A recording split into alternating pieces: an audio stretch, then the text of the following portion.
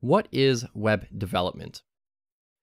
Web development is the ability to create a website for your laptop, tablet, or a phone. So typically we create one website that looks and acts well on all of these devices in the exact same code base. And this is called responsive web design. So whenever you hear the term responsive web design, it really just means the website looks good on a desktop, on a laptop, on a TV, on a phone, things like that. Now we write code, typically in English, but not always, that tells programs what to do. And there's a certain way to write code, and it's a little bit different for each programming language. And those differences, those little style tweaks, like if we use curly braces or semicolons, things like that, that's called programming syntax. And so it's really just the how do we write it? It's like writing apostrophes in English, apostrophes, periods, question marks, things like that. That's sort of English syntax. And in programming, we have sort of the same thing, uh, but it's not quite the same as like writing a paragraph.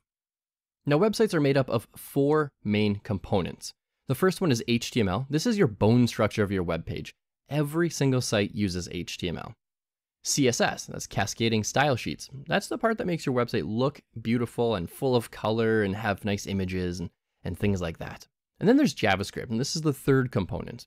And JavaScript is the interactivity that happens when you click a button or you type in a box and something else happens. Some sort of event happens. So whenever you click on something or you type somewhere and, and you can see things moving around, that's JavaScript. Lastly, we have a server-side component, and this is the hidden code that executes on a server when your browser loads a website. For example, you could use Python or PHP or Node.js. How to get into web development. So I get a lot of questions all the time just because I teach so many people, but I also get these questions very often. These are probably the most common questions I get. First of all, is, is it hard to get into web development? Do I need to be super smart to start coding? Am I too old to learn how to code? Do I need a college or university degree? And is it expensive? So let's go through each of these one by one. Is it hard to get into web development? And the honest answer here is no. It's not hard. It's a lot like learning how to cook. You learn a thousand small things, but not one giant thing. Now, it will take time to learn, but it's not going to be hard to learn. And you don't have to memorize the thousand small things either, you just have to remember how to find those answers on the internet. Do I need to be super smart to start coding? Honestly, no. Any normal person can do it, and that's what makes it so appealing to everybody. People think coders are as smart as Bill Gates or Mark Zuckerberg, and honestly, that's just not true. We're not that smart. We just know how to use our tools really, really well, and we know how to find answers on the internet. So all we do is hop on Google when we get stuck and look for something. And someone else has probably ran into a similar solution or a similar problem and found a solution and posted on the internet. So we can leverage other people's experience there. Now, the brutal and honest truth about this, prof- this profession, my profession, and hopefully one day your profession, is that honestly, you don't need to be very smart. And you don't really need to memorize too much, you just need to know how to find the answers. Am I too old to learn how to code? I get this one a lot, and this one actually drives me insane. Okay, so I've seen students in their 70s learn how to code, and they've been doing it very well for several years now. I've seen people in their 60s learn how to code and get a job in web development agencies and succeed. They're doing very well.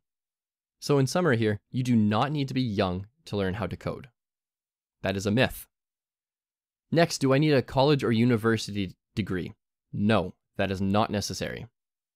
So even though college or university might be helpful to understand how computers work and how to get into computer science and some of the mathematics for like machine learning and stuff, when you're making a website, you don't need to know any of that stuff. And a good example is me. I taught myself how to code at the age of 10 in about 1999. No college would have taken a 10 year old. And today I've still not attended college or university, and I've worked with big names like Mozilla, NYPR, the National Health Service, and NASA. So just think about that. You do not need a college or university degree. Lastly, is coding expensive? Now, coding is only as expensive as you make it. If you like the finest tools, if you like to pay for things, it's going to be expensive. But the truth is, most of our tools are 100% free. Web development education can be expensive if you attend a boot camp or if you pay for a mentor, but your best route is to take the inexpensive route. So take online courses such as this one, read blog posts, and read tutorial websites. And if you have a laptop or a desktop already, really it shouldn't cost you more than about $100 to get into this. So what do you need to get started? Well, you do need a laptop or a desktop. No, you cannot efficiently code on a phone. I'm going to tell you that right now. A lot of people say or ask, hey, Kalob, can I code on my phone? And the answer technically is yes, but it's going to be very painful, very slow. It's not efficient. You won't be able to learn as much as you possibly can. So you need a laptop or you need a desktop. You need something with a full keyboard on it. Next, you need a text editing program. I'll talk more about that a little bit later, but these are always free. And lastly, you need internet access, and chances are you're watching this online, you're probably streaming this, so you likely have good enough internet to get started. What does it take to get into web development? First of all, it takes determination. Learning to code is not hard, but it's big. And I've said this before, and I'm going to say this again. You're going to be learning about a thousand small steps, and most of these you can Google. You don't actually need to remember all of them. But taking a thousand small steps, you know, again, it's not hard, it's just big. You'll need to learn how to deal with overwhelm. There is a lot to learn. And again, it's all small stuff, but it can feel very overwhelming just because there's so much of it. So don't try to learn all of it at once. Learn how to code in steps. Take baby steps. I suggest learning HTML first, and we'll get into this a little bit later as well. Support groups are your best friend. You do not need a personal mentor to start. Although if you have a friend who's willing to teach you how to code, that's fantastic. But honestly, you don't need that. Find a support group where you can ask questions without being judged. I recommend the Learning to Code Facebook group. It's free. It has over 55,000 members who can answer pretty much every web development question that comes to mind. And you can ask any question at all. All right, it's also going to take tenacity. You will have hard days. That's normal. It still happens to me, and I've been doing this for over two decades now. But you need to push through those hard days. Now, to do that, I suggest building a habit where you learn just three new things about web development every day. Even if they're small, useless facts, you're still building up that that habit, that sort of ability to continue learning every single day, even when you don't feel like it. That's really, really important. Lastly, practice until it hurts. Practice, practice, practice. Like anything in life, coding is a skill that gets easier with practice. And once you have enough practice from tutorials and courses and other things, make sure you start working on your own ideas. Because if you solve real world problems, chances are you have an idea that's tackling some sort of real world problem, you'll run into real world coding problems and their solutions. And that's valuable. That's what's going to get you a job in the future, is being able to tackle those kinds of problems and find solutions for real life problems. Web development tools. First up, we need a text editor. A text editor is really just a special program that doesn't add like hidden data to your files. So if you ever used Microsoft Word and you can like put tables and stuff in there and you can embed images and stuff, we don't want any of that. That has extra hidden data behind the scenes. We don't want that. Now, I highly recommend downloading and installing VS Code. It's free, it's popular, it's very powerful, and again, it's free. And you can use it on Mac, Windows, Linux, pretty much every operating system out there. Next, you need browsers. Different browsers render content differently. So if you can right now, I would highly suggest just pausing this video and going and installing Google Chrome. Download and install Mozilla Firefox. If you're on a Mac, download Safari. You probably already have it if you're on a Mac. Unfortunately, I don't believe it's available for Windows users, at least not at this point in, in time. And lastly, get Microsoft Edge. You want these four main browsers to test your websites on. Next up, you need a command line program. Now, luckily, every computer has a command line program built in by default. On Windows, your command line tool is called CMD, command. On Mac, your command line tool is called terminal. And on Linux, your command line tool is called bash. Lastly, you do need one more thing to efficiently learn how to code. You need internet access. All of humanity's knowledge is at your fingertips as long as you have internet access. So for that reason, it's important to have internet. We do a lot of searching for answers on the internet as well as web developers. We don't know all the answers. We don't memorize the solution to everything. We try to figure it out and sometimes we forget things. I even forget basic things sometimes. You just hop on Google and ask your question in Google or in a Facebook group. How websites are created. Okay, first of all, there's two sort of things we need to know. I guess we don't really need to know right now, but let's cover it anyways. There's scripting and programming languages. So a scripting language is like throwing instructions into some sort of machine and it just sort of does what you want it to do. And that's very similar to a programming language. But a scripting language is kind of like putting popcorn into a popcorn making machine and it just like pops your popcorn for you. whereas a programming language is like being able to program the popcorn machine. Now, we write all of our code in a text editor that satisfies the program's ability to read your code. And that program is your browser. So if we said, right in here, less than b greater than hello world less than slash b greater than in HTML, it would look like this. It would be bold. This right here, this b, and this b tells it to be bold. These are instructions for what your browser needs to do. Next up, you need a text editor. And again, you want one that doesn't add hidden data to your file. So don't use Microsoft Word or anything like that. I highly recommend downloading and installing VS Code. Again, it's free, popular, and very powerful. So if you haven't, I would really like if you could just pause the video here, go download and install VS Code, uh, because we're going to need it at the end of this course. Websites are created when we write code. So writing code is a lot like writing a paragraph. It just looks a little bit different, and we call this syntax. So you can still read the code, and it's like reading a different language, but your brain still understands what's going on. We follow rules that programs like a browser are looking for. For example, if we said b hello world slash b or i hello world slash i, that's going to output hello world in bold or hello world in italics. What you see and interact with on a website is really only made up of three components, HTML, CSS, and JavaScript. HTML and CSS are considered scripting languages, and JavaScript is an actual programming language. And there are some differences, but honestly, it doesn't really matter what those differences are right now. We can get into that at some point in the future. But pretty much every website uses these, these three technologies today. HTML files are saved with a .html file extension, CSS files are saved with a .css file extension, and JavaScript files are saved with a .js file extension. And for the most part, that's the biggest difference when it comes to just managing our files. It's just the file extension. As soon as a browser says uh, sees that there's a .js or .html file, for the most part, it can figure out what to do next. And we write all of this in a text editor, and we just use different file extensions. Let's look at programming languages. When you hit a website, a server is sending you that HTML, CSS, and JavaScript. But the code that executes on the server can be a completely different coding language. It can be Python, PHP, Node.js, Java, C, etc., etc. It could be really any language, and you're not going to know what that language is. But we also write that code in a text editor. And again, the text editor could be VS Code. Now, one more component that we're not really going to touch on too much in this course is databases. So when you try to log into your website, or any website, your data is sent to the server. So that's the code that you cannot see. We call that backend code and it talks to a hidden database. And that database is supposed to be hidden to keep your data nice and secure. These databases are what store your passwords, your usernames, your email addresses, which photos you up uploaded, which posts you liked, so on and so on. Basically, anytime it remembers that you did something at some point, that's being saved in a database. And a database is really just like the memory of a website. Code you can't see. All HTML, CSS, and JavaScript can be seen by your end users. So never store secrets in there. If you right click on pretty much any web page and click view source or go to, I think it's usually file view source, you can actually see the raw HTML, CSS styling, and the JavaScript. That's all considered front end code. And again, backend code is what runs on your server and you cannot see it. We don't have access to that.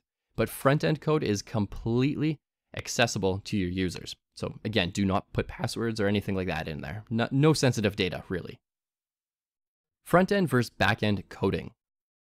So I touched on this in the last video, but front-end coding is made up purely of HTML, CSS, and JavaScript. These small files are sent to your browser, and your browser then reads them, interprets them, and then displays them for you. And if you right-click on any page and select View Source or Inspect, you can actually see the entire front-end code. It's completely available to you. Next up, we have back-end code. Back-end code is a programming language like Python, PHP, Node.js, Java, something like that, it usually produces some sort of HTML to send to your browser, but the logic behind the scenes is never actually exposed. Whereas with front-end code, that logic can be completely exposed. You honestly don't really need to know too much of the difference right now because when you get started, the first thing you should learn is just HTML. So you don't have to worry about learning all of it, just start at the beginning with HTML.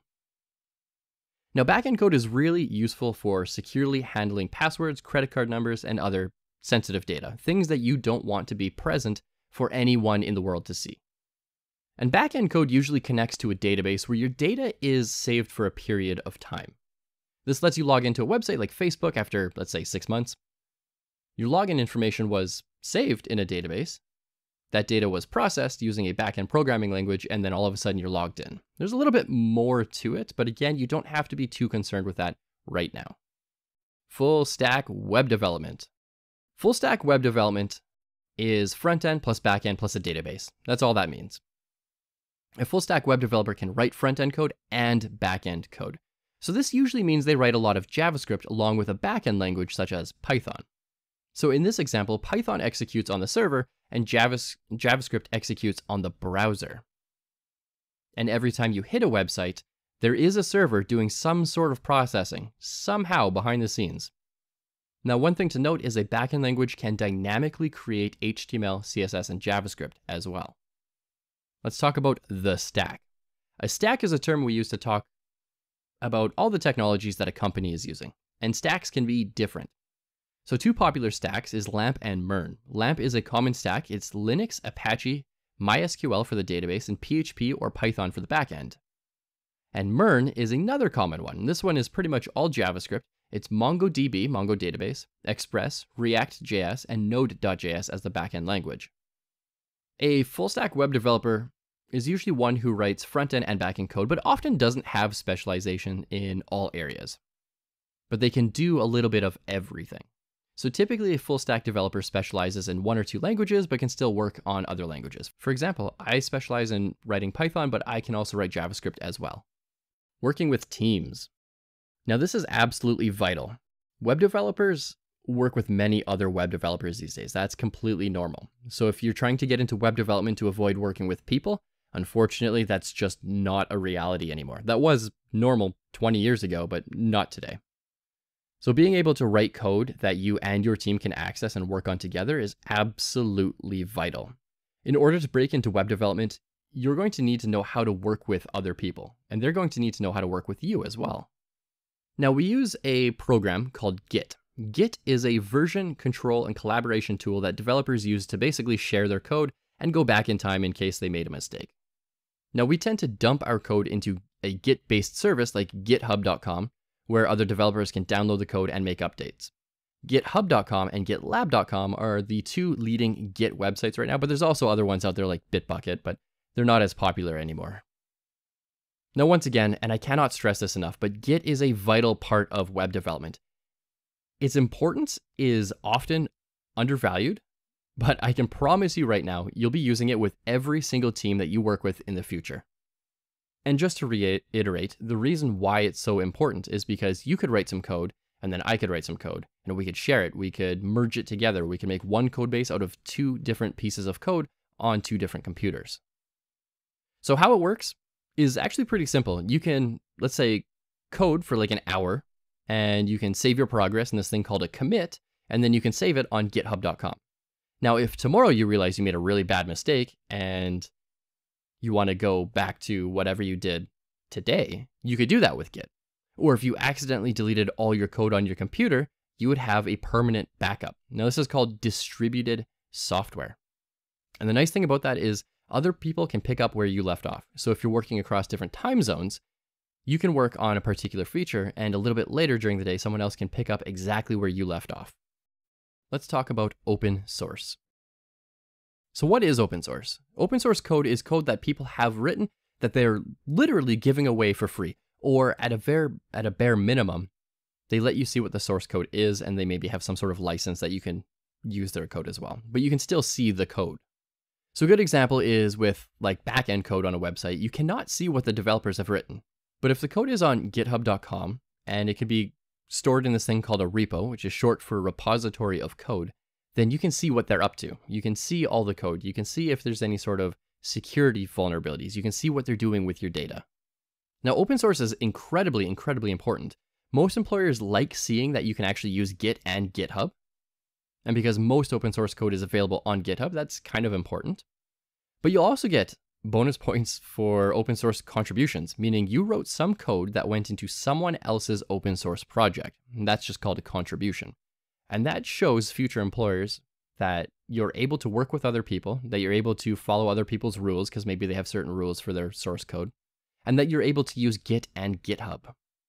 Lastly, open source is everywhere. So believe it or not, most interactions you've had on the internet are likely because of open source code. The internet's a free and open place where you can create and share pretty much anything with anybody. And web developers are the people who are often responsible for making that sharing possible. Do not reinvent the wheel. If you want to add a big feature to your future website, look for open solutions first, open source solutions. There is no reason you need to duplicate the effort that someone has already put in. Honestly, use other people's work if it fits your needs. That's why they open source their project really in the first place, is so that other people can leverage what they've worked on. So let's take a look at an example here. I'm going to close this down in just a moment and open up my browser. And we're going to take a look at slick.js. It's a common JavaScript library for creating amazing carousels of images. So let's see why this is important to leverage existing open source work. So this is just my browser and I'm going to type into Google slick.js. And this is the first one we want here. The last carousel you will ever need. Now this is what a carousel is, right? These could be different images. You could move multiple images at once, uh, responsive display, variable width. So if your images are different sizes, it will adjust automatically. It has adaptive height, has captions and stuff in there. You can actually see my even my arrow is moving so it stays centered. There's center mode, which is pretty nice. But if you needed to add this to a website, you could write this on your own, and that would be somewhat of a nightmare because these are not super easy to create. But if we go up to get it now, it says view it on GitHub. Okay, let's view this on GitHub. So I'm in, just on github.com here, and I'm zoomed in, that's why it looks so big. And I click on Slick, and if I go to slick.js, I can see all the source code. So there's 88 kilobytes of data in the source code, 3,037 lines. Now, if we just keep scrolling, we can see that there's like a lot of logic, a lot of different things going on in here.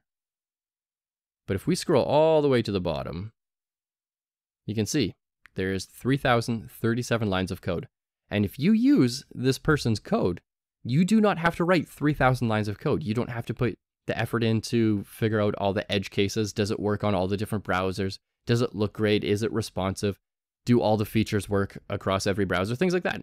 We know that this is tried and tested. We don't have to worry about this not working. So I'm just gonna scroll back up to the top here go back over to, ah, look at this. Uh, 26,100 people have started this, and there are over 5,000 forks. So 5,400 people have basically copied this code base into their GitHub account so that, that they can modify it. But again, the big power in open source is being able to leverage other people's code.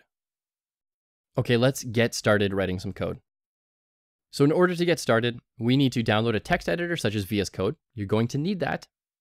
You're going to need to download Google Chrome, Mozilla Firefox, Apple Safari, or Microsoft Edge web browsers. Try to get all four if you can, but if you're on Windows, you probably cannot get Safari. Then here's what I want you to do, and I'm going to demonstrate this in just a moment. I want you to open your text editor and create a new .html file.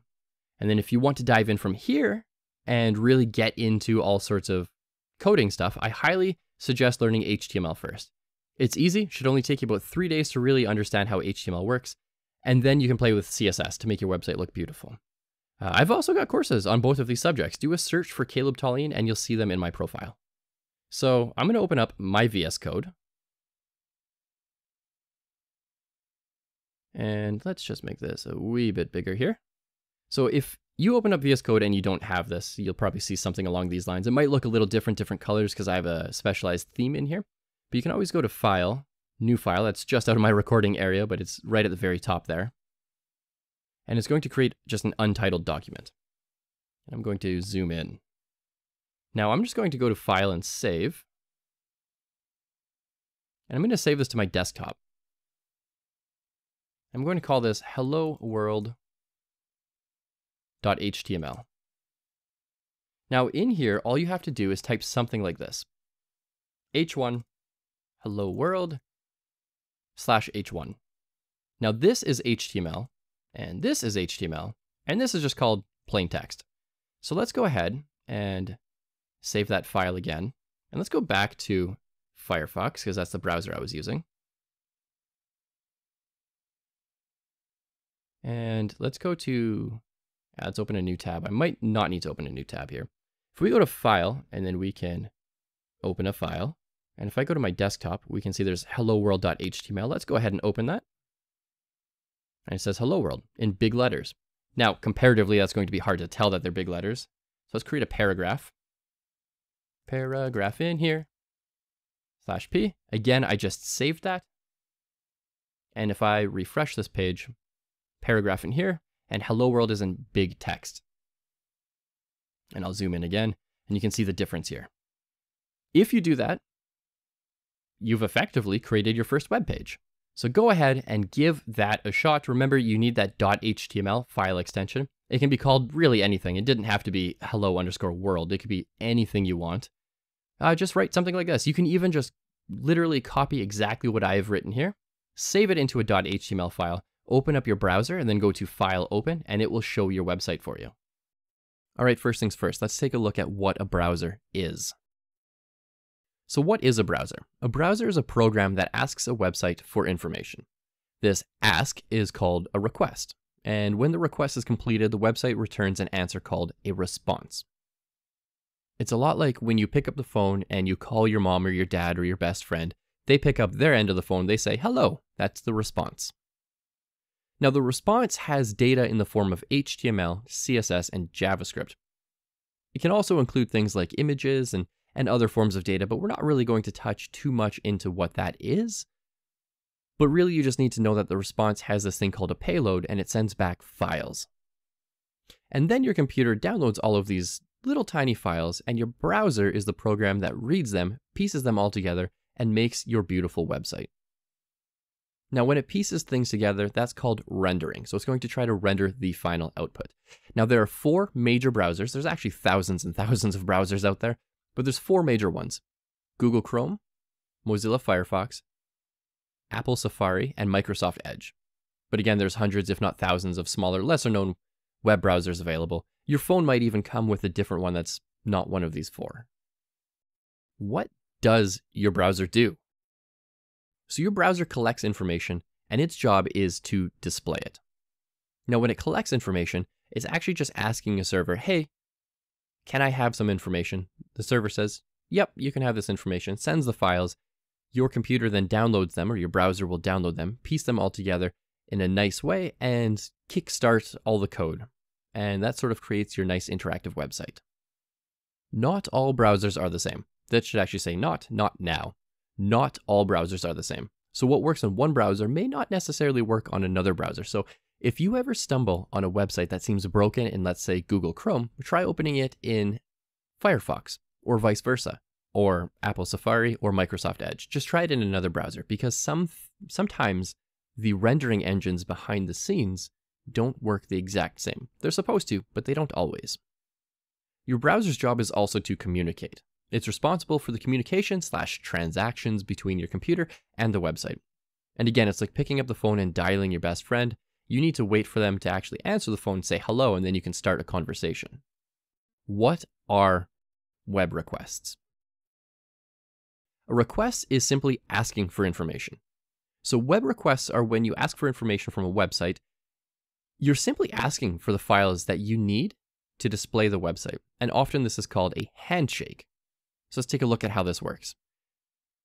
It starts off by going to a website like google.com. Your browser then asks google.com for the data it needs to display the page nicely. Now, this whole process is called a request, and actually, when it sends you the information back, it's called a response, but we'll touch on that in just a little bit. Requests can have sizes as well. So, a, request can be literally any size. Google.com is a small request, or really any website. We're just going to the website and saying, hey, can we have the files? And then the website determines what it should send back. But that that first request, that first handshake is usually pretty small. Now, if you load up something like Instagram.com, every image will be a new request.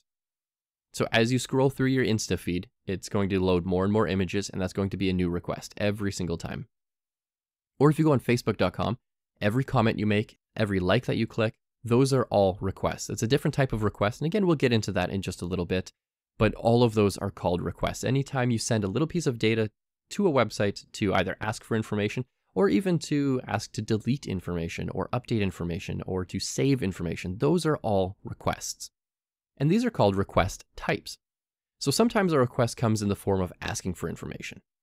And this is called a GET request. But it can also be in the form of asking to save information. Now, technically, those are called POST requests. There's also a delete request to delete information and a put or patch request to update information. And once again, a normal handshake is just a GET request. That's the most common one. And this is actually getting into RESTful APIs. Now, if you're interested in APIs, I have a course on RESTful APIs. Feel free to go and take a look at that after this course. Now, one thing to note is that everything has to travel through the internet. Smaller requests and responses means less bandwidth. It means it can travel through the internet, through the wires that are sent all across the globe, through your Wi Fi. It can serve that a lot faster because it's a lot smaller. It's a lot like this. Think about the last time you had to download a one gigabyte file versus downloading a one kilobyte file, right? The one gigabyte file takes a little while. It could take several hours depending on your internet speed, but a one kilobyte file, even if you have fairly slow internet, is still a very, very fast download. Requests are the exact same thing. The request life cycle. So let's take a look at how this begins. When you ask for information from, from a website, you're actually doing a lot more than that. When you ask let's say my website, kalob.io, for information, there's a domain mapping behind it. So kalob.io actually points to an IP address, and that IP address connects to my server. So you're not actually requesting information directly from kalob.io, it's just sort of masking it so that you don't have to remember IP addresses. And then how it ends. The server is going to accept my request or your request. It's going to understand what it's supposed to output and sends files like HTML, CSS, JavaScript, images, all that other stuff that makes your website look good in this thing called a response. Lastly, the browser downloads these files and saves them onto your computer. And if it has to download it more than once, sometimes it'll just use the old, the old files, and that's called a cache. It's going to then piece all these files together and render your content. What are server responses anyway? So a response happens when a server responds to your web request. A response happens after the request is made, so it always goes request and then response.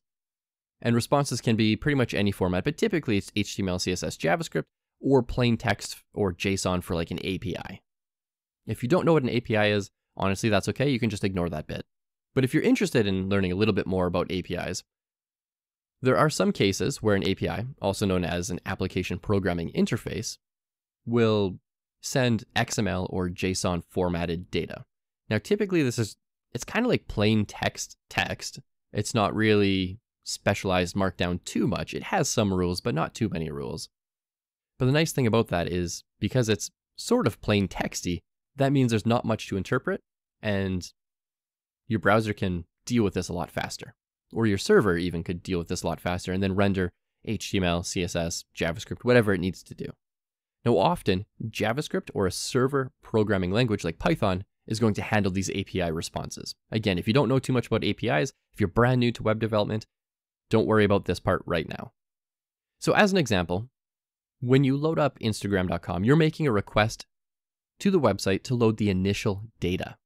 As you scroll down, it loads more and more images dynamically so that the first request can always be small and fast. It'll, it really only shows you or tries to get like two or three images, but it's not going to save a thousand images, or it's not going to ask for a thousand images because that's going to be really slow to load.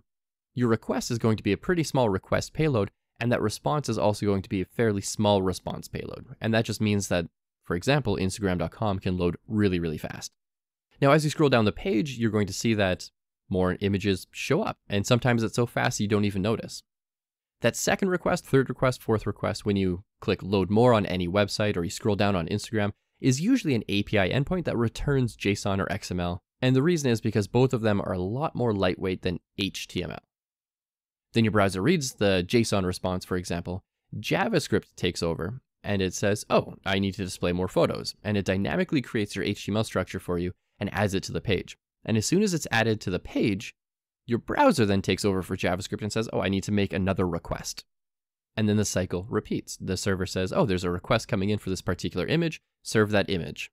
Now, on the topic of images and other assets like images, each one is likely to be its own request.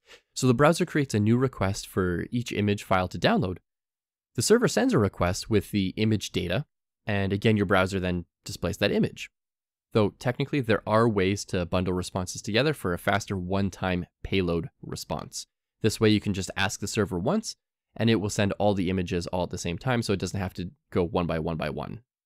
And again, that just makes that response payload faster. And the reason for that is because if you think about driving to and from work, or to and from the hospital, or to and from your house, there's a lot of travel time in the internet. And so if you can reduce the travel time and just carry all the images in one load, then it's going to be a lot faster. Interpreting HTML, CSS, and JavaScript. So these are the most common response data types. So when you make a request and you get a response from a server, you're likely going to be getting HTML, CSS, and JavaScript. Your browser's job is to download each one of those files. But the browser also has these things called engines. And so these engines have certain rules for HTML. They have different rules for CSS, and they have different rules for JavaScript. If your browser thinks it's opening a JavaScript file, it'll use the JavaScript engine to read and interpret and make your website interactive. Likewise with CSS and HTML. So if it realizes that there's a CSS file, a cascading style sheet file that is, it's going to try to interpret that and make your website look good. And so they have different purposes. Once all the files are downloaded, you know, as best as they possibly can, it's going to piece them all together and again it's going to try to display your website or it's going to perform a render. But at some point JavaScript is going to take over the browser just because the browser has a particular purpose, but JavaScript also has its own purpose. So after the initial response is rendered or, or displayed in your browser, most of the time JavaScript is going to take over. Not all the time, and sometimes there's some cooperation between JavaScript and your browser.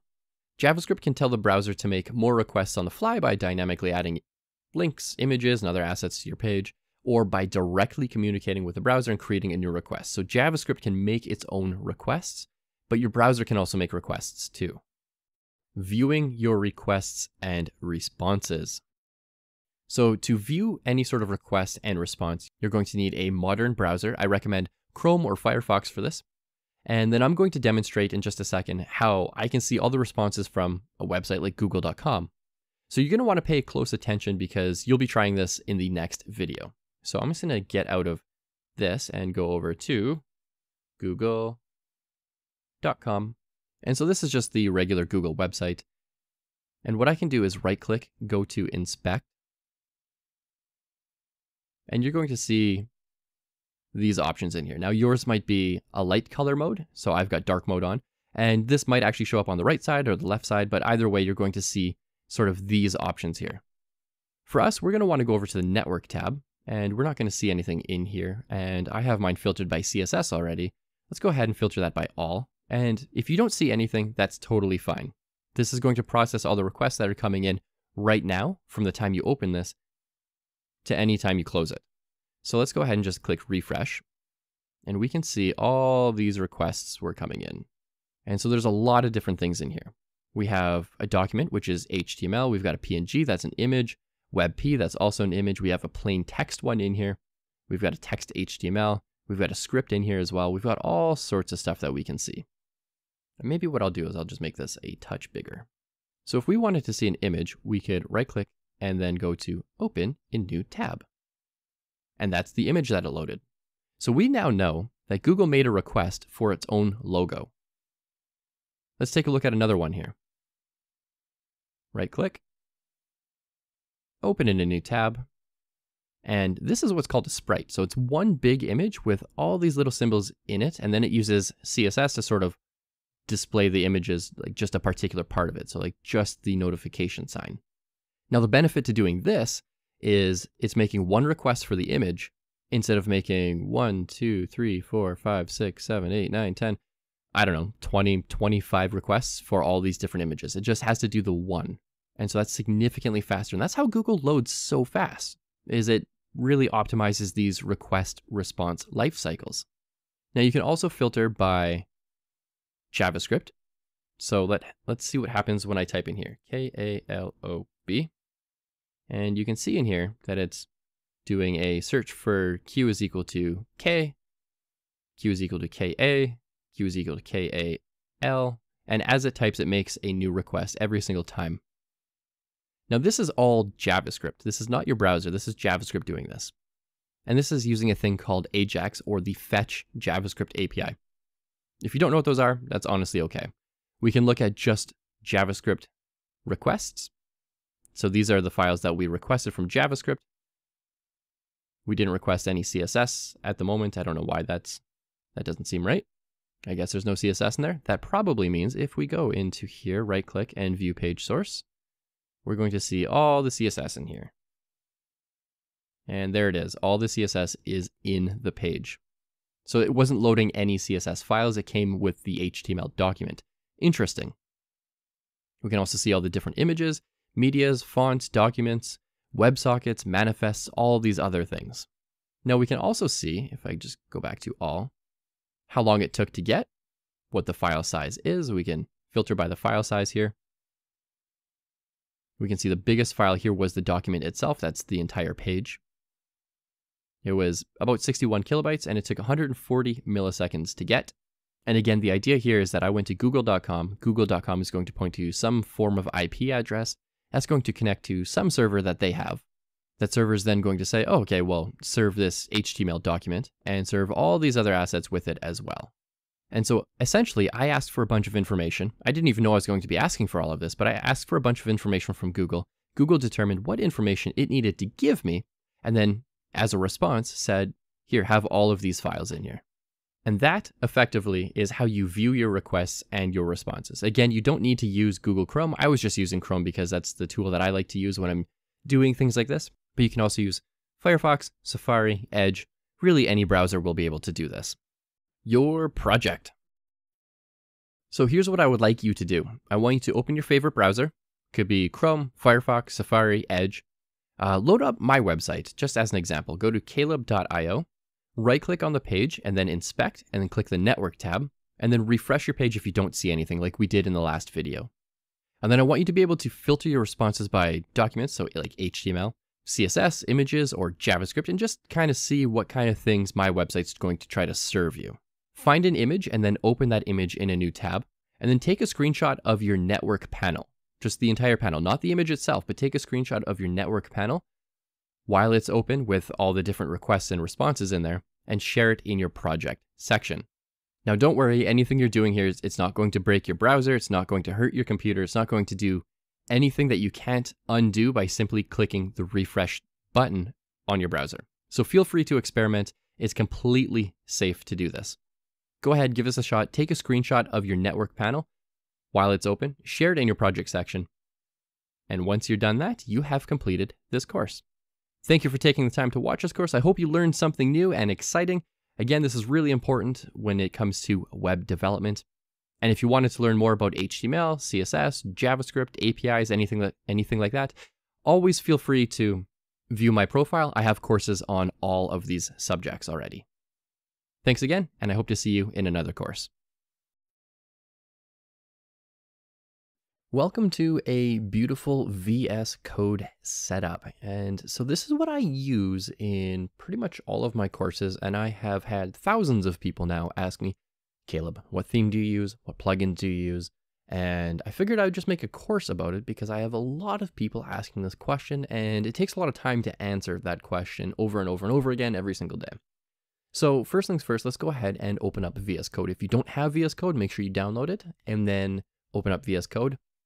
And so I just open up VS Code and there's nothing in here right now. And so what I want to do is go to View and then Extensions. And so I'm on a Mac. Uh, this might look slightly different for you if you're on Windows, but it's going to look very, very similar regardless.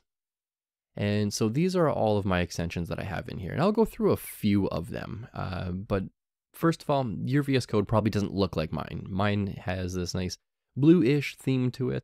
Um, so what you want to do to make yours look like mine is in your extensions, type in material theme and go here and you can see that I have material theme installed. And so you're going to want to install this. It might ask you to restart VS Code. If it does, that's okay. Just restart VS Code.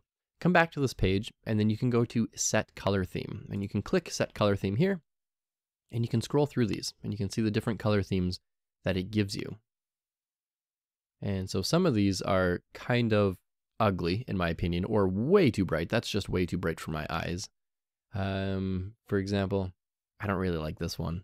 Maybe you do, and if you do, that's okay. Uh, it doesn't have to, your VS Code doesn't have to look exactly like mine, uh, but mine is set up to use material theme ocean high contrast.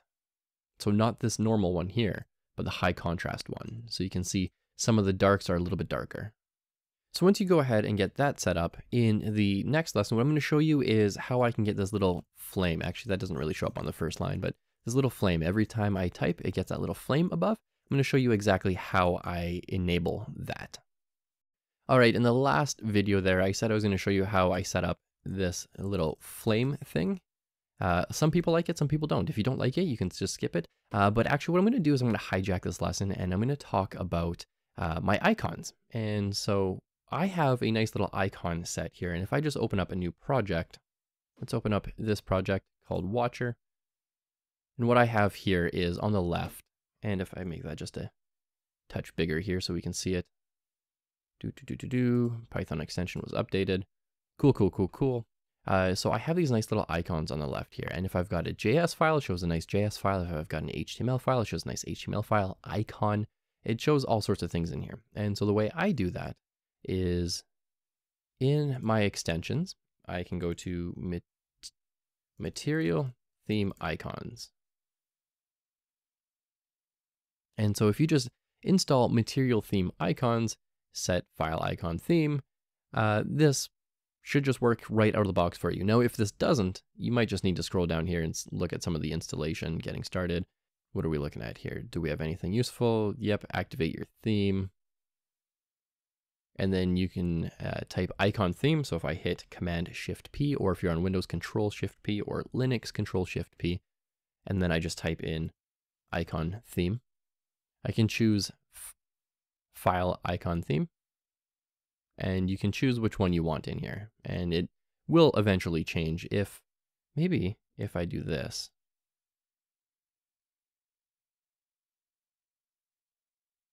Is this going to change? Yeah, this changes them for me. And so what I like to do is I just like my standard material theme icons ocean. And that just comes with this theme. I just like that. Uh, so if you don't have the icons, uh, you might want to get some icons. Icons look nice. All right, let's talk about extensions. And I have a lot of extensions installed. Actually, I went through my list of extensions and I uninstalled a bunch of them because I just wasn't using them anymore.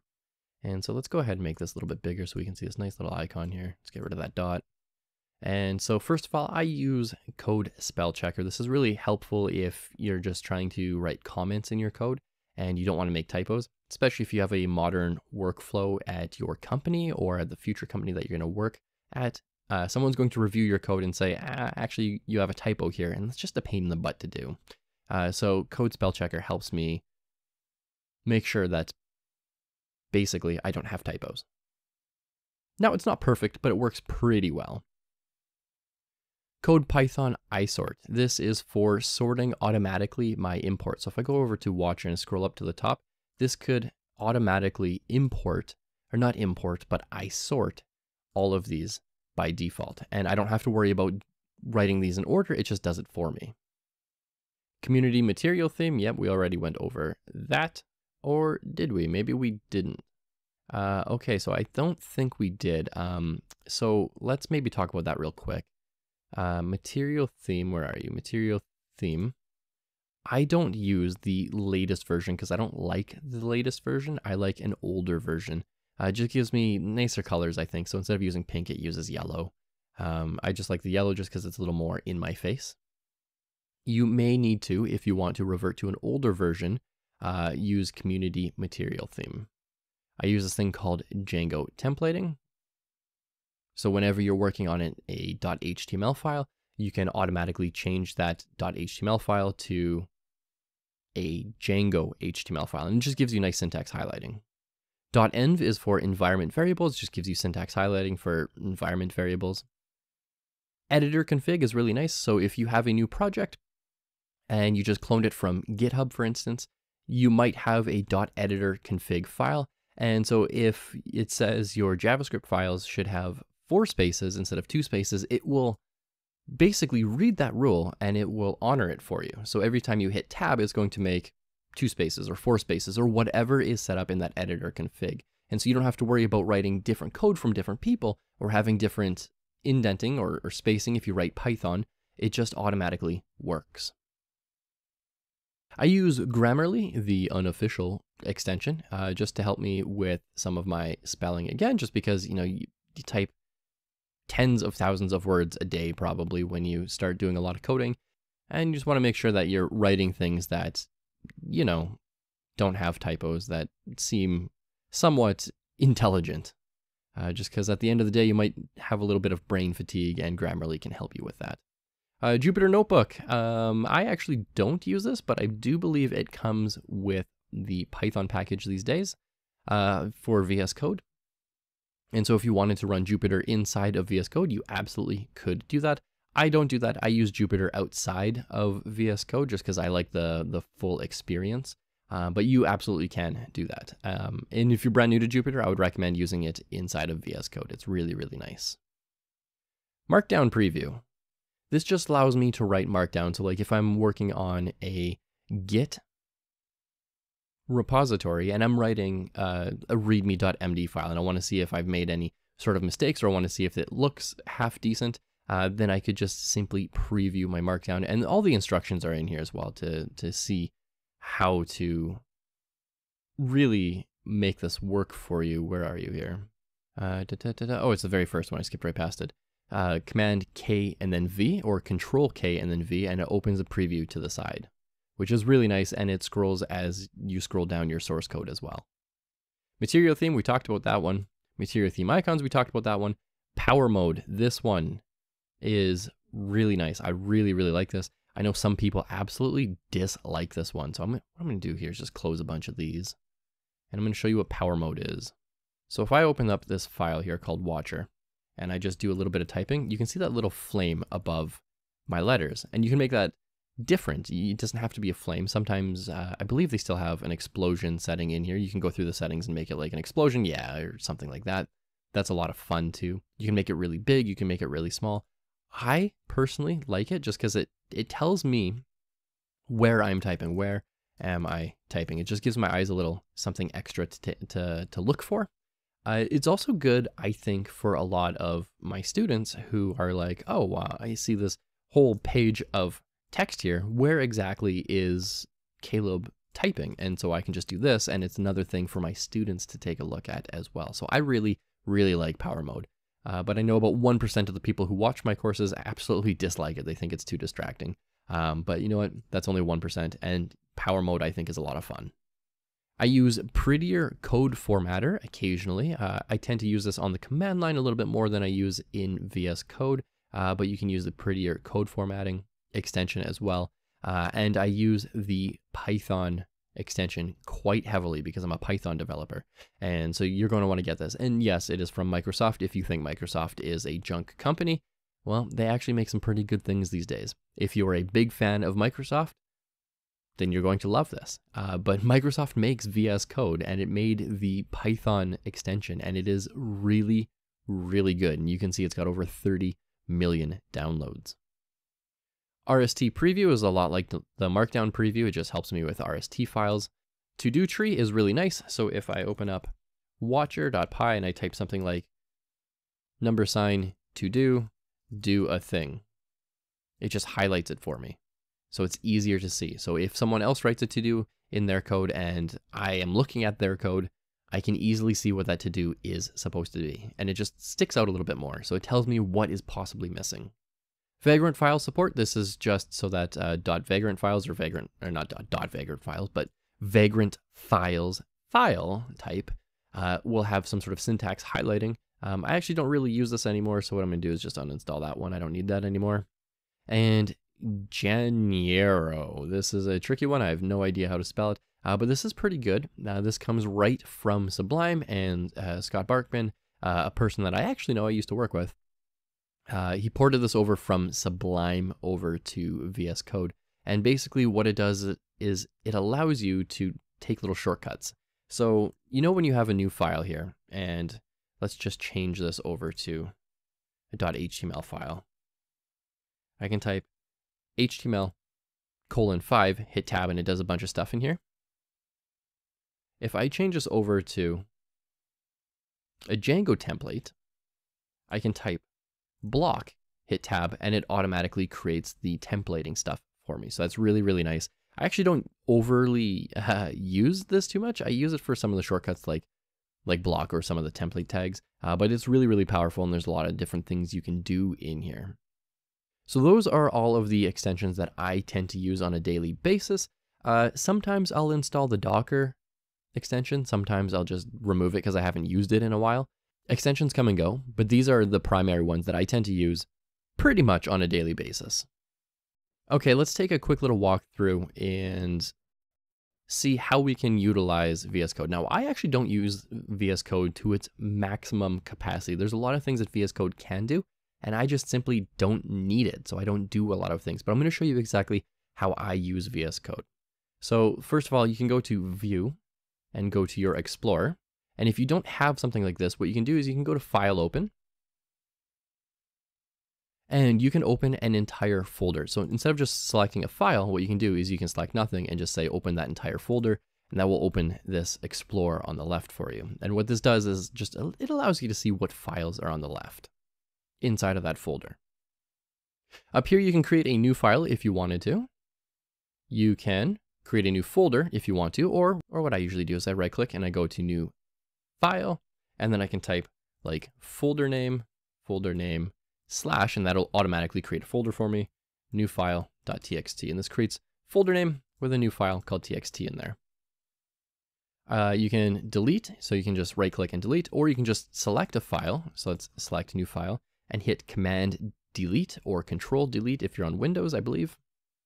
And it will delete it for you as well. And if I ever wanted to rename a file, what I could do is just click on one of these files. And instead of being focused over here, I'm focused on the left and I could simply hit enter and rename this file. Rename this file, hit enter again, and it's renamed. And that just allows me to not have to use my mouse as much. You can refresh your Explorer. I have honestly never needed to do this, not once. And if you have folders open, you can collapse them. So let's go ahead and create a new folder with a file called test.txt. See that it's open here on the left. If you end up working on a larger project, you might have like 40 50, 60 folders, and they might end up being open. If you want to close all of them, I just click that, automatically collapses all of them for me. Let's go ahead and delete that. In the next lesson, let's take a look at some of the file shortcuts that I like to use a lot. Okay, so I have some code here, and this is just some open source code that I wrote over Christmas of 2020, uh, just to make sure that a website is up and running 24-7, and it checks every website once a minute. So I have a Python file here, and you can see my nice little icon there from my material theme icons extension. If you ever wanted to, you could you could go down to the bottom, uh, the bottom right, and you can change the spacing to use either spaces or tabs, depends on your Python project, but most, most Python projects use four spaces, and whenever you hit tab, it just automatically creates those four spaces for you. So if I go down here, there's nothing there. If I hit tab, one, two, three, four, and it creates four spaces for me at a time. You can change the file by clicking this uh, Python down here or whatever extension it says. If you're using an HTML file, it's going to say HTML. Uh, you can change whatever you want it to be in here. So instead of Python, if I said, oh, this actually isn't Python, this is actually Java, it'll change some of the syntax for me. And this is really cool too. Uh, I actually don't write Java, so it says you want to install the recommended extension for Java. Uh, I don't, so I'm just going to ignore that. And I'm going to put this back to Python. And that just gives me nice syntax highlighting based on the language or scripting, scripting language that I'm writing, like HTML, CSS, JavaScript, Python, Django, etc. Now, me personally, I don't use my terminal inside of VS Code too often, although you definitely can. So if you go to View and you can go down to Terminal, you have access to your command line right here. So I can do ls-la, or if you're in Windows, I believe it's just dir. So ls-la shows me all of my files and all the good stuff in there. You can have multiple terminals in here as well if you wanted to. You can split your terminal, you can add a terminal, you can delete a terminal.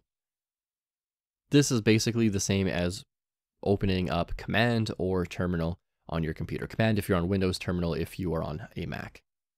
Or bash if you're on Linux. I forgot about Linux. Yeah, if you're on Linux, might be bash. You can make it full-ish screen if you wanted to, with still your file showing on the left. And you can close it down if you like. So I uh, I don't tend to use that too often, uh, but I do tend to use that uh, when I'm recording videos, just so that I can hit, uh, for example, Control tilde. That's the number beside the one sign. This little guy right there, that weird icon or character. I'll record a lot of videos with the terminal right inside of VS Code, so I don't have to flip between too many, uh, too many programs. Um, but occasionally, I just I don't want to, and I want to actually flip between the programs because I like using a raw terminal outside of VS Code. It just gives me a little bit more control, and so I can customize that as well. Uh, but for you, if you just want it all in one view, what you can do is you can just go to View, Terminal, and you can have your command line available to you while you're writing your code. In the next video, I'm going to show you some of the shortcuts that I use. Okay, so when I'm editing a file, uh, you'll notice in a lot of my videos, I actually don't use my mouse all that much. Uh, and the nice thing about that is I can just keep my hands on my keyboard and I don't have to move around. So first things first is I use my arrow keys a lot. Up and down, left and right when I'm on a new line, uh, on a Mac at least, I hit Command and I can go left or right and just brings me to either end of that line. That just allows me to find, uh, not find, but to place my cursor somewhere closer to where I want it to be. So if I wanted to change this R over here, instead of pressing and holding my arrow and then selecting it, what I could do is I could go over here and then I can hit Option, left, left, left, and this moves word by word, and in, that's just a lot quicker than having to do this, just waiting for it to go from the left. Or if I'm already on the far right, pressing and holding. It's just left, left, left, shift left or shift right to select a character or a series of characters, and then you can delete it if you wanted to. Now there's a lot of indenting in Python and HTML and JavaScript and PHP and CSS and pretty much every programming language and scripting language out there. And so sometimes you want to be able to indent and outdent pretty quickly. So what I like to do here is on my Mac, I hit Command and then one of these symbols. So either that one or that one. It's one of these two. So Command, left bracket, outdents, Command, right bracket, indents. And you can just keep doing this over and over and over again.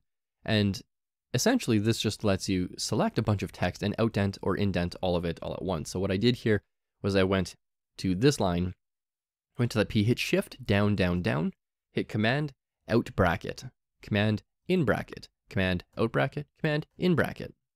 Now for in Windows, obviously you don't have a command key. It is likely to be control or alt for you. I actually can't remember off the top of my head. I haven't been on a Windows machine in a little bit, but it's going to be control bracket or alt bracket. Now another thing I like to do a lot is when I'm working with multiple pieces of code that are, are very, very similar, uh, and I want to copy and paste a bunch of things, what you can do is you can select all of this, and you can do Control C or Command C, and that just copies it.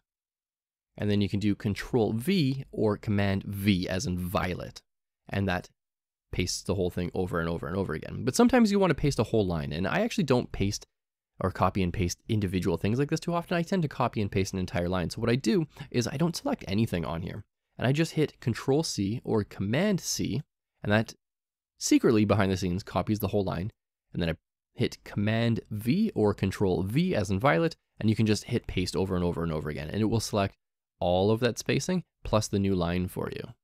So what I can do is I can go up here, outdent, indent, delete, and I just hit delete there.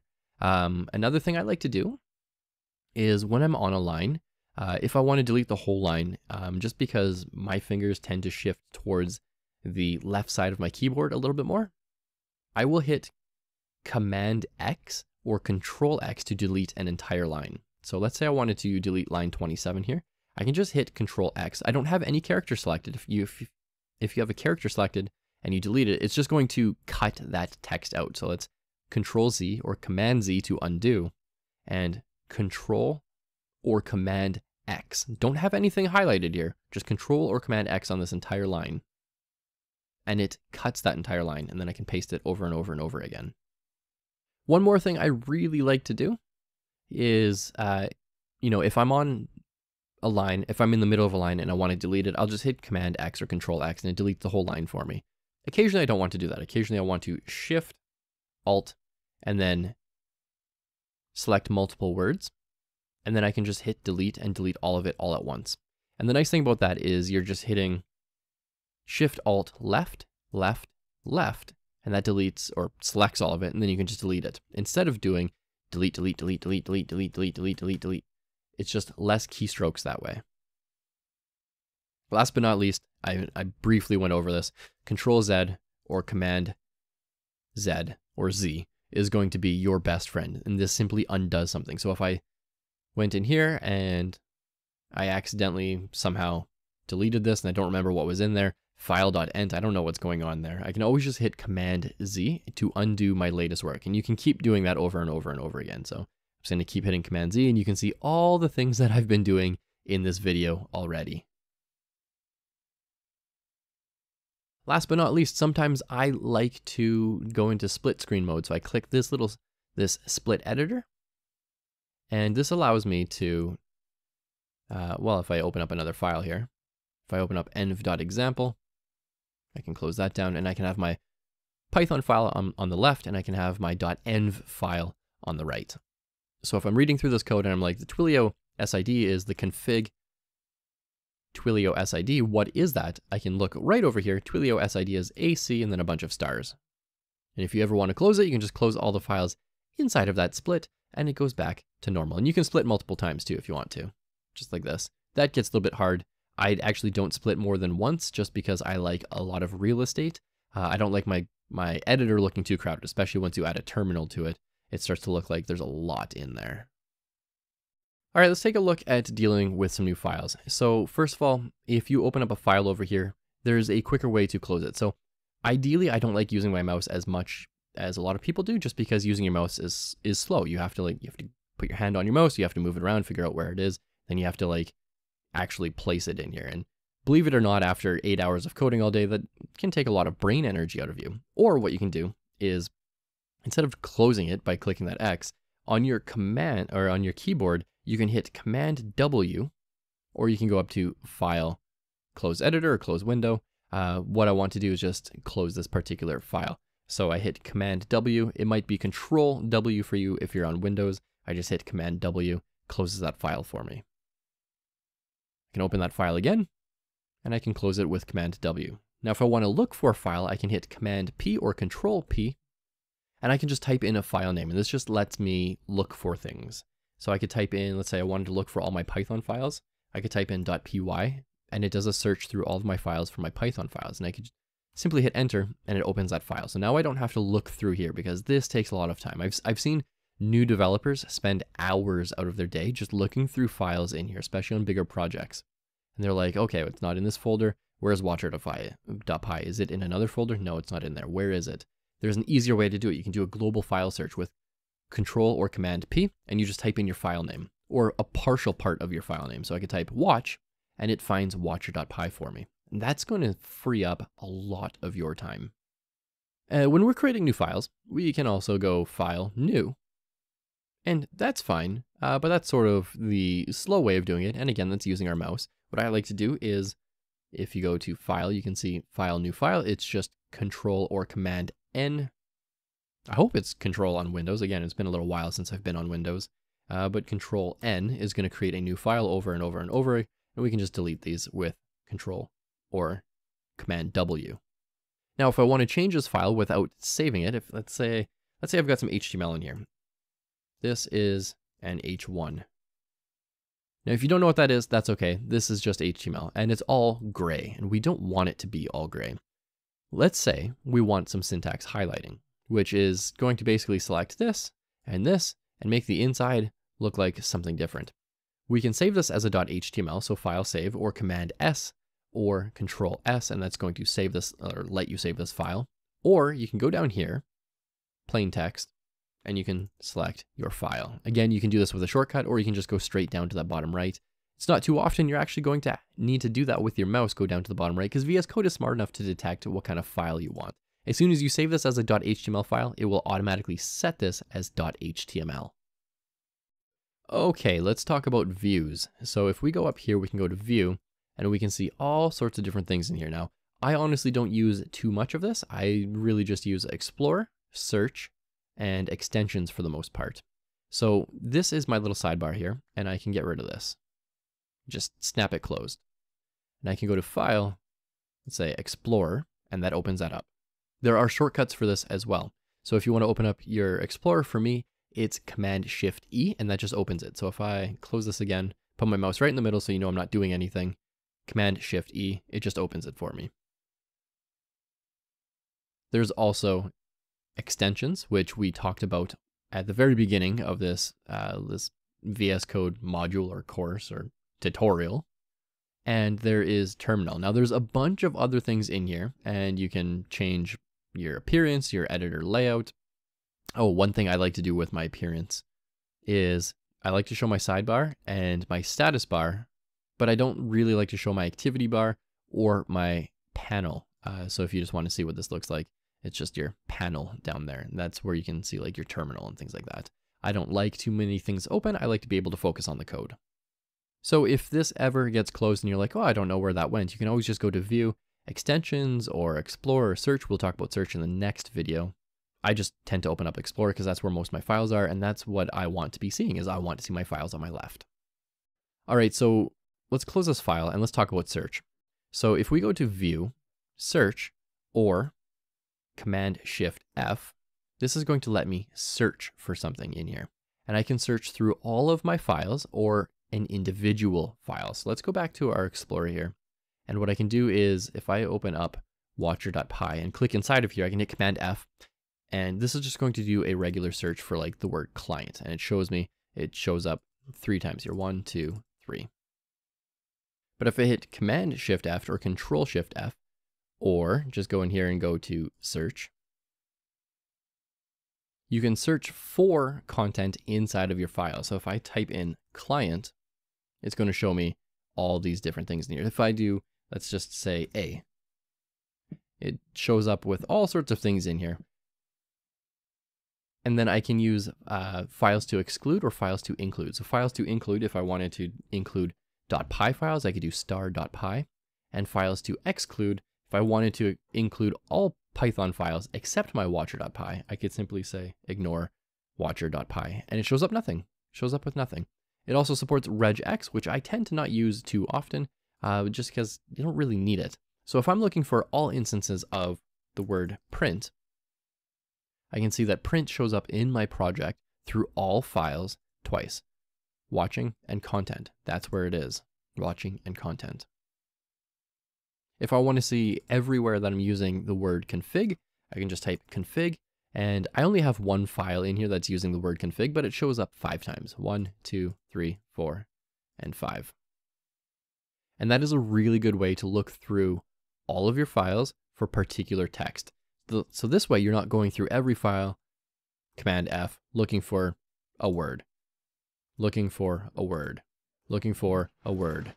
And so make sure you utilize the search functionality as best as you possibly can. It's going to save you a lot of time. So remember when you're searching in a file, it's just Command or Control F, and that'll search in the top right over here. If you're looking through all of your files, it's Command Shift F or Control Shift F, and you can look through all of your files for a particular word. So let's say hash shows up with hash in here and all the different instances of where you can see the word hash.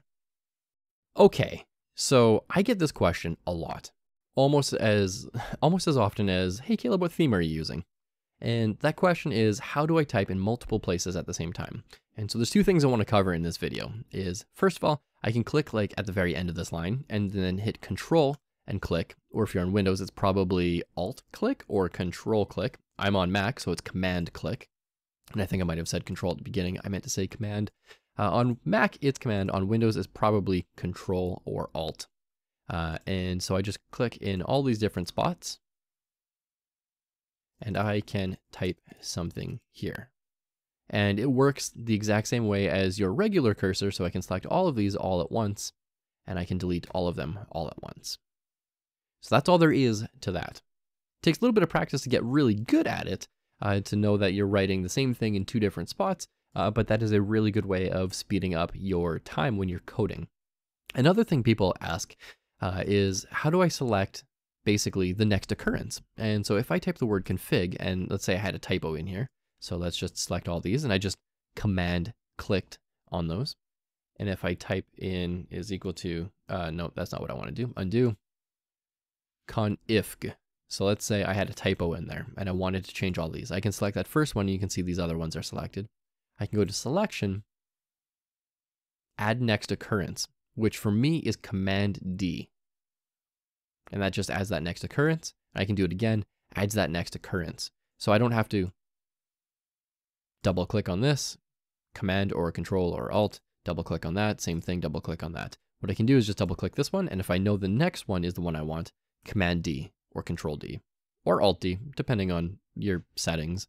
Uh, and then I do command D again and select all of them. And what I can do is just delete that and type config in all three spots at the same time.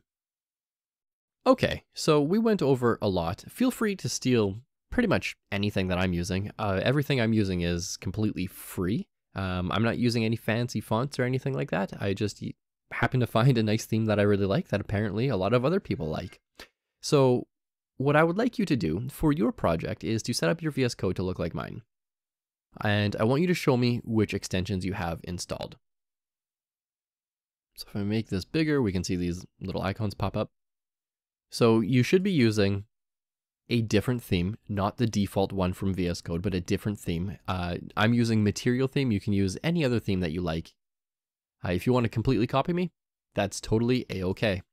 Uh, and then I just want you to take a screenshot of your VS Code being open. It doesn't have to have any code open. Let's not save that. It doesn't have to have any code open. And just show me what kind of extensions you have in there. Uh, I would highly recommend that you get at least the Python extension. If you want some fun, the power mode extension, the material theme extension, the material theme icons extension. And what else to get started? Maybe the community material theme if you want to use that one as well. And that's that's about it. That's all you really need at the very beginning. Oh, maybe to-do tree. This is a fun one. I like that one a lot. So go ahead and install a new theme and the extensions that you want, and then take a screenshot of your VS Code and share it with a class down below. I want to see what you have set up and how you are using VS Code. And it could be completely different. You could be using different extensions. You could be using a different theme. Or it could be the exact same. You could just literally copy everything I have. That is okay too. But make sure you take a screenshot of your VS Code with your extensions open, take a screenshot of the whole thing and share it with a class down below. Thanks for watching this. I have been Kalob Taulien, your instructor. You're going to see a lot of different content from me. And this is the exact setup that I use. All right, let's take a look at what HTML is. So what is HTML? HTML stands for Hypertext Markup Language. It's actually not a programming language. It's called a scripting language, but it's still absolutely vital to web development. And 100% of all websites use HTML. HTML is the structure behind every website on the internet. It's the backbone behind every single website. And then we layer code on top of HTML, but without HTML, honestly, there is no website. And this isn't an opinion, this is just a fact. This is how websites and the internet work. So the first thing you should learn in web development is HTML. Let's take a look at HTML versus HTML5. You will often see people say, learn HTML5 or HTML5 this or HTML5 that. But HTML5 is actually the last version of HTML and it will just always be called HTML5 and eventually it'll just be called HTML. So there's no HTML6 down the road. There's no sixth iteration of HTML. So whenever you see HTML5, you can actually think of HTML5 and HTML as the exact same thing. And that's because they are the exact same thing. Okay, let's take a look at getting set up. First, you're going to need a text editor. I highly suggest VS Code. It's free and it works on all operating systems. So before we do anything, let's make sure we have VS Code installed. And I'm just going to Google this, VS Code download, and it's code.visualstudio.com. And this is the text editing program we're going to be using in this course. Now, if you have already written code and you have a different text editor that you prefer, that's okay. But if you've never written code before, let's go ahead and download this program. So for me, in this course, I'm using a Mac, but it doesn't matter if you're using Mac or Linux or Windows. It's going to be the same program right across all three operating systems. So if you're on Windows 7, 8, or 10, make sure you download this one. If you're on Mac, download this one. And if you're on Linux, download one of these two. Once you have VS Code downloaded and installed, make sure you can open up your text editor, just like this. So yours is going to look a little bit different once you open it. Yours is going to be a different color, but ultimately it's the exact same program. Mine's just a different color because I like the accessibility behind it. I like being able to type stuff in here. And it's a fairly easy color for you to read on your screen. So yours is going to look a little bit different in colors, but the general layout is going to be the exact same. So make sure you have VS Code downloaded and installed, and once you have that, let's head on over to that next lesson. Okie doke, let's take a look at HTML syntax. Now the word I'm saying here is syntax. And all that means is the styling in which you write something. So English has particular syntax with apostrophes, periods, question marks, commas, things like that. It's like a, a markup for how we write a language. And writing code is no different. There are certain rules that we have in place. So first things first, let's go ahead and let's look at some HTML syntax. So typically it looks like this. We have some sort of element and it opens like this and closes like this. So each one of these is called a tag. This is an opening tag and this is a closing tag. And it always, always, always, always has a less than sign, then the word of the element, whichever element is, and there's lots of them, and then a greater than sign. And then to end an element, we do same thing.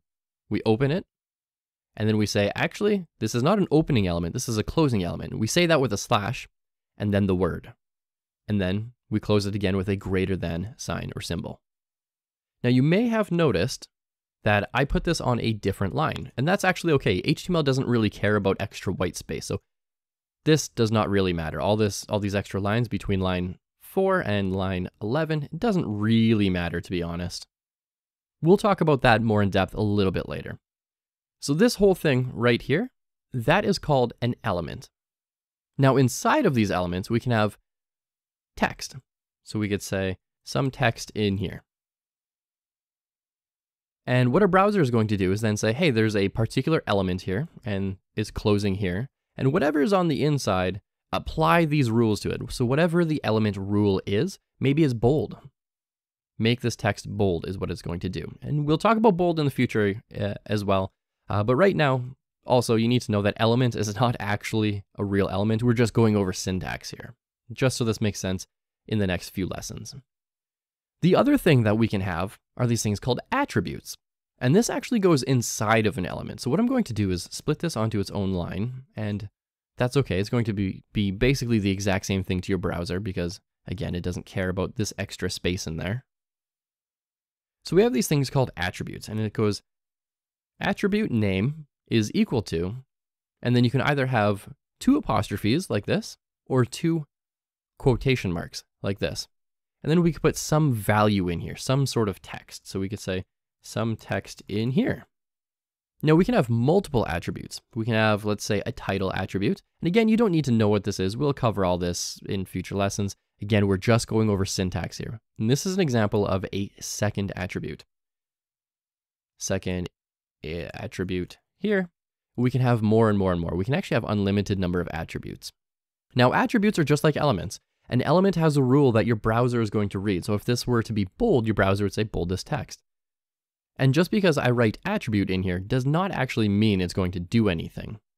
Now a good example of this, uh, because this is not actually valuable whatsoever, attribute is not a valid attribute in HTML, we could just write title is equal to, and then whatever the title is. And title is actually a proper attribute, and you can add this to most of your HTML elements. Again, we'll talk about that in the future. You don't need to memorize all this either, because as you write this, as your fingers start to type more and more, you're going to become more familiar with how HTML works and how it looks. So the big takeaway here is this is your element. You've got an opening tag, and this whole thing is a tag. you've got a closing tag, and everything it encompasses is your element. Next, we have attributes, like the title attribute. And then so, so it goes, the attribute name is equal to, you need that equal sign. Don't add spaces before or after, make sure it's all together. So you've got your attribute is equal to, and then either quotations or apostrophes. Now here's the catch, is if it opens with a quotation mark, it needs to end with a quotation mark.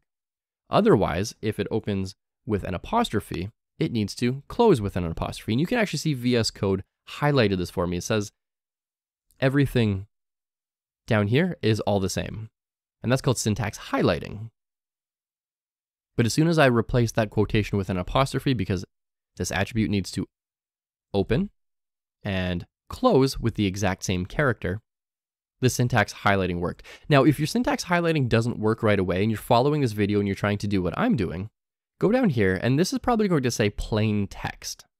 You can click this and you can type in HTML and just click this one and it will change your syntax highlighting for you. So that's all there is to this particular lesson. You don't need to do anything at this point in time. It's just really important to know that this whole thing is an element. This is an opening tag. This is a closing tag. This is your inner content. And this fella right here is an attribute. Let that sink in for just a moment. Once you're ready, let's head on over to that next lesson where we talk about the base HTML structure of every page. Okay, let's take a look at the base structure of every single web page. So I have VS Code open here, and I'm just going to go to File, New. That's actually outside of my recording area, so it's just Command N or Control N or File, New File. And you're going to see this brand new file here. Let's go ahead and change this from plain text to HTML. And what we can do here is automatically fill. So we have a nice shortcut here, so we don't have to remember this. It's HTML colon 5, and then if you hit tab, it should autocomplete for you using the Emmet abbreviation. You can see that on the right side of my screen here. So let's go ahead and hit tab, and it does all this stuff for me. Now I'm going to go ahead and delete a few things just because we don't need it right now, and it might be a little bit confusing. And I'm just going to change this indenting just so we can look at some nesting, and I'll talk about that. I'll talk about that in just a second. But let's go through this line by line. So line number one, this is the weirdest kind of element you're going to see. You don't see elements too often starting with an exclamation mark. Doc type is the only one. So we're saying, hey browser, when you when you read this file, know that it's an HTML5 file. It's an HTML file. It's not a PDF, it's not plain text, it's not JavaScript, it's not CSS, it's not an image, it's not a font, it's not some sort of other document. It is an HTML page, so please render it like an HTML page. Next on line two, we have an opening tag called HTML. And this is where all of our HTML actually goes. And then on line nine, we're closing that tag. So we're saying everything in here is going to live inside of this HTML tag. And in VS Code, you can actually click this little arrow and you can collapse it, which is really nice. So if you ever have too much code and you're getting a little overwhelmed, you can always collapse your code. Next, we have two main parts to every single page. We have our head. Again, that's an opening head element, or a tag rather, and this is a closing head tag, and this whole thing is the head element. Now you can actually see that just like HTML, we have another element in here called title, but this one is nested inside of head and head is nested inside of HTML. And then we have a title element here that just changes the title of the page. So when you go to a web page, such as this one when we downloaded VS Code a couple of lessons ago, it changes this title up here for you. That's what the title element does. Now you can have all sorts of things in your head, but you can think of the head element as literally the head on your body. It's your brain. It holds all this extra information. So it's not completely visual, but it does hold extra information. Now your body is just like the body that you live in. It is what people are going to see. So if I flip back to this page, just as an example, everything in here is part of the body. So everything that's visual, the interactive part of your web page, that is the body. And we're going to be putting most of our code in there. So let's go ahead and make an example here. And let's just write hello world. And what I'm going to do is save this. So file, save as, and where should I throw this? Let's throw this on my desktop. I'm going to call this hello world.html. I already have one, so let's go ahead and replace that. Now what I can do in my browser is I get, again, I can go to File, but this time I'm going to go to Open File. So it's Command O or Control O if you're on Windows, I believe. Let's go to Desktop, and let's open up Hello World. And this is a web page. Now, if you're following this video, definitely feel free to pause at this point and try to write out the code that I have written in this video. It's not very much code, and it's really easy to write with VS Code. Remember HTML colon 5 and then hit tab, and that will autocomplete all of that for you. And then just write something inside of your body element. So I just wrote hello world, and that showed up as text on my page. If you do that, save your file and then open it in your browser, and you see hello world, then hey, congratulations, you have literally just made your first web page. So my suggestion is give that a shot because this is always really, really good practice, and this is really straightforward at this point. So yeah, my suggestion is give this a shot. Uh, once you're happy with your results, or maybe you don't want to give this a shot and you just want to move on to that next lesson. Either way, let's head on over to that next lesson together, and we'll get started talking about the title element. Okay, hello and welcome back. In this lesson, let's go ahead and talk about this fella right here, the title element.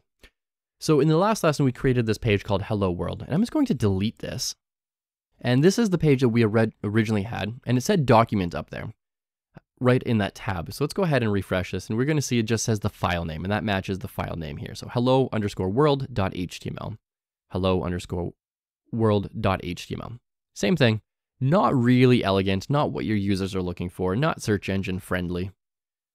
But we can change that with a title element.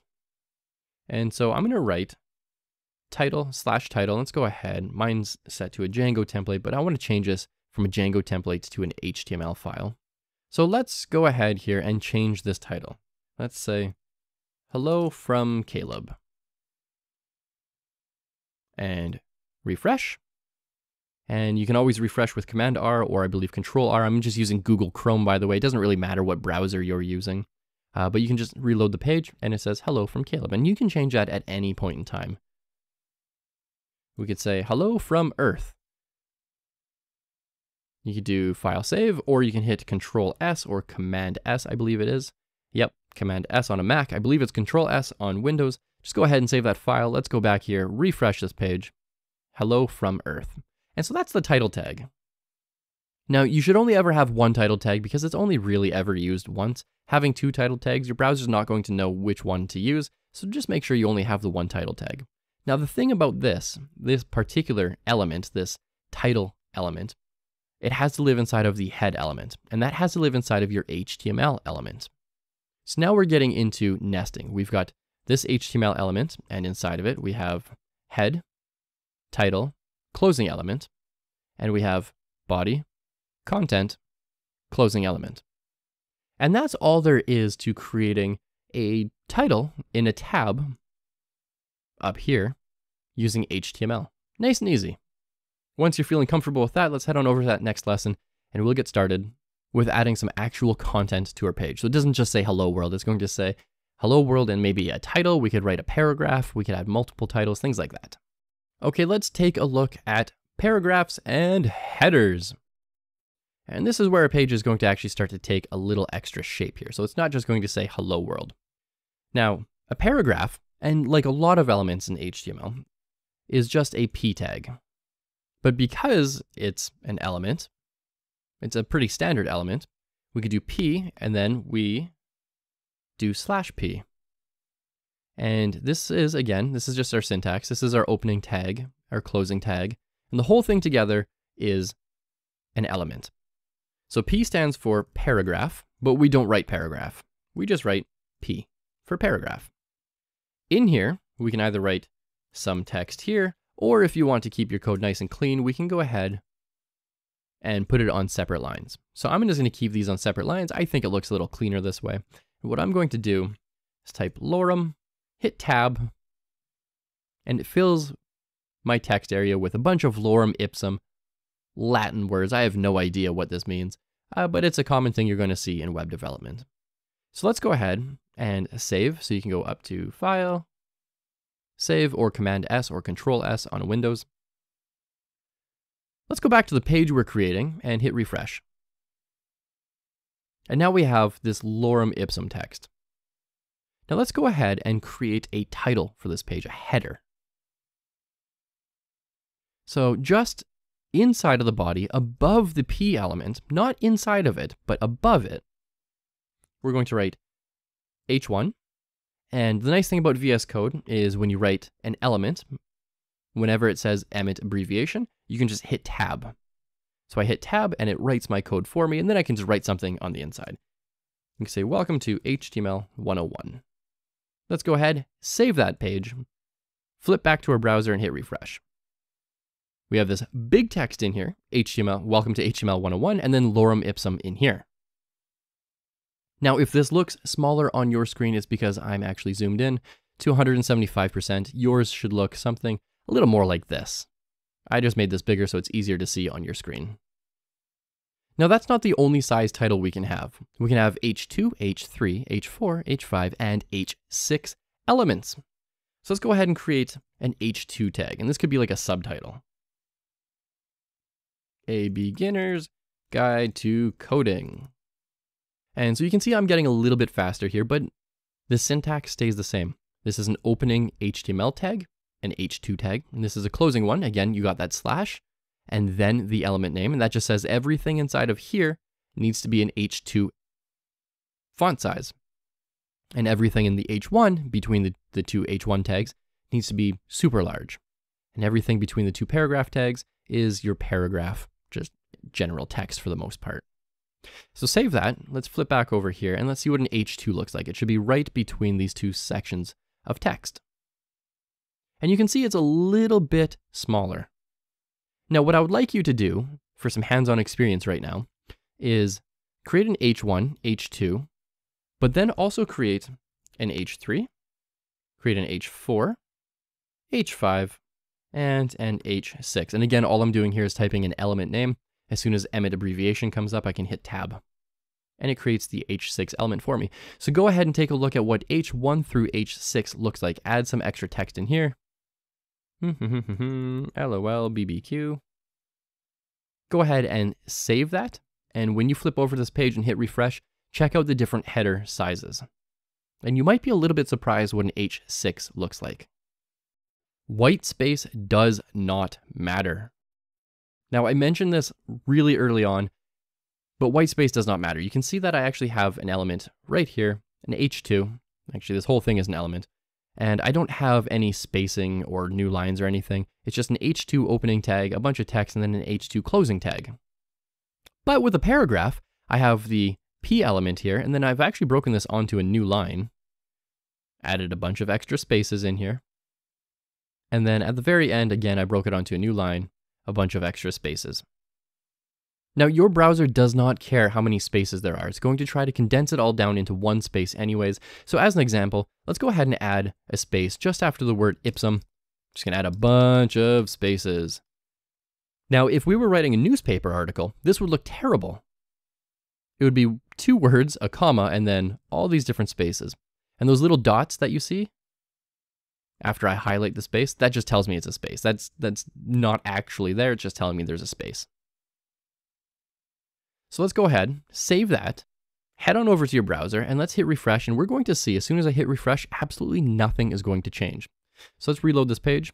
I can reload this 100 times. Nothing looks like it changes. However, if we go, if we click somewhere on the page, we can go right click, view page source, and we can see all of our source code. And this is exactly what I've written in VS Code. And you can see that all the spaces are there. But your browser says, mm, no, you don't need all those spaces. Let's compress that into just one visual space. So white space does not matter.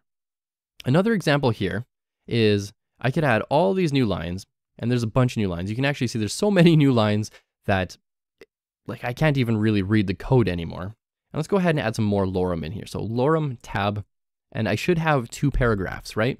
I should have this first paragraph, and I can get rid of this white space because it does not matter. I have three new lines, and then I have another paragraph.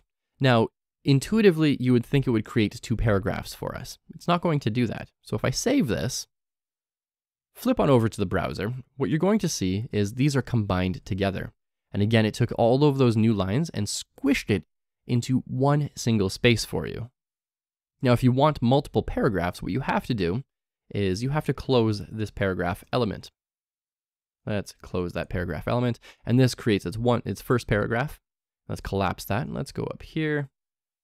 And we just have to reopen this, and I'm going to show you what I'm doing here in just a second.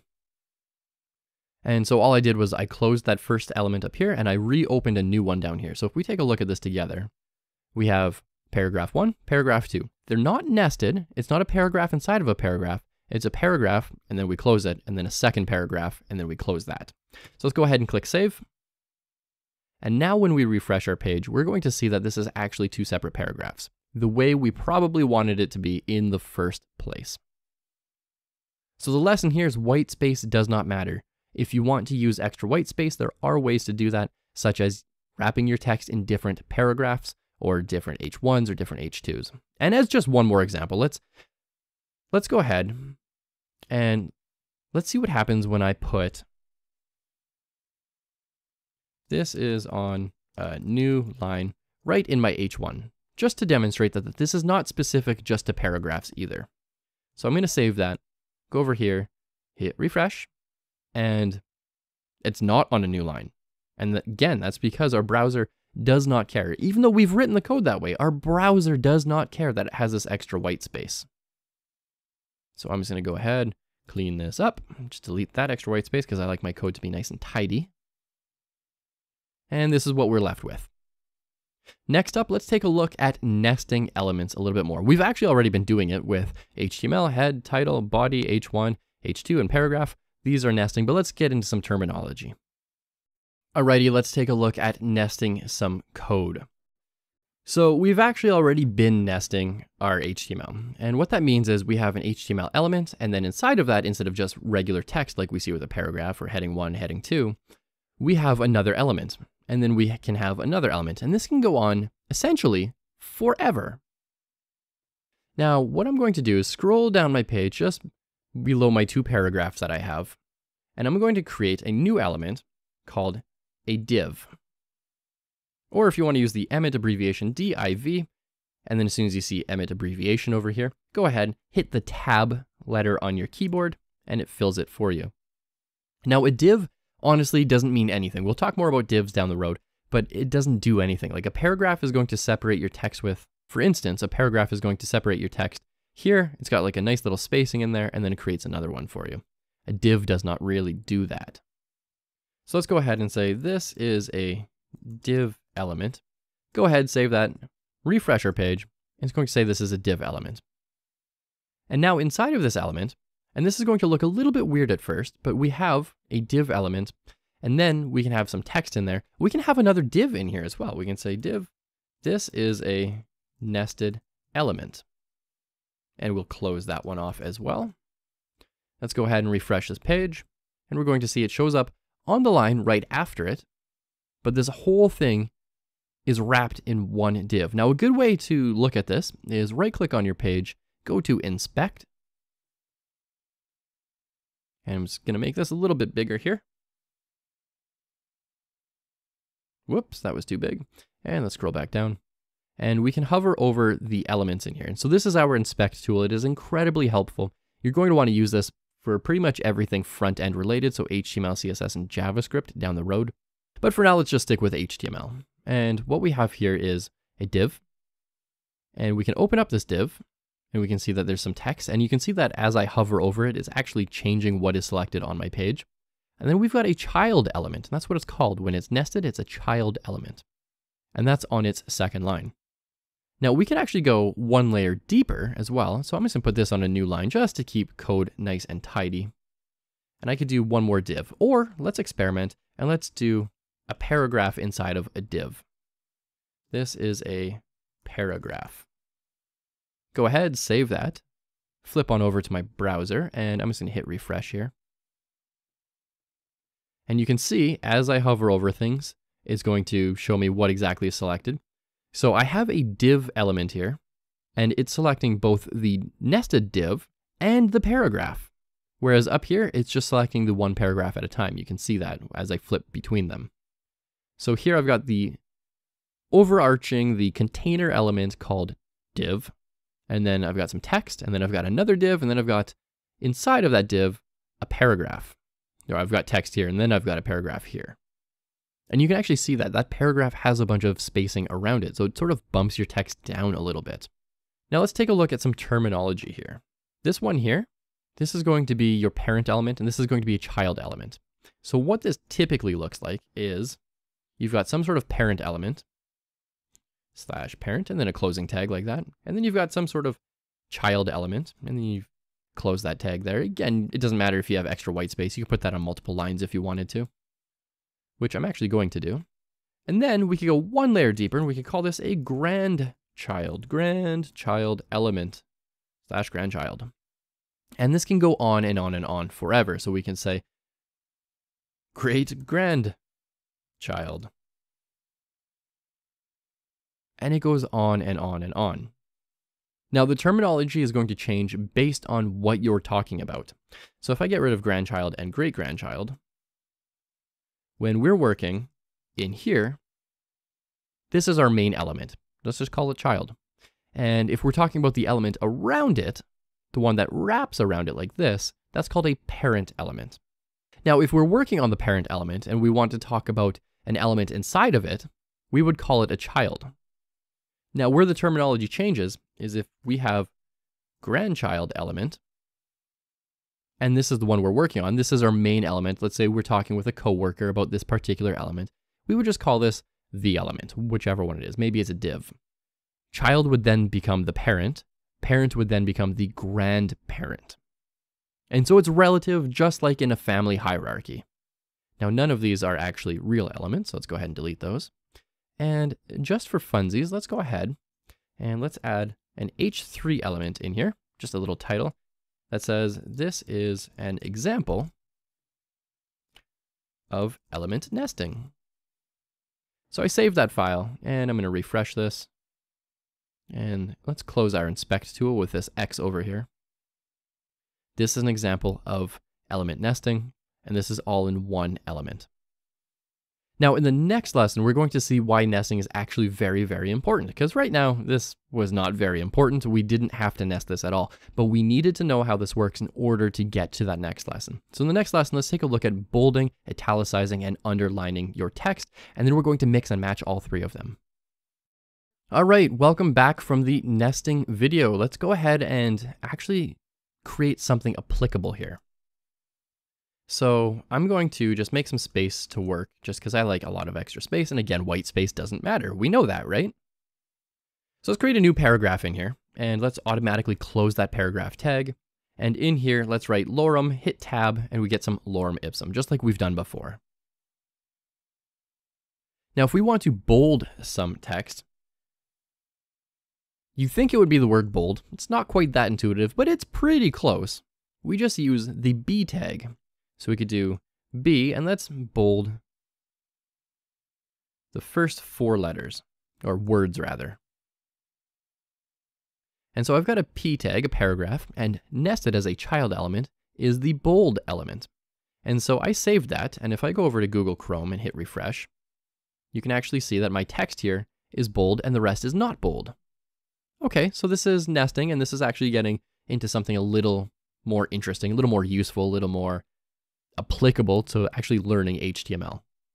Next, let's go ahead and let's italicize. So italicize to make something sort of, actually, this is a good example. Whatever I did there made this italics. So it's sort of kind of handwriting-ish.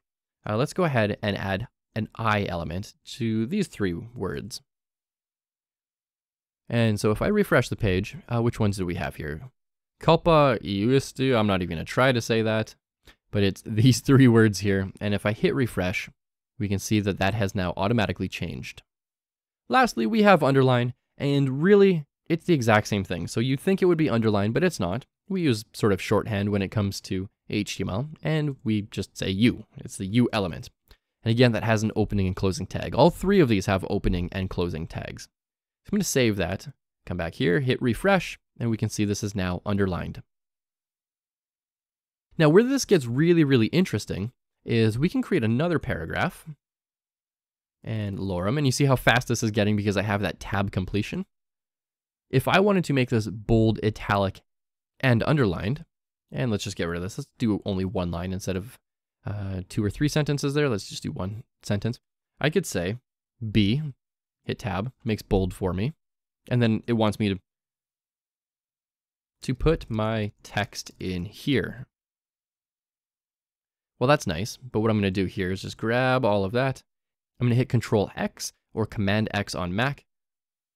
That just cuts it into my clipboard. And then Control V or Command V, as in violet, to paste. And so when I save, refresh, we're going to see we now have a bold sentence. Now, if we wanted to make this italics as well, it's not BI for bold italics, it's just B, and then inside of it, we say I. So then we can go over here, hit tab to indent that some more, and slash I. Uh, one thing to note too is your text might actually scroll way off the screen over here. You can go into your settings and you can change your word wrapping or your text wrapping settings so that it breaks automatically onto a new line. So you can see that this whole thing for me is line 27, even though it's spanning multiple lines. That's just so it's not one long line right across the page and I have to scroll left and right. Okay, so I added a paragraph, bold, italics. Let's go ahead, save and refresh. And now this is bold and italicized. So that's working out pretty nicely. Lastly, let's add a U element and I just move that text up real quick. Go ahead, save that file, refresh, and now we can see it's bold, italic, and underlined. But there is a rule here. Your inner tag, your innermost tag, has to have an innermost closing tag. So if the last one you have is a U, the first closing tag is a U. If the second element that you have here is an I, the second last one is a slash I. Same thing with bold. So we start with bold up here, and we close. And you can actually see, and this is why I indented it like this, is so that you can see that these match up this way. You always want your elements to match up this way. Funny things can happen if you don't match your opening and closing tags. That's pretty important. So at this point, if you want to go ahead and give this a shot, let's try nesting a paragraph. So create a paragraph element, then bold your text, italicize your text, underline your text, and it doesn't matter if it's bold, italic, or underline, or, or any other order. It could be italic, underline, bold. It could be underline, bold, italic. It doesn't really matter as long as these match up. And then add some text in there. And I want you to make sure that your text is both, or not both, but all. It should be bold, italic, and underlined, and it should be in a paragraph element. Go ahead and give that a shot. Once you're ready to move on, I'll see you in that next lesson. Okay, hello, and welcome back. In this lesson, we're going to be talking about a div element. So what I want to do here is I have a bunch of code already, and I just want to collapse it so it's a little more readable for me, because this is getting fairly long. And get rid of that extra white space, just because I like my code being tidy. And if we wanted to, we could like collapse just the I, just the B, just the paragraph. But in this lesson, let's go ahead and talk about div.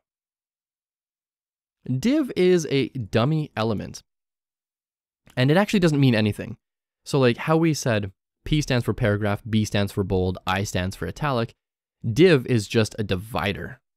And you can actually see that the MDN reference here from VS Code says the div element has no special meaning at all. It represents its children. It can be used with class, lang, and title attributes to, to mark up semantics, comment, blah, blah, blah. That stuff's getting a little too advanced for us at the moment. But basically, that first line that says the div element has no special meaning at all. That's important. It has no special meaning. Now, what we're going to talk about here is A, div has no special meaning. This has no special meaning.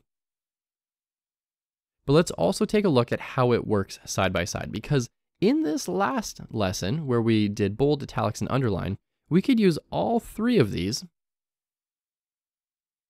And actually a better example is this one where we had a paragraph, but then we had bold and that bold text was beside the regular text. And then we had italics and that italicized text was right beside the normal text, and the underlined text, same, same thing over and over and over again. And this gets into this concept of block elements versus inline elements. So a div is a block element. And what I mean by that is if I just hit Command C or Control C and then Command V or Control V, I just copied that whole line over. And this is a second line. So let's go ahead and save that, refresh our page here. And you can see down here, it just says, this has no special meaning. This is a second line. And if I do this, right click and inspect, when I hover over the element, you can actually see that that blue line that goes right across the entire page, that is a block element. So even though it's only actually needing the, the space from this has no special meaning, you can actually see that it's taking up the entire line. That's called a block element. And you're going to see these all the time because it's, it's really good to know. Uh, the reason for that is because, for example, if this paragraph up here was not a block element, these two paragraphs would merge together and they wouldn't actually be paragraphs. It'd be one paragraph merged with the second paragraph to make one big one. That's not what we want all the time. And so the nice thing about this paragraph is also a block element, is it's going to take up the, the full width of your screen. It's going to take up as much real estate as it possibly can. So let's go back to our code and let's even try to put these side by side in our code. So it's opening one div and closing it, opening another div and closing it. Let's go ahead and save that, refresh, and we're going to see that nothing has changed. Nothing has changed. Literally nothing has changed. And that's again because these are block elements. So our browser said, okay, you have one element, it's closing, another element, it's closing. In the inspect tool, this is exactly what our browser sees. This has been fixed for us. So it's on two different lines. And again, they're both block elements, so they're going to take up as much possible space as they can, separated by the element itself. Now, this is a strange concept, but in the next lesson, we're going to talk about block elements versus inline elements and how you can use them sort of together and what the difference is. Okay, let's take a look at block elements versus inline elements. So far, we've been working with mostly block elements. Now, a block element is if I right click and inspect, you can see that it takes up the entire width of my page. Even though it's actually only using, what, 30% of the text, it's actually saying, mm, allocate the entire width of the page for this particular H2 element. Paragraphs are block elements as well. H3s, H4, 5, 6, even the H1 at the very top of the page. But what isn't is if we go down here, we have this particular paragraph with nested elements. Now the nesting has nothing to do with it. What's important to note is that this B element for bold, it's not taking up the entire width of the entire page. It's actually sitting side by side with your regular text. And then we have italics, regular text, underline, and then some more regular text. Now, underline, italic, and bold, these are called inline elements. And all that means is they can exist side by side with other elements. Whereas paragraph, you can see that I only have text up until about here, if I hover over this, to the right of where I selected that text, it's still taking up that extra space. That's a block element. Now you do not need to have inline elements inside of a block element, though typically that is what you're going to end up doing, but there's no rule for that. It's just this is an inline element, and we could put italics right beside bold, right beside underline. It doesn't really matter because it's it's an inline element, so it's going to take up the least amount of space possible. Versus block elements, like down here, this div is a block element, this div is a block element, and it's going to take up the entire width.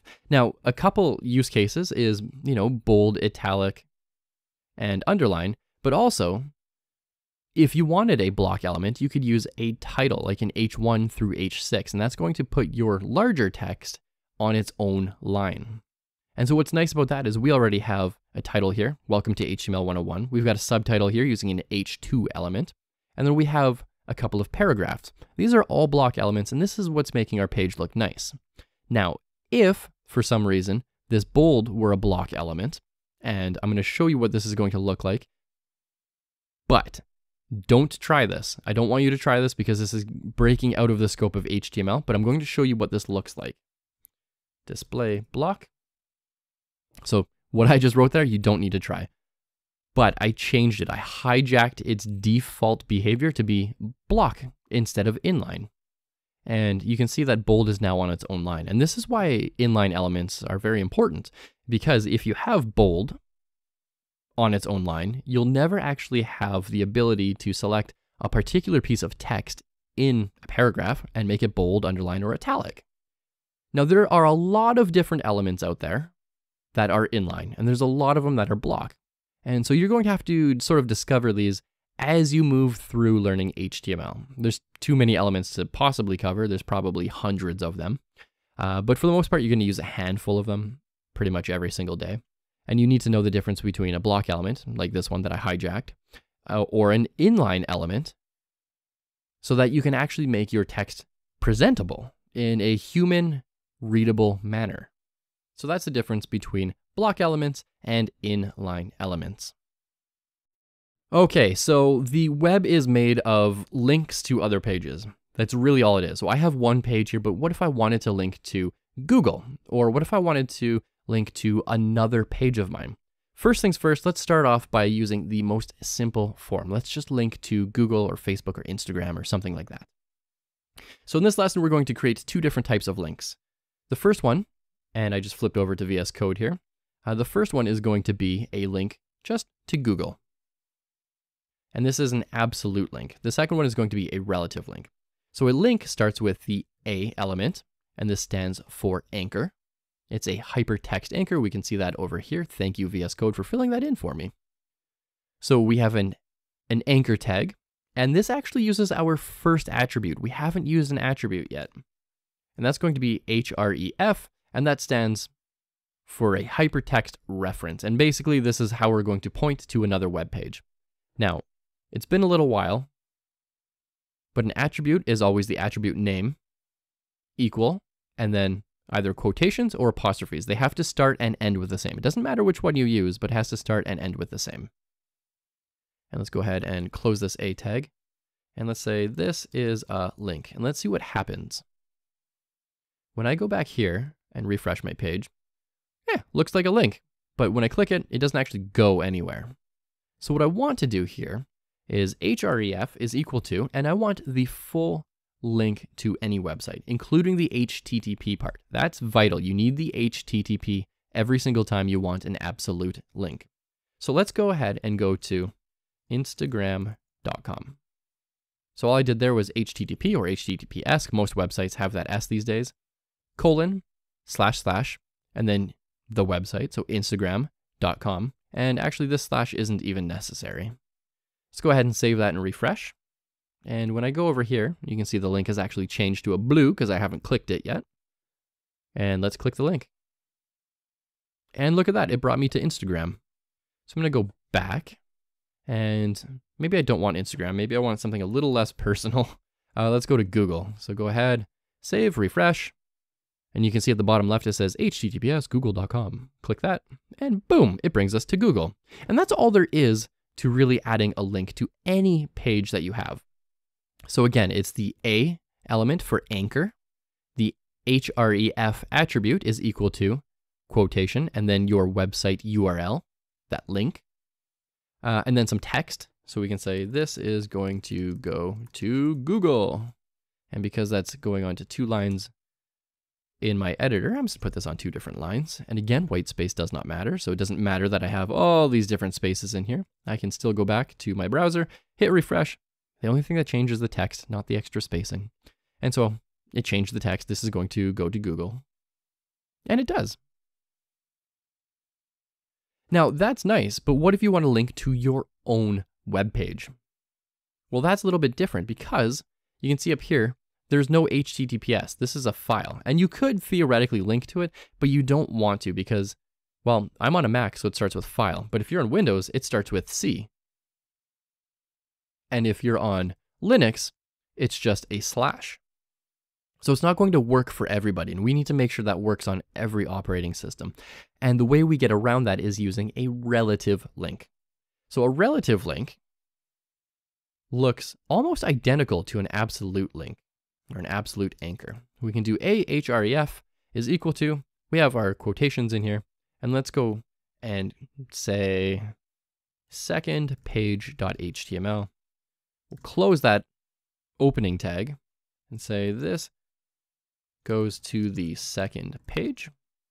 And we always close, anytime we have text inside of an element, we always close it with a closing tag. And let's take a look at this. And we can see these links are side by side. So we know from the last lesson that these are inline elements because they work side by side, which means we could put them inside of a paragraph nicely. And when I click this goes to a second page, at the bottom left, you can actually see that it's going to users Kalob Taulien desktop second page.html, and this actually doesn't exist. So when I click this link, it goes to a 404 page. 404 just means your page doesn't exist. It says your file was not found, it may have been moved or deleted. Emphasis on that, if you're moving files from one folder to another folder, it may be moved or deleted. And basically it's saying that the file doesn't exist. So let's go ahead and make this file exist. I'm gonna close this tab because that's not needed. And let's do this. I'm gonna copy this whole page and I'm gonna go File, Save As. And wherever you have hello world.html, let's call this one second page.html. Save. And so now we have a second page.html and I can file open or command O or control O and open up hello world. And now we have two files side by side. So the second page one, what I'm going to do is I'm going to delete pretty much everything inside of the body. So let's go and delete all this stuff. Let's change the title to second page. And let's say an H1. This is the second page. That's all we're going to do. So I saved that. And when I come back here, this now exists at this file location on my computer. And if I hit refresh, it actually works. So if I go back, refresh this just for good housekeeping. If I refresh this and I say this goes to second page, it was 404 and it was saying there was a missing file or a missing page. Now it's not. Now it's going to actually load the page for me. Lastly, on our second page, let's go ahead and add one more anchor link back to our hello world page. And let's say hello world.html. Now, the thing to keep in mind here is this is not an absolute link. It does not start with HTTP. It is not an absolute link. This just says go to this particular file, which happens to be in the same folder as second page. So these are side by side in the same folder. And is going to say, oh, look for this particular file. So it's actually linking to another file, not necessarily a web page. And that gets a little bit into how pages are actually served on a server, uh, basically because a server is just someone else's computer. But this one could say, go back to home. Save, refresh. Let's go back to home. I'm going to make that just a touch bigger here. So this is our second page. Go back to home. And we now have two pages that link to each other. And if you give this a shot and you get this to work, that means you have successfully created a network of pages. You don't just have a web page now, you have a web site. Okay, let's take a look at opening a link in a new window. So we probably all know that you can control or command click a link, and this is going to open up in a new tab. And maybe we don't want that. Maybe we want to force people to, every time they click a link, open in a new tab, which could be the same as right clicking and open link in new tab. But if we want to force this on someone, we actually have that power. So I'm going to go over to hello world.html. And for Google, every time they go to an external page, because this is an internal page or a relative page, and this is an external website or an absolute link, we can say target is equal to, and this one looks a little weird, there's an underscore there, but target is equal to blank. And so this is our attribute is equal to apostrophe, underscore blank is the value, has to be that underscore blank, and then our closing attribute quotation mark. Let's go ahead and save that. And let's just refresh this page. And now it doesn't look like anything has changed. But when I click this, I'm not going to command click or control click. I'm not going to right click and click open link in new tab. I'm just going to click this link and it's going to open in a new tab for me automatically. Just like that, we now have two tabs. And so that's how you open a link in a new tab. All right, let's look at adding an image to our page. So for an image, we actually need an image file, and I like to go to this place called unsplash.com, and we can just use free royalty free images. And I just want any image. It doesn't really matter what the image is, although this one is pretty perfect. It has a laptop. That's pretty much what I want. Click, and I'm going to download this, and I'm going to download the largest one uh, that I want, uh, just so I can really make, um, I guess, a good example of this in just a second. Well, maybe not too large. That's a pretty big image. But let's download the large one. And now this is going to go into my downloads folder, and I actually want this to live beside my hello world and second page, and that's on my desktop. So I need to open up that folder and move it into my desktop. Otherwise, this is not going to work. So if I just copy this file here, go over to my desktop, paste it, and where are you? Right there. Let's call this Kalob's image. It's not actually my image. I didn't take this image. XPS took this image, but I'm going to call it Kalob's image just for the sake of keeping it simple. So let's go back to here and then let's go, oh, let's close that. We don't need that open anymore. And let's go to VS Code. And now let's add an image. Now this is interesting because images don't have text. So does it need a closing tag? And the answer actually is no. So let's go ahead and create an H3 in here. H3, let's call this images. And to create a new image is the img tag. It's not image, it's img. Now, if I close this. There's actually two ways to close this. So this is a self-closing tag, meaning it does not have slash image. That's not how this one works because there's no text. There's nothing else to display. Instead, we're going to use an attribute. And so we can just say there's an image here and you might actually see it close like this. This is called XHTML. This is an older way of doing things and totally valid still. I write a lot of code this way because I'm a little older school, but it's still completely valid. Or you can just write IMG and you want the source of the image, the src for source, is equal to Kalob's image dot. Now this is important. You need to know that file extension. And that file extension here was .jpeg, JPG. Now if yours is uppercase .jpg like this or like this, make sure it matches. It has to be perfect. So mine was not that, mine was .jpg. I can go ahead and save this and let's scroll down to where it's supposed to show up and we're going to see this giant image. And this is actually why I wanted this huge image here, is because this was a really large image. Now, cool, the image showed up, but it's just way too big. Now what we can do is we can add a second attribute. We can say the width is supposed to be, and this is going to be in pixels, let's say 500. Let's go ahead and save that. And what this is going to do is make that image a width of 500 and automatically scale the height for me.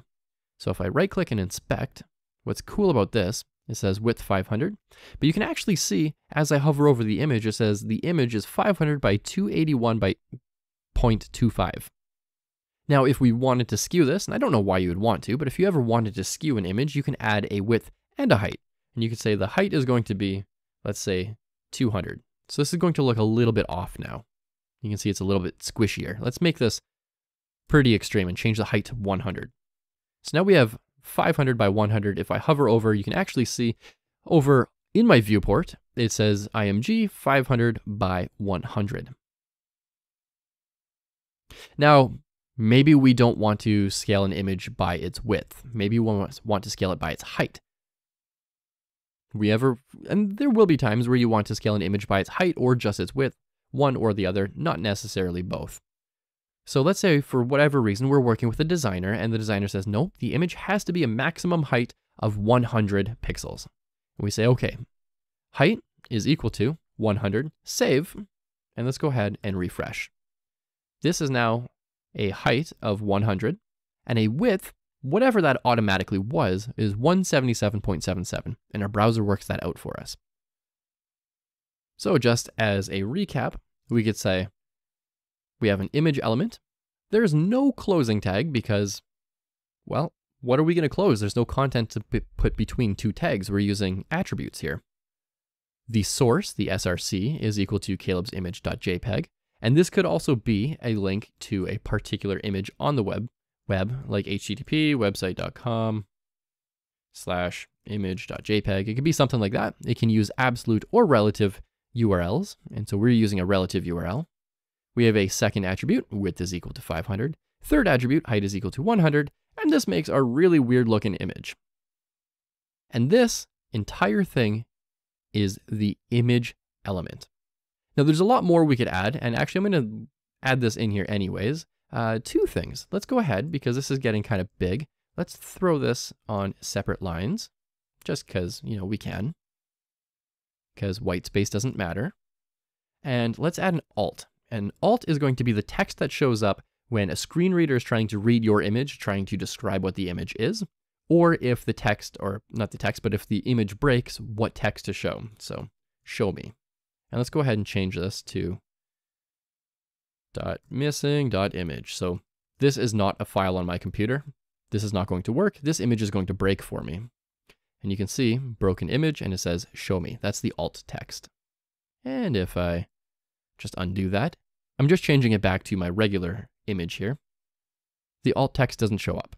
That's perfect. We don't want it to show up. We want the image to show up. But just in case the image doesn't show up, we have a fallback. So that's how we add an image. What I would like you to do now is add an image to your page, to your Hello World page. Remember, you can get any sort of images you want from unsplash.com and just use any image that you like. It doesn't really matter what the image is. Okay, welcome back. Hello, hello, hello. In the last video, we created an image. We used the src, width, height, and the alt attributes.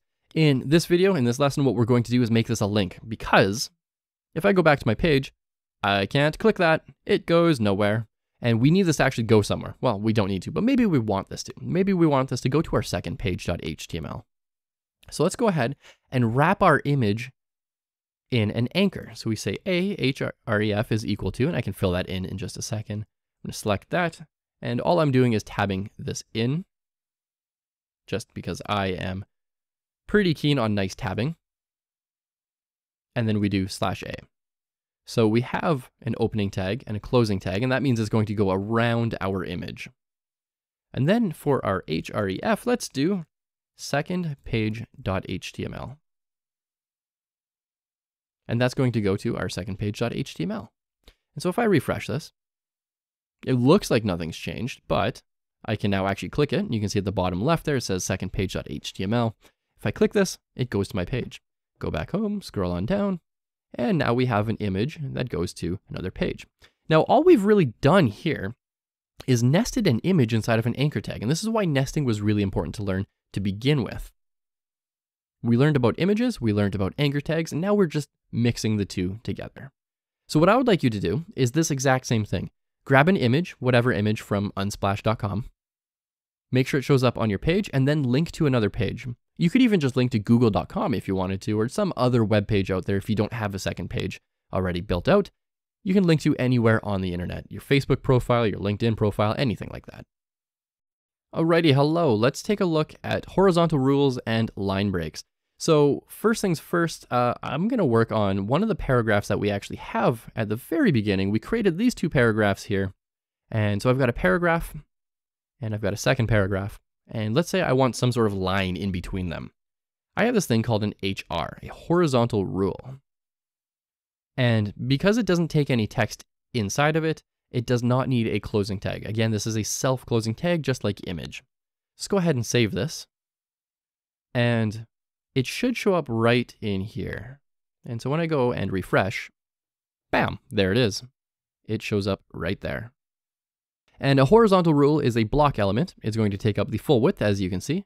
It takes up the full width, and all it is is a line between your text. So it's really good for separating headers or content or things like that. Now, the other thing I wanted to show you was a BR tag. So we have a horizontal rule, but we also have a BR tag. So let's say we wanted to separate this onto its own line, but not its own paragraph, but we wanted it to look like this. So our, we have our first line of lorem here, and then odio, sunt, whatever, whatever, uh, is on its own line as well. Okay, so I just saved that and VS Code just automatically fixed that up for me. Uh, so if I go back to the page, nothing's changed. And again, be, that's because in HTML, white space is not important. Your browser doesn't care about it. What it does care about is if you want a new line, you can just type BR. And this is simply a line break, BR for break. And if I save and refresh my page, we're going to see that right here is going to be a new line, just like that. So this started a new line over here. And now we have a horizontal rule and a line break side by side. Or I guess not side by side, but you know, in the same lesson.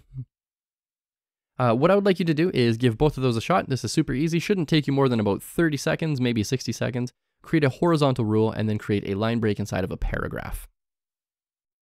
Let's take a look at HTML comments. So a comment is basically a piece of code you can write and that's not going to be executed by your browser. And it looks like this. So it's less than sign. You can see that all of our HTML elements look like that. One of those weird times where we actually see an exclamation mark and then a dash and a dash, and then we can put our text here. And then it ends with a dash dash and then a greater than sign. And so if I save this and it typically so far it would show up above my welcome to HTML 101 text. But if I go back here, hit refresh, it doesn't show up at all. However, if I right click, view page source, there it is. So don't ever put passwords, secrets, credit cards, answers to anything. Don't put anything secret in there because it's not actually secret. It is 100% accessible to all of your users. So this is not a good place to write secrets. What it is good for is explaining what we're doing. So we can say, this is a tutorial. And let's maybe break this onto separate lines. This is a tutorial course on HTML. We are learning HTML from scratch. And so again, I can save that, come back here, refresh my source code. and You can see the source code has actually changed. Go back here, refresh the actual page, and it's not rendered. And this is called an HTML comment. So I say this is an HTML comment. Now what's really cool about this is you can actually comment out existing code as well. So let's go ahead and comment this out. So let's do the opening sign, and you can see it turned all of my text gray all the way down to my page, to the bottom of my page. Uh, and let's go over here and close that, and you can see the syntax highlighting kicks in again, lets me know that things are working the way I want them to work. Save that, and because I have commented this out, it's still going to show up in the source code. We see it here, it's in the source code. But because it's between an opening and closing comment syntax, let's refresh, and we can see that it no longer shows up. The browser says it's a comment, do not execute it, do not render it. It's really just a useless piece of text to the browser. It's more useful to humans than it is to computers. And that's an HTML comment. Now you're going to see some of these every now and then. It's not too often you see these, but when you do see them, just know that this is the stuff that's not going to show up when you load your page. Okay, let's take a look at lists. There are two type of lists. There's an ordered list and an unordered list, and we'll demo both of these. Now this is interesting because this is one of those elements that requires nesting. And again, it's important to know about nesting here.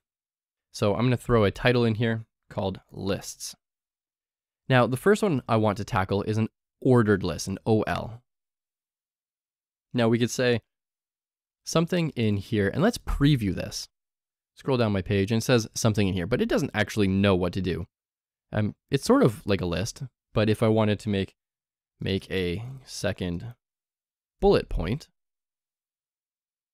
this just doesn't work. What we can do is say, because this is a list, it needs a list item. And all I'm doing here is saying list item opening tag, list item closing tag, and now we have two elements that are nested inside of our ordered list. So save and refresh, and now it lists for us. One, two, three, so on, so on, so on. It counts for us. I didn't write one, I didn't write two. That's an ordered list. Now, an unordered list, very, very similar, but it's not going to have the counting. It's just going to have bullet points. So I could do UL, and then I could do LI, and this is a list item. Hit tab because I have that Emmet abbreviation. Point number one, copy that entire line down to the one below it, point two, copy that entire line to the one below it, and I'm just using Control C and Control V, or Command C and Command V. And that copies my entire line for me. Let's go ahead and save that. And refresh.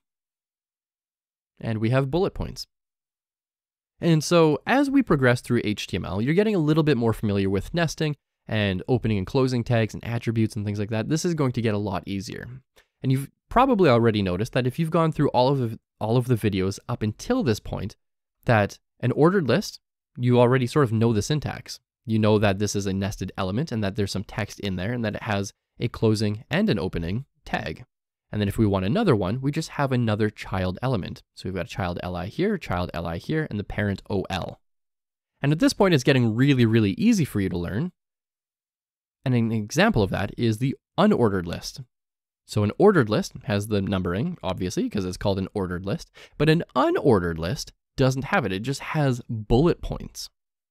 But the syntax is almost identical. The only thing we've changed here really is from OL to UL.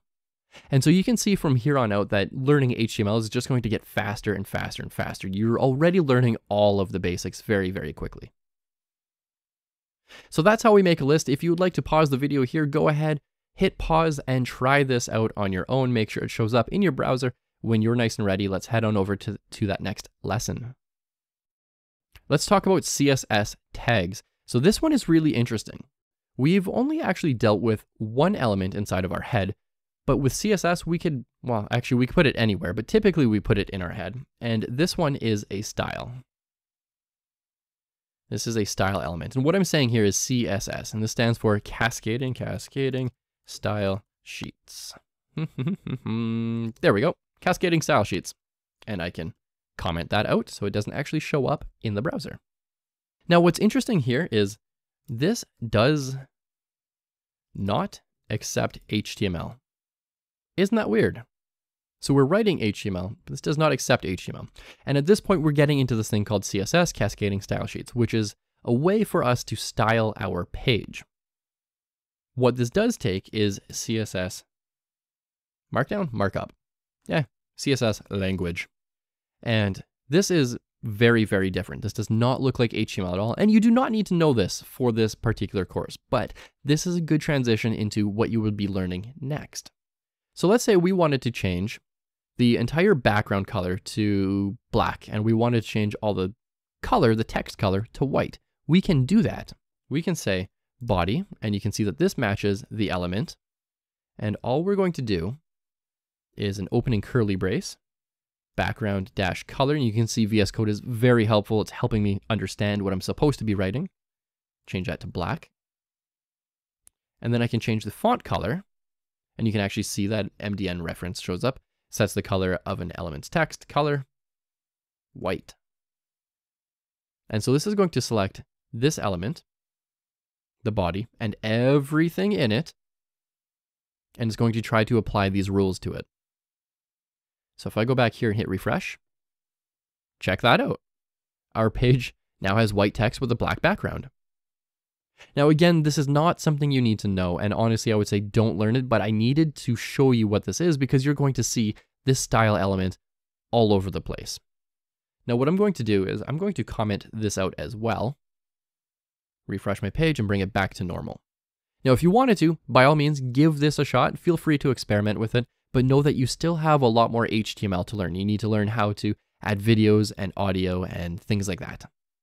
And you need to learn those things before we learn CSS, or at least you should. That, that's a lot easier to learn one thing at a time instead of learning two things at a time. But if you wanted to experiment, have some fun with it, by all means, go for it. But this is the style tag. This is your CSS. And once again, no, you don't need to know this. I just wanted to show you this. Just as a heads up, you're going to see this tag in the wild in other source code that you view, like on google.com, for instance. There's going to be some in there. Facebook.com probably has some. Instagram.com probably has, has some style elements inside of their HTML. So it's a common thing. And I just wanted to make sure you would be familiar with it. All right, we're done with CSS. Let's head on over to the next one where we learn basically the same concept, but for JavaScript.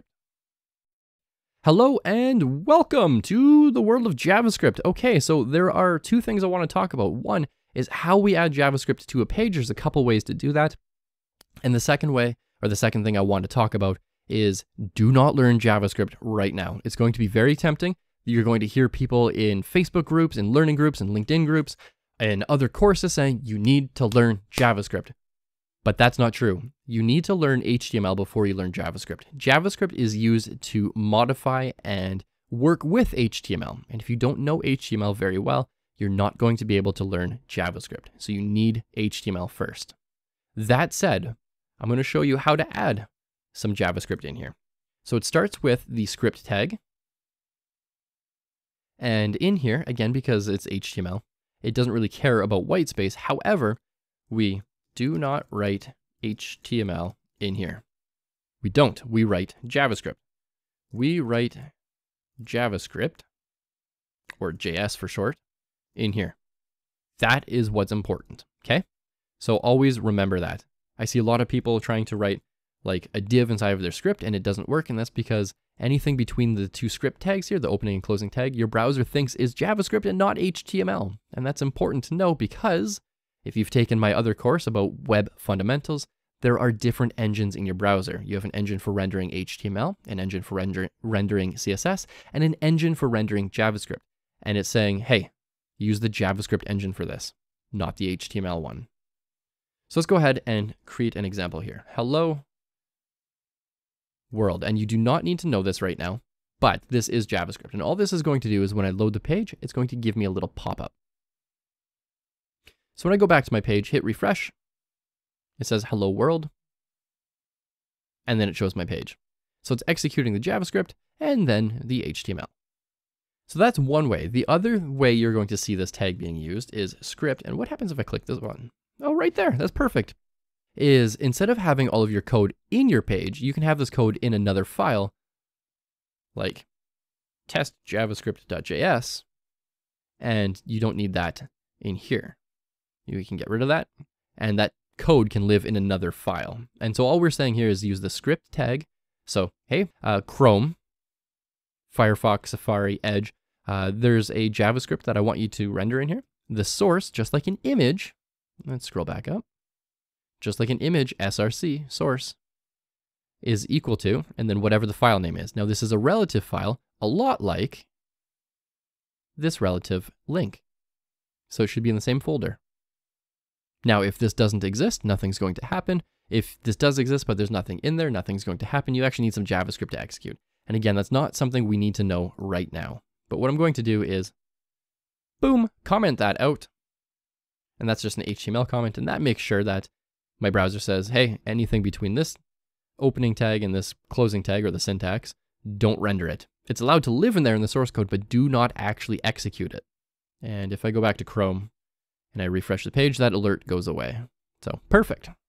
Now again, you do not need to know this. The reason why I wanted to show you this is because you're going to see scripts a lot. In today's modern web, there is a lot of JavaScript. And again, you need to know HTML in order to know JavaScript very well. But you're going to see a lot of scripts all over the place. And so when you see this, just know that everything in between the opening and closing script tag is actually going to be JavaScript and not HTML or CSS.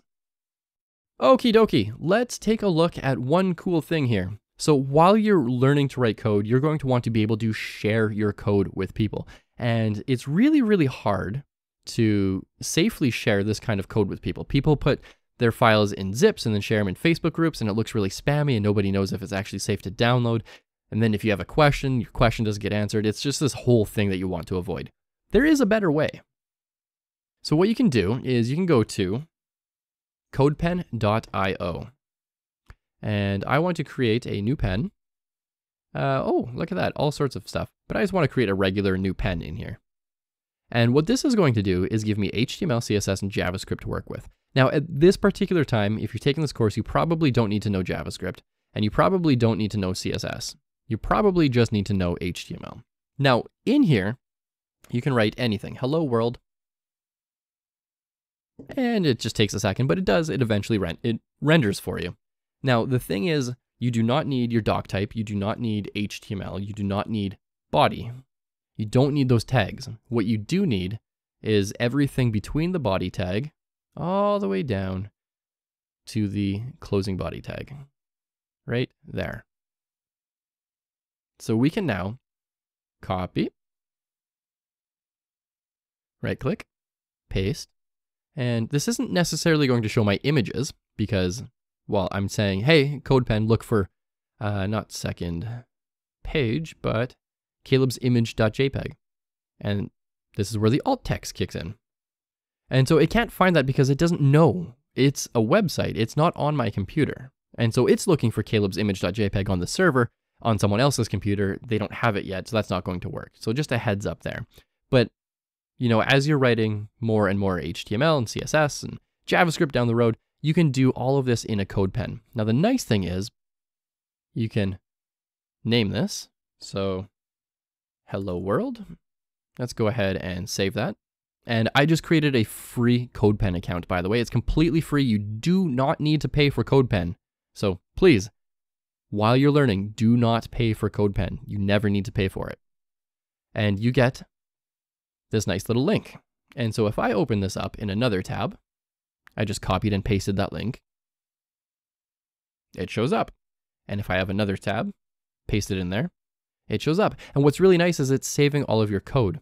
And so if you need to share your code in the Learning to Code Facebook group or in a project section on this platform, or really you need to share your code with a friend or a developer or a mentor or anyone whatsoever, even if you just want to show this off to your your spouse, your friends, your family, you can just send them this link with all the code in it.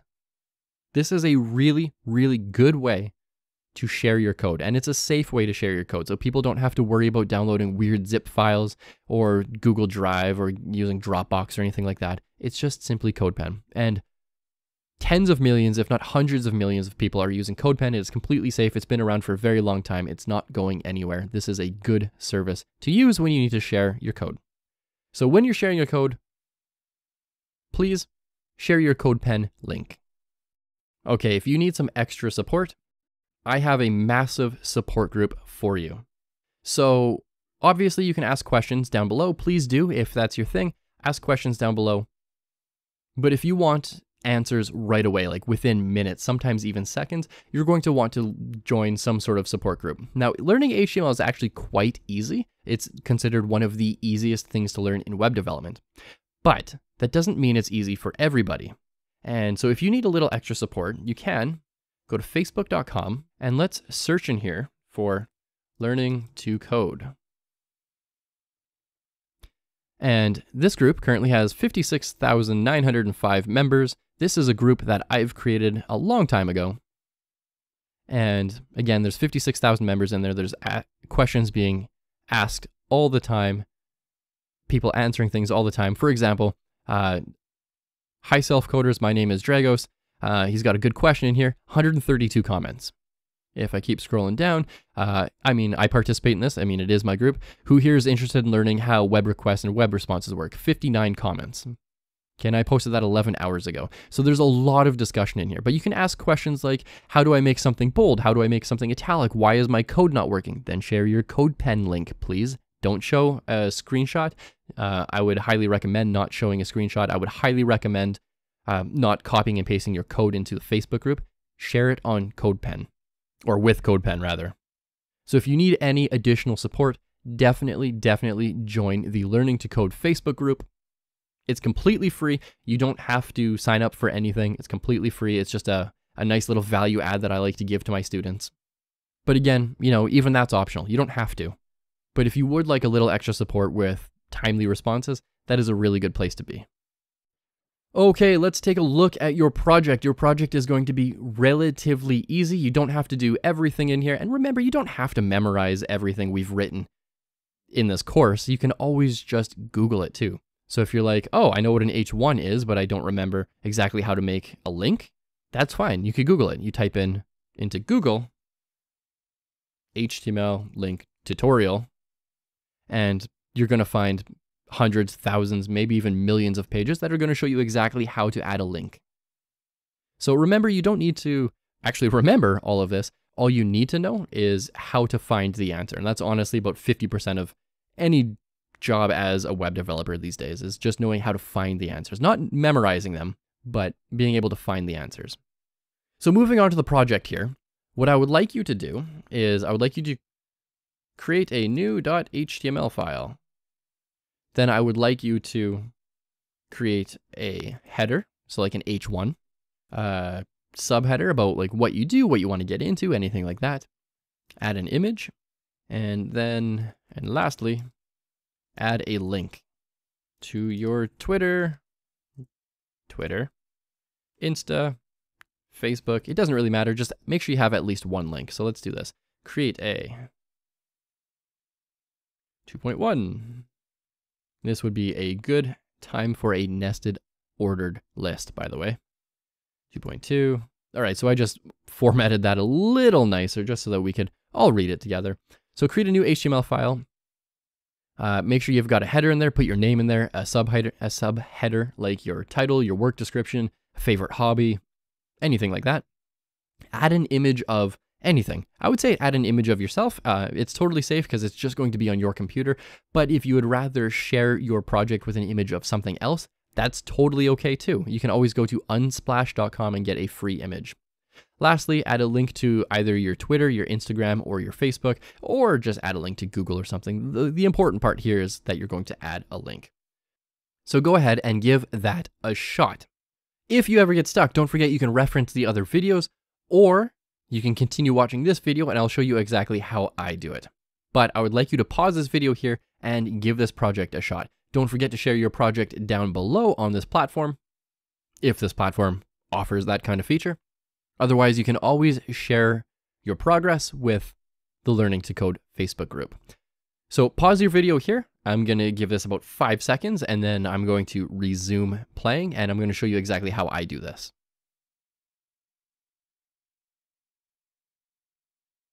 Okay, so I'm going to create this project. I'm going to show you exactly how I do it. So first things first, new file. And I just did Command N, or you could go to File, New File. Save that. I'm going to save this to my desktop, and I'm going to call this kalob.html because this is my portfolio page. This is what I want to do. I need that HTML5 stuff in here. So I don't need the meta. We didn't talk about that. That's a little more advanced. And I don't need lang is equal to English. Again, that's a little more advanced. We don't need to worry about that. I'm going to change the title to Kalob's page. And what did I need to add in here? I needed to add a header that's 2.1 in this list. So a header H1. I'm going to put my name in here, Kalob Taulien. H2, I needed a subheader. So let's put something smaller in here, like an H3. Senior developer. And I am a premium coding instructor. That's my role in life. The role I have given myself. Um, 2.3, add an image. Okay. So I already know that I have one image in here. It's not an image of me, but it is an image. And this is from a previous lesson. So I can do. Image src is equal to Kalob's image.jpg, and that's just in the same folder as this file. All of this lives on my desktop. It's in the same folder. Alt, Kalob Taulien, and I want to give this a width, so it's not huge, of, I don't know, like 400. Lastly, I need a paragraph, right? Hmm, no. I needed a link, but also I'm going to add a paragraph anyways. I don't really want to write a whole paragraph, so I'm going to throw some lorem in here. Uh, and then I needed a link to, let's say, Twitter. So this link could just be an anchor tag a href is equal to https twitter.com slash Kalob Taulien. You can also find me on Instagram if that's your jam. And let's put at Kalob Taulien. And that's all there is to it. So I can go back to my browser and I can go File, Open File, and open up kalob.html. Let's hope I don't have any typos in there because that's going to be a little bit embarrassing. And boom, there is my HTML page. I've got an H1, I've got an H3 for my subtitle, I've got an image, and I have some lorem text in there. I just sort of threw that in willy-nilly at the last minute there, and a link to my Twitter, which brings me right to Twitter. And that's all there is to it. So I went pretty fast there, and I did that on purpose so that you'd have to pause and, and you might have to think a little bit harder. I want you to really work at something like this. But when you're done, please share your progress down below. Lastly, thank you so much for taking the time to take this course. I hope you learned something great and fun and new. And if you ever want to check out any of my other courses, just hit the link to my profile on this platform. You can see all of my courses are available here as well. including what to learn next, such as more advanced HTML, CSS, JavaScript, Python, PHP, a bunch of projects in between, all sorts of stuff. Thanks again for taking this course, and I hope to see you in another one. All right, first things first, we need to clarify a few things. So, when we created a base structure in the HTML 101 course, and let's just change this over from plain text to HTML. And by the way, I'm using VS Code. If you're using a different editor, all I did was go to File, which is just outside of my recording area, and then New File. So Command N or Control N will create a new file for you. And it automatically thought it was a plain text file, so I clicked down here where it used to say plain text, typed in HTML, and selected HTML. And that just gives us nice little goodies like this. We can do HTML colon 5, hit tab for autocomplete using VS Code, and it gives us a bunch of stuff in here. So I'm going to actually go ahead and delete some of this, and I'm going to call this HTML 201. Now, we learned at some point that we have a, a paragraph, we could put some lorem ipsum in there, and we could say, for instance, that this should be underlined. Something like that. Now, if I save this as, let's go in here and name this index.html. And I just saved that into a particular folder that I had called HTML201, uh, and I called it index.html. But if I open up Google Chrome or any sort of browser, whichever your favorite browser is, you can go to File and then Open File, so Control O or Command O. Go to my folder here and let's just open this up. And we can see that this, once I zoom in, is underlined. And that's cool, it does what we want, but unfortunately underline is deprecated. So it was okay to learn this a little while ago just because we needed to make that underline, but there's a better way to do this. And the better way to do this would probably be to add a span in here. Let's go ahead and change this to a span element. And all this is, is a simple inline element. And you should be familiar with block elements versus inline elements at this point. And what we're going to do is work with this style attribute. And this style attribute allows us to write CSS. So you don't need to actually know too much CSS right now, but if you want underline, I would say maybe maybe try to memorize this particular one. I tell people all the time, you don't need to memorize too much. I mean, you can always Google it, how to add underline using CSS. That'll work as well. So I'm going to do text dash decoration colon space underline. Now, if I save that, go back to my page and refresh, it should look like nothing changed. And that's perfect. And I can always check by right clicking and clicking inspect, and you can see in my inspect tool down here, that there is in fact a span with text decoration underline, and if I wanted to, I can actually toggle that on and off now, which is really, really nice. So moving forward, whenever we use underlines, let's go ahead and use text decoration underline instead of using the U element. Just because the U element is deprecated, it's from old versions of HTML and CSS can now do this, and we prefer to use CSS whenever we can. Okay, let's take a look at internal links. So actually, let's, let's recap first. So how do we create a link? We create a link, and I'll make this just a touch bigger here. We create a link with the A anchor at element and the href attribute, and that could go to http website.com, go to website.com, and this is just going to show us a little link up here. And it's going to go to website.com, whatever is on that site. So that's how we create a link. But what if we wanted to link to something else in the page? So let's go ahead and actually make this page look a little nicer. So let's say h1, welcome to HTML 201. And let's create a link. And we don't know what this link is going to be yet, but we know it's going to say scroll to bottom of page. And we can get rid of this one because that's not necessary anymore. That was just an example. So now when I do this, click scroll to bottom of page and it does nothing. It's because it's going nowhere. You can see that there's no href there. There's no hyperlink reference. So let's say we have this really, really long page. And let's go ahead and copy this a bunch of times. And I don't really care too much about the formatting at this moment. I just want the page to scroll like this. And I want when we click the link to go to the bottom of the page and maybe have a link at the bottom of the page to bring us back up to the top. So let's do that.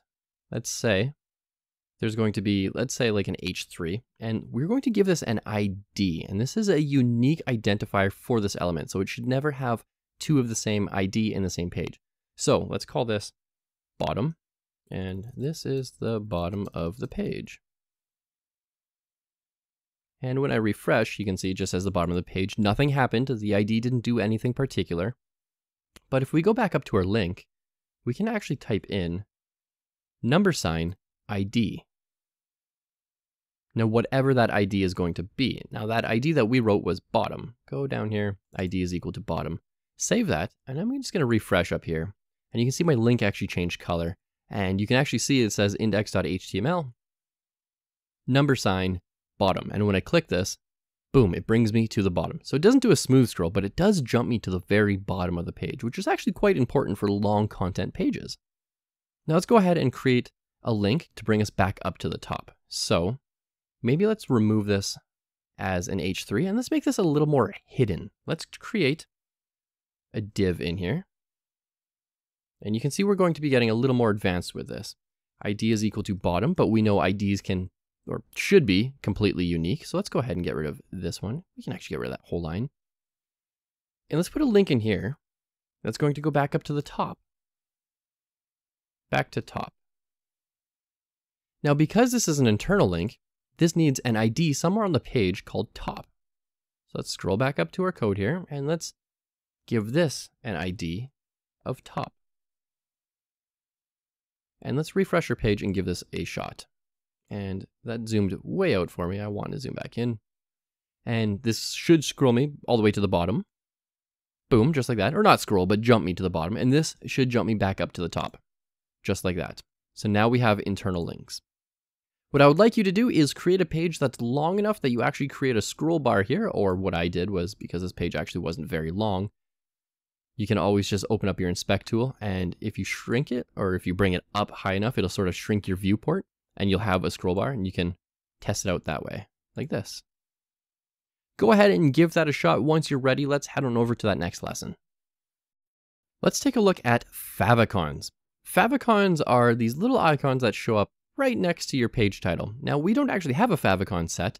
Uh, we have a title, which is cool, but what if we want something a little bit custom? We can actually add that as well. We can customize it to be whatever we want. Now, typically it should be an image that's 32 pixels by 32 pixels, so it's pretty small. I'm not exactly going to follow that rule because I know it's going to shrink it down, but if you want it to be properly sized, maybe have proper translucency or transparency or anything like that, then yeah, you're going to want a 32 by 32 image, uh, but I'm just going to use a random image that I have from the coding from uh, coding for everybody branding. So Let's open up our code here. And in our head, what we're going to create is the link element. And we can do link colon favicon, and it gives us all sorts of stuff in here. Now, by default, it wants us to use a .ico. That's an older format. We don't have to do that. We can use, let's say, a .png. Now, this is just like linking to an image or a CSS or a JavaScript file. We actually need to make sure that this works. And you'll notice that we're using three attributes here. So we've got the link element.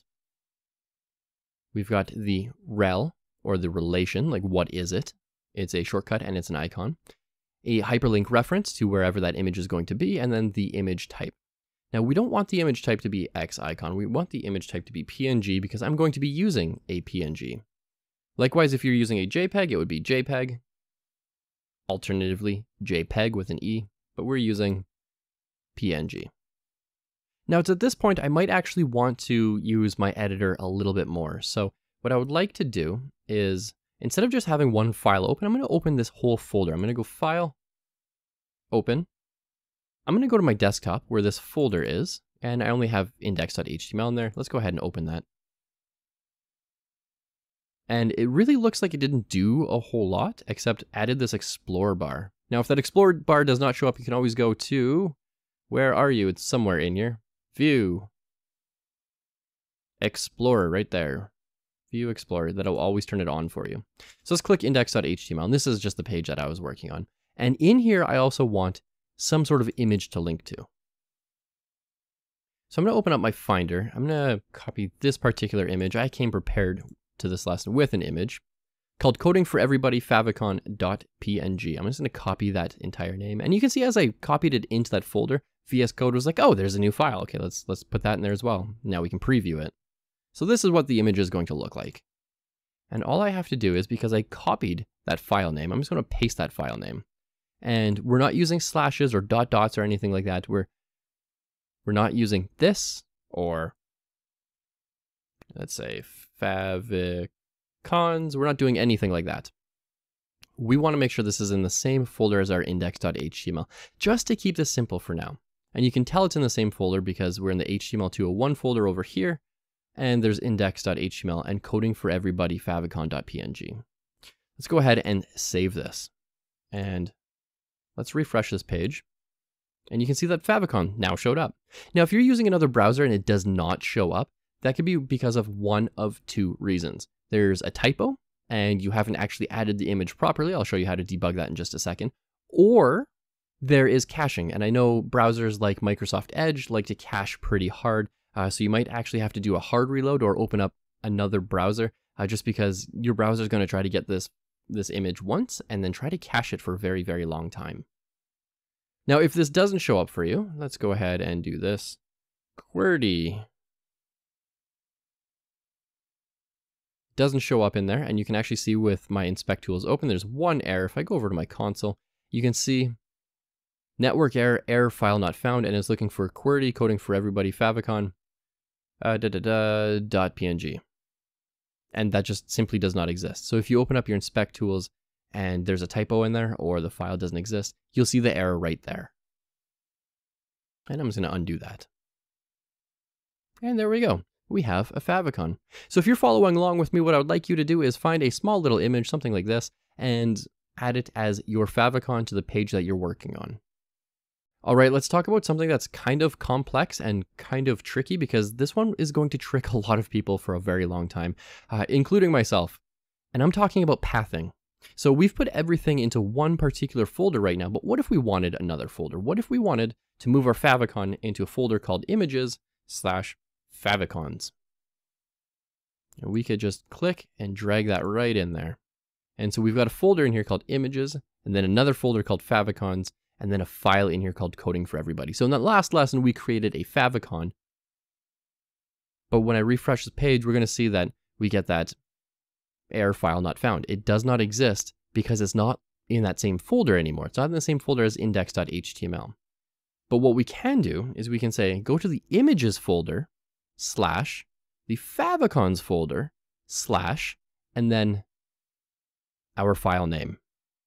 So let's go ahead and save this or refresh anyways. And uh, yeah, it shows up for us. So that's pathing. That's how we get into a path. So we just said folder name slash another folder name. And by the way, don't use spaces. I know a lot of Windows users like to use spaces, but in things like this, do not use spaces. It's a lot easier if you use underscores or dashes, but please don't use spaces. You're going to run into a lot of problems. Uh, so folder name slash folder name slash, and then the file name. Simple as that.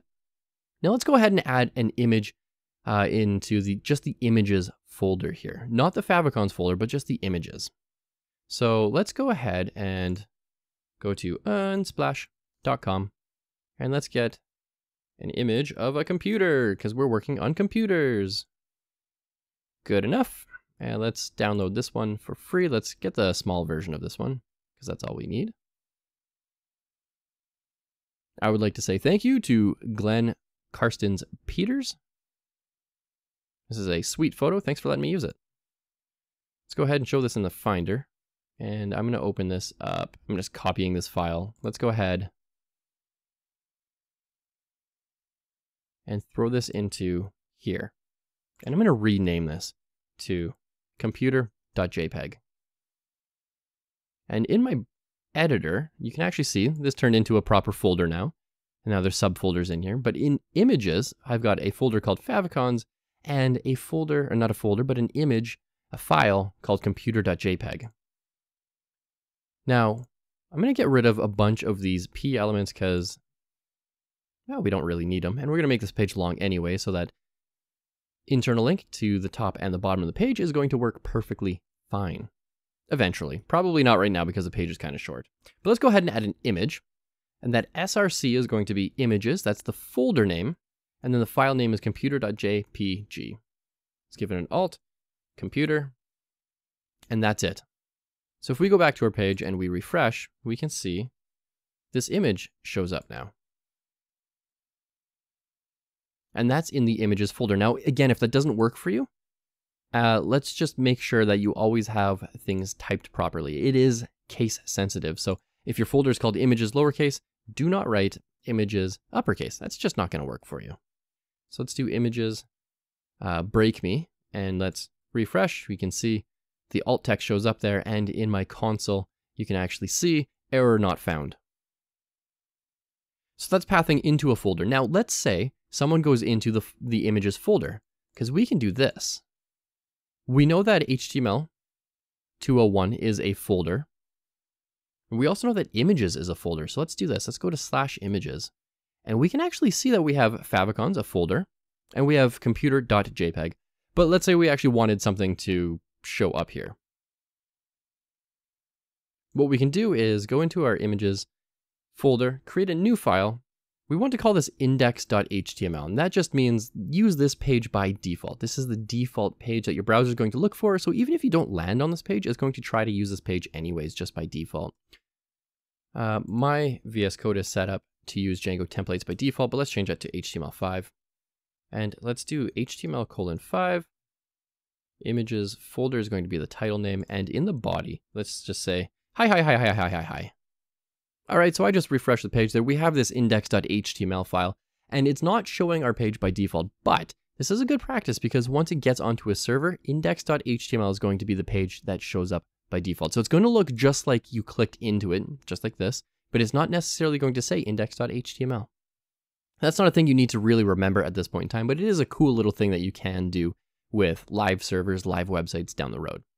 So now we have this index.html file in our images folder, let's link up a page. So let's say H3, this is the images folder, and let's create a link in here, an anchor link with a hypertext, hypertext reference. And we're going to use a relative page.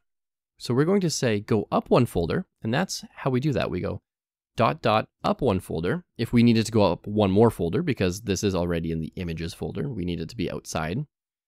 We could do dot dot slash, dot, dot, slash, dot, dot, slash. Every one of these you can actually see is going up a folder in my computer. Now, I don't want any of that. I just want up one, and I want to be able to select not the images folder, but index.html, and that's going to be referencing this one here. The naming gets a little bit confusing because we have two index.html files, but that's okay. And VS Code was smart enough to figure out what we were trying to do. Go back home is what I'm going to say in there. Let's refresh this page. Let's make this just a bit bigger and we can go back home. And when I click it, it goes back to the HTML 201 homepage. So that's pathing in a nutshell. To move up a folder, use dot dot slash. To move into a folder, you don't use the dot dot slash, you just specify the folder name slash subfolder name, if there is one, slash, and then your file name. And that is pathing in a nutshell. Okay, let's take a look at tables. Tables are wildly important to us right now because they're going to enable us to actually create some sort of layout for our page. Now, admittedly, layouts aren't really created with tables anymore. This is a very old way of doing things, but because we don't know CSS and we don't know JavaScript yet, this is the only way that we have. And that is 100% acceptable because even though we're going to be using tables in a way that's not really used anymore, we are going to be learning all about how to use tables properly because they're still used for things like feature sets or pretty much any government website because they all still use tables for some reason. Yeah, so tables are still used. Emails use table tables all the time. It's a really important skill to have. So I'm going to go down here and in this lesson, I'm just going to show you how a table is created, but we're not actually going to do anything with it yet. So don't feel like you have to code along with me. So table is a table element, just like this. And inside of this, we have table rows called TRs, or I can do TR and then tab. We can have another table row, TR tab. And then inside of each table row, the cells are called table cells or TDs, table data cells. Cell one. And let's go in here and do TD. Cell two. And by the way, if you're sort of just new to this, this course and I'm going a little too fast for you, what I did there was I could type in table, and because it's an HTML element, I can type in table, and as soon as I see that Emmet abbreviation, I can hit the tab key on my, on my keyboard, and it just creates it into HTML elements for me. So now we're getting into some nice nesting, and in HTML 101, we learned all about nesting. So we know that this whole thing is going to be a table, including the child and grandchild elements. This whole thing is a row, including its child element, and this single element here is going to be a cell. And this one is going to be cell 2. And if we just refresh our page here, scroll on down, we can see cell 1, cell 2. Nothing fancy really happening there. It doesn't look like anything's happened, but what if we give this a border of 1? We now actually have a table. We can do more with this too. We can say the width is going to be 100%, and it takes up the whole thing. Uh, we could add another cell. And this one's going to be cell 1.2, I guess. And we could add cell 1.3. And we can go up, so on and so on. So anyways, we're going to get into this in much more depth in the next couple of lessons, but I just wanted to quickly show you that this is how we create a table. Let's take a look at table rows and cells. So to create a table, we do this. Table slash table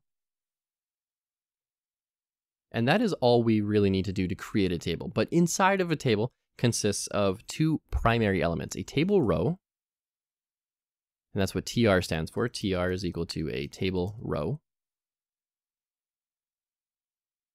And inside of each row, we have cells or table data cells. So a TD is equal to a table data cell. And so let's do TD tab, and let's create our first cell. First cell here. Let's flip on over to our browser and just hit refresh. We're going to see our first cell. We can't actually see it. We can inspect it if we wanted to. We can see that we are in fact in a table and our browser is smart enough to say, hey, there's actually supposed to be a body here. So wrap the TRs in a T body. So this actually goes one level deeper. So it goes table, T body, TR, TD. Now I don't have to write the T body because I'm assuming that everything that I'm writing is going to be in the table body anyways, and the browser is making that same assumption, so we can shortcut it that way. Now to see our progress, I always like to throw a border on here and then just get rid of that border later. So let's do a border of 1 and a width of 100%. Let's refresh, and now we can see we have our first cell. And if we go ahead and add a second cell, this is going to be side by side, which is something we weren't able to achieve with block elements in HTML 101, but now we can. And we can keep doing this, so on and so on. So instead of second cell, we could do third cell, and we can keep adding more and more and more. Now I'm going to get rid of that third cell. I'm going to copy this whole thing over. Actually, I'm not going to copy it. Let's write this out by hand because this is good practice to write this out by hand. TD, row 2, cell 1. And if I do another TD, hit tab, row 2, cell 2. And there we go. We have first cell, second cell, row 2 cell 1, row 2 cell 2. And that's how we create table, rows, and cells. Now what I would like you to do is give this a shot. I want you to create a 2 by 2 table. Create four cells, so you have two rows, two columns, and four cells in total. Go ahead and give that a shot. Once you're ready, let's head on over to that next lesson where we dive a little bit more into tables. Let's take a look at merging cells and rows. So this gets really, really interesting, and it's not actually super intuitive at first, but it gets a little easier the more you do it. So in the last lesson, we created a two by two table, two rows, two columns. In this one, we want to create a three by three. So I'm gonna do a table here, and I want to see my border. I wanna see my progress here. And I'm gonna change that width to 100% because I wanted to take up as much space on my page as possible. I don't really wanna leave any extra space off to the right.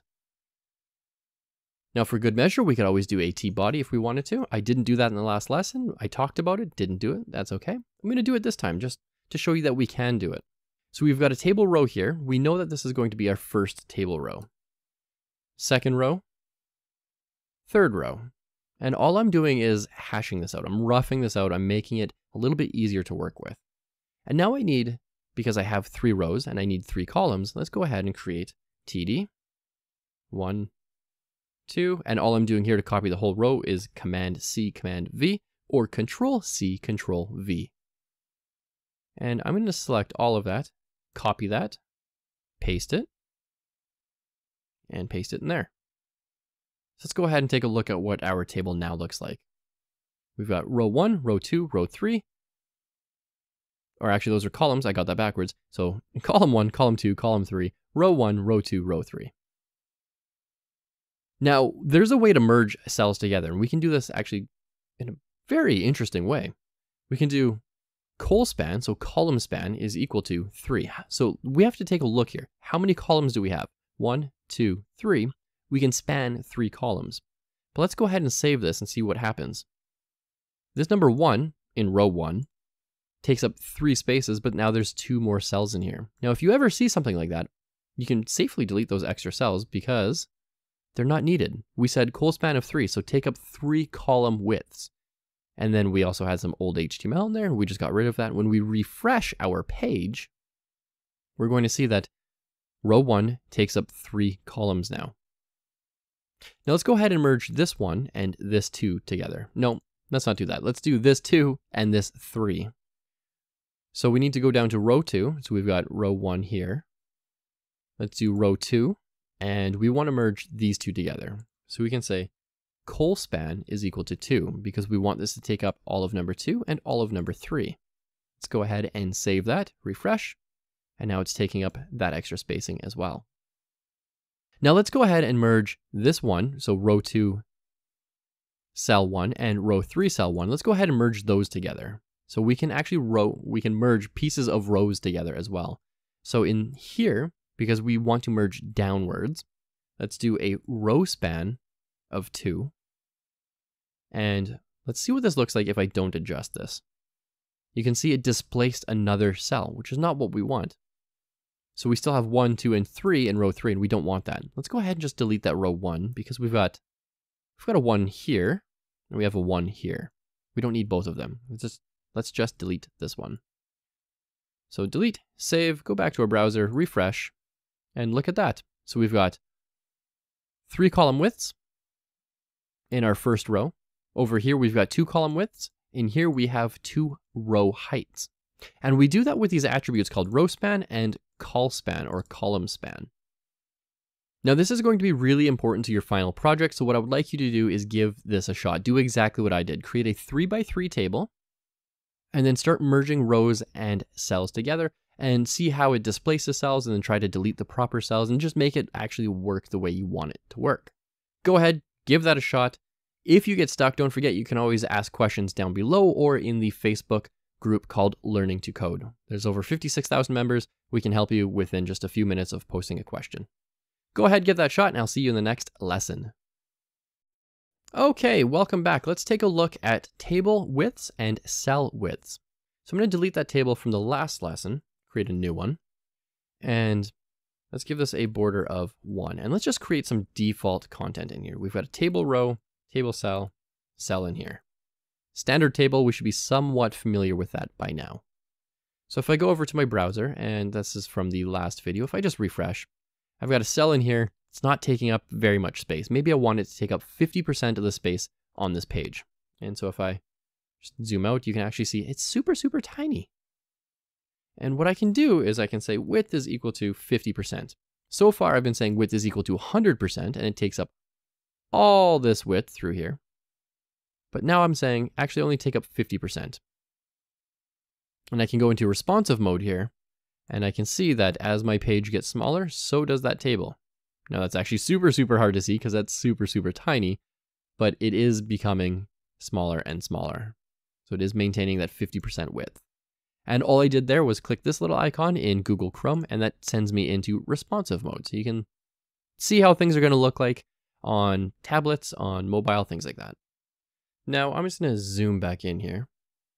And let's change this back to 100% because I want to use more width so I can take up more real estate just for demonstration purposes in the video. It just looks a little bit better. Uh, you don't have to follow exactly what I'm doing. So I'm going to add a second row in here. And let's say I had a cell in here and I didn't want it to take up exactly 50% of the table. So what our browser here is doing is saying, hey, there's a table. It's 100% width. There's two cells. 100 divided by 2 is each one is 50%. That's all it's doing here. But let's say I wanted that first one to be smaller. We could say in here, width is equal to, and let's give it a 20% in here. Now, before I show you what that looks like, I also want to mention that you can get rid of the percent sign and you can do this in pixels as well. Now that's a little bit harder, it's a little more hard-coded, not always what you want. Percent is usually what people are looking for. But you could also say, instead of a width of 100%, you could say a width of 500 pixels. But I'm going to stick with percentage for now. So I save that, refresh my page, and you can see that this cell actually got smaller. Now you're probably thinking, well, what's, what's the use of that? But if I do this, I can do a new table row, a new cell in here, and I can do col span of equal to, it's supposed to be equal to two, so it's like there's two of them, but it's going to be merged together. Welcome to my website. And in this one, the one where the width is only 20%, we could say something like H3. Let's put this on new lines so we can read it. H3, navigation, and in here we could do H3, content. Let's go ahead and refresh this and we can see welcome to my website. That's like the title of my page. We've got navigation, so we can make a list of links in there and we can put some content in here. So now we're working on an actual layout. Now what I would like you to do is create a table and with just one particular cell, I want you to tell it exactly how wide it should be. Give it a width. And as a recap, all we did there was add the width attribute to either the table or the cell. In my case, I did both, so the table is 100% width. And I, then I said the cell should be 20% of that table width. Okay, let's take a look at table headers. Now this one's actually super easy because we've been using the TD element for table data cell. Let's go ahead and use a table header. And all we do here is TH. And I'm going to change this to an HTML file. TH represents a header cell in a table. Let's go ahead and change the closing tag as well. And you're going to see from the last lesson to this lesson, this is what it used to look like, and this is what it's going to look like as soon as I hit refresh. It's now centered and bold. That's a table header. And that's really all there is to it. A table header works the exact same way as a table data cell. The only difference is instead of TD, we said TH. That's it. Nice and short. Once you think you got a hang of that, uh, let's head on over to that next lesson and I'll meet you over there. Okie dokie, welcome back. Let's take a look at inline CSS. Now we actually already covered this in the very first lesson where we said style is equal to text decoration underline. We can do that on pretty much every single element in the body of our page. And by body, I mean the body element. So any element in here, we can add that style attribute to. So let's go ahead and create a div. And in here, let's give it a style attribute and let's change a few things. And I'm just gonna give you a little glimpse into CSS. So let's give it a padding of like 40 pixels.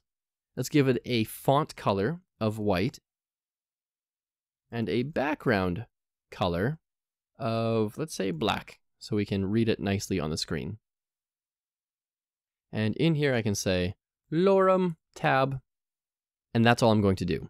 So you can actually see the, the syntax here. And at this point, I probably don't need to explain this syntax to you anymore, but just for good housekeeping, let's go through it anyways. So I created a div, space, style is the attribute, is equal to, and then I have everything between quotation marks. Then I've got a CSS uh, declaration in here. So this whole thing is a declaration. You don't need to remember the CSS part, by the way. But this is a CSS declaration. We're saying add padding 40 pixels to the top, right, bottom, and left. Change the font color to white, background color to black. And in between each of these declarations, such as this one, we have a semicolon. So it's a little different than HTML, but still very, very readable. And this whole thing here is called inline CSS. So let's go back to our page and I'm going to hit refresh. And look at that. With just a little bit of effort and knowing just a tiny amount of CSS, we were able to create a padding in here. So we've got spacing here, over here, over here, and over here. We change the background color to black and the font color to white. We can also right click inspect. And if I click on this particular element, We can toggle these on and off. This is what padding does. We can change that padding to be higher or lower if we wanted to, which is what we're doing here. And all I did was click in there and I hit the up arrow or down arrow. You can also type if you wanted to. Uh, if you wanted to, you could scroll all the way down in this little window here, and you can see that it'll tell you right away that there's a padding of 40 on all four sides. And that is inline CSS. That's really all there is to it. And we can write all of our CSS in there. Now that's actually not a very good way to do it, but occasionally you're going to see that that's actually going to be required. And this is just something that you should be very aware of. Now, this CSS, again, at this point in time, do not feel like you need to know this. After you after you're finished HTML 201, this course, definitely feel free to pick up CSS. I have a course on CSS called the CSS Masterclass. It's a huge, huge course. It goes through everything you could think of. Uh, but for now, let's just keep focusing on HTML. Now, if you want to follow along and do exactly what I did, go ahead and pause the video and give us a padding. Remember, it goes whatever we're trying to change, colon, space, and then a value, and then a semicolon. And then what we're trying to change, like the color, colon, space, and then the value, and then a semicolon. And that's how we put three in a row like that. So feel free to give that a shot or not. And when you're done, when you're comfortable, when you're ready, let's head on over to that next lesson. All right, as we dive more and more into HTML, we're going to end up we're going to end up transitioning a little bit more into CSS. And in this lesson, I want to show you exactly how we can do that uh, right away. So in the last lesson, we looked at padding, color, and white background uh, white color and background color of black. Now let's say we wanted to add that to another div. And so we could write another div in here and we could fill this with some lorem ipsum and then we would have to copy and paste this. Like that.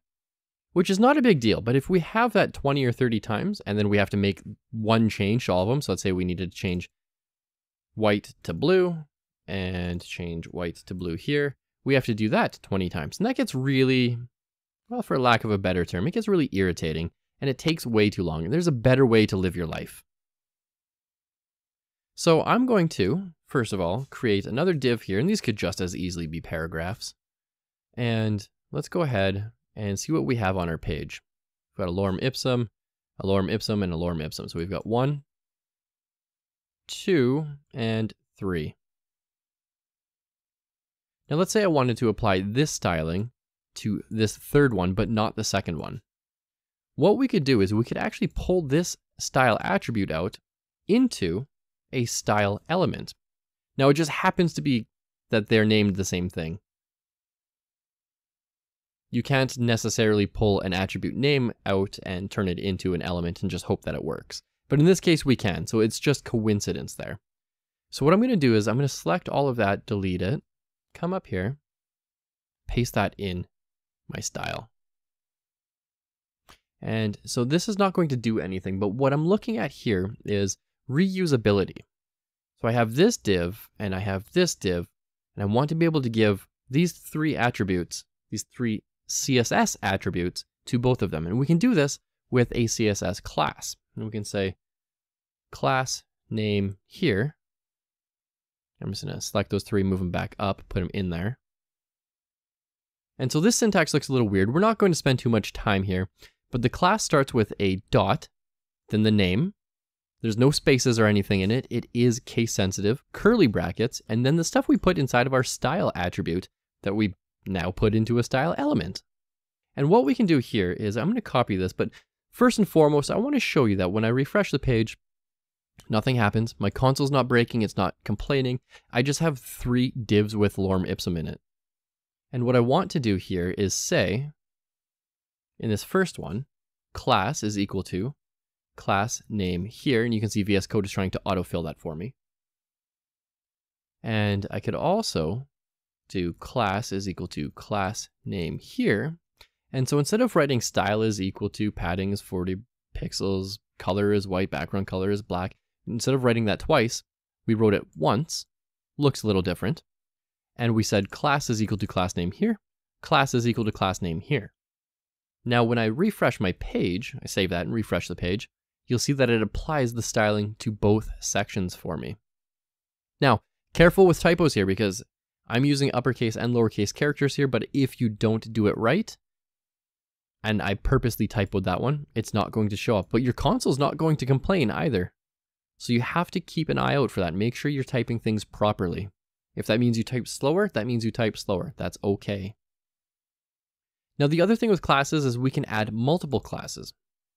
So we could add another class here, call it uppercase, and we could do text transform uppercase. Now I already know these because I write a lot of CSS in my day-to-day -day life.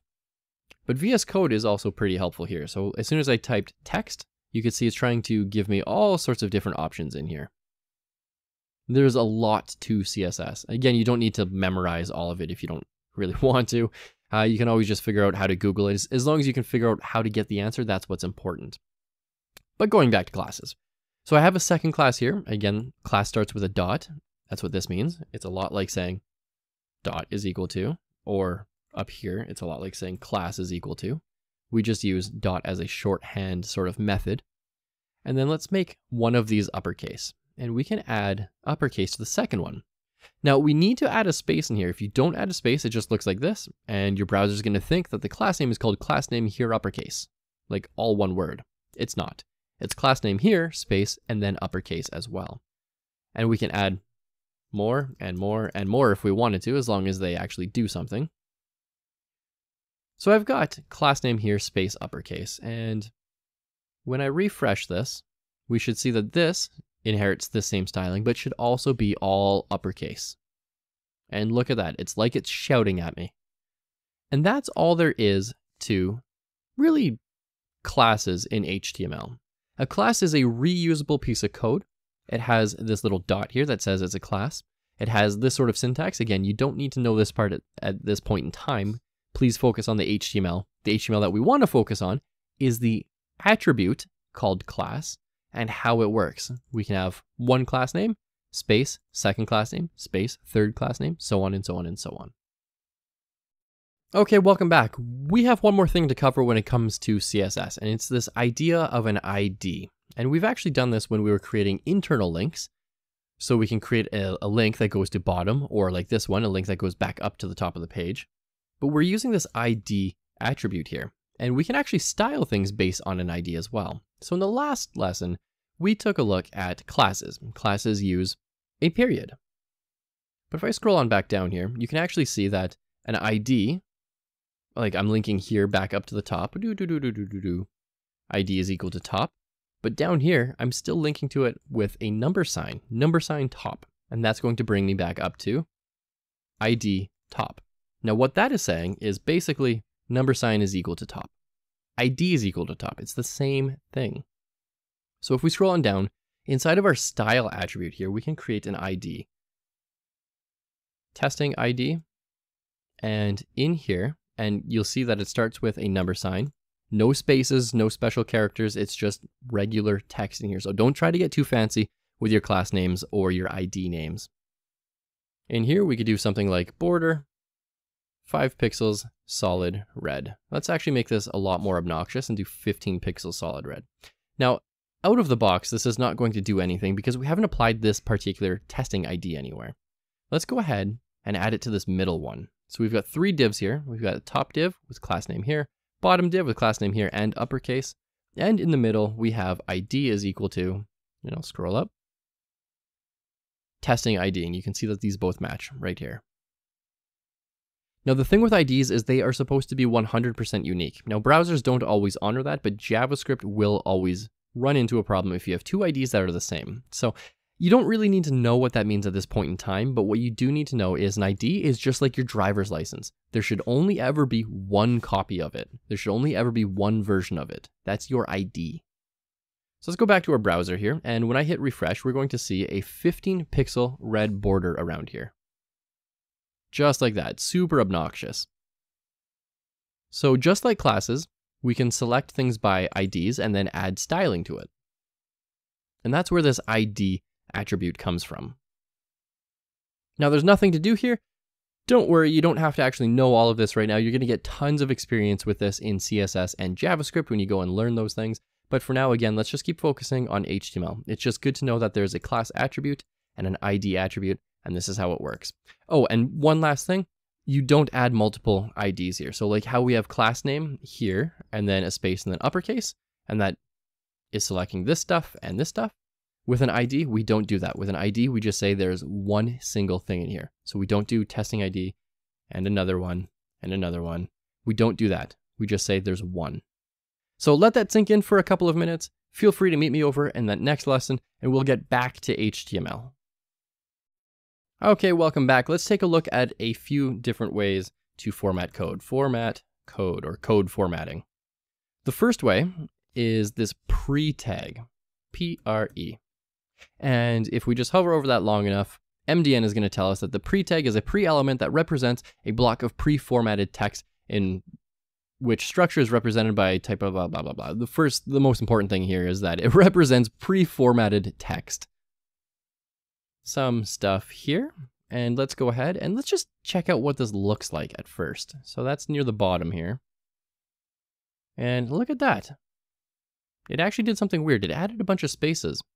So in HTML 101, if you remember, I preached about this a lot. HTML, or not HTML, but your browser does not care about whitespace. However, there are a couple cases where it does. Pre is one of those cases. So the pre tag is very white sensitive. And what if we did a second line here? Second line here. Now in regular HTML, we need to add a BR or some sort of block element to get onto a new line like this. But we actually don't need to do that. Not in a pre tag anyways. In a pre-tag, look at that, shows up perfectly. Now the thing to keep in mind is that the pre-tag cares about white space. So let's go ahead and add a bunch of spaces here. Make this just look real terrible. It also lines up our text, by the way, so it doesn't really matter what our default font is because our, our text editor is going to try to make sure that every font is mono or every letter is monospaced so that H is the same width as E is the same width as R is the same width as E is the same width as I, is the same width as Z, is the same width as M. Yeah, you get the point. In the pre-tag, it's going to do the exact same thing. Whereas if you look at here, that R is not as wide as the F. Whereas here, the SOME, they're all the same width. Even the spaces are the same width. That is called monospacing. So that's one way to format your code. Another way to format your code is if we wanted to do something inline because pre is a block element, we could say, let's add some lorem text here,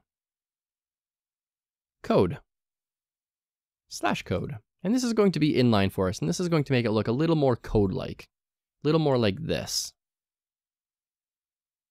And look at that. It actually took lorem ipsum dolor seat, seat, sit, I don't know. And it formatted it a lot like this. Now, is it white space sensitive? Let's let's explore. Let's add a bunch of spaces between lorem and ipsum. This one is not white space sensitive. Would you look at that?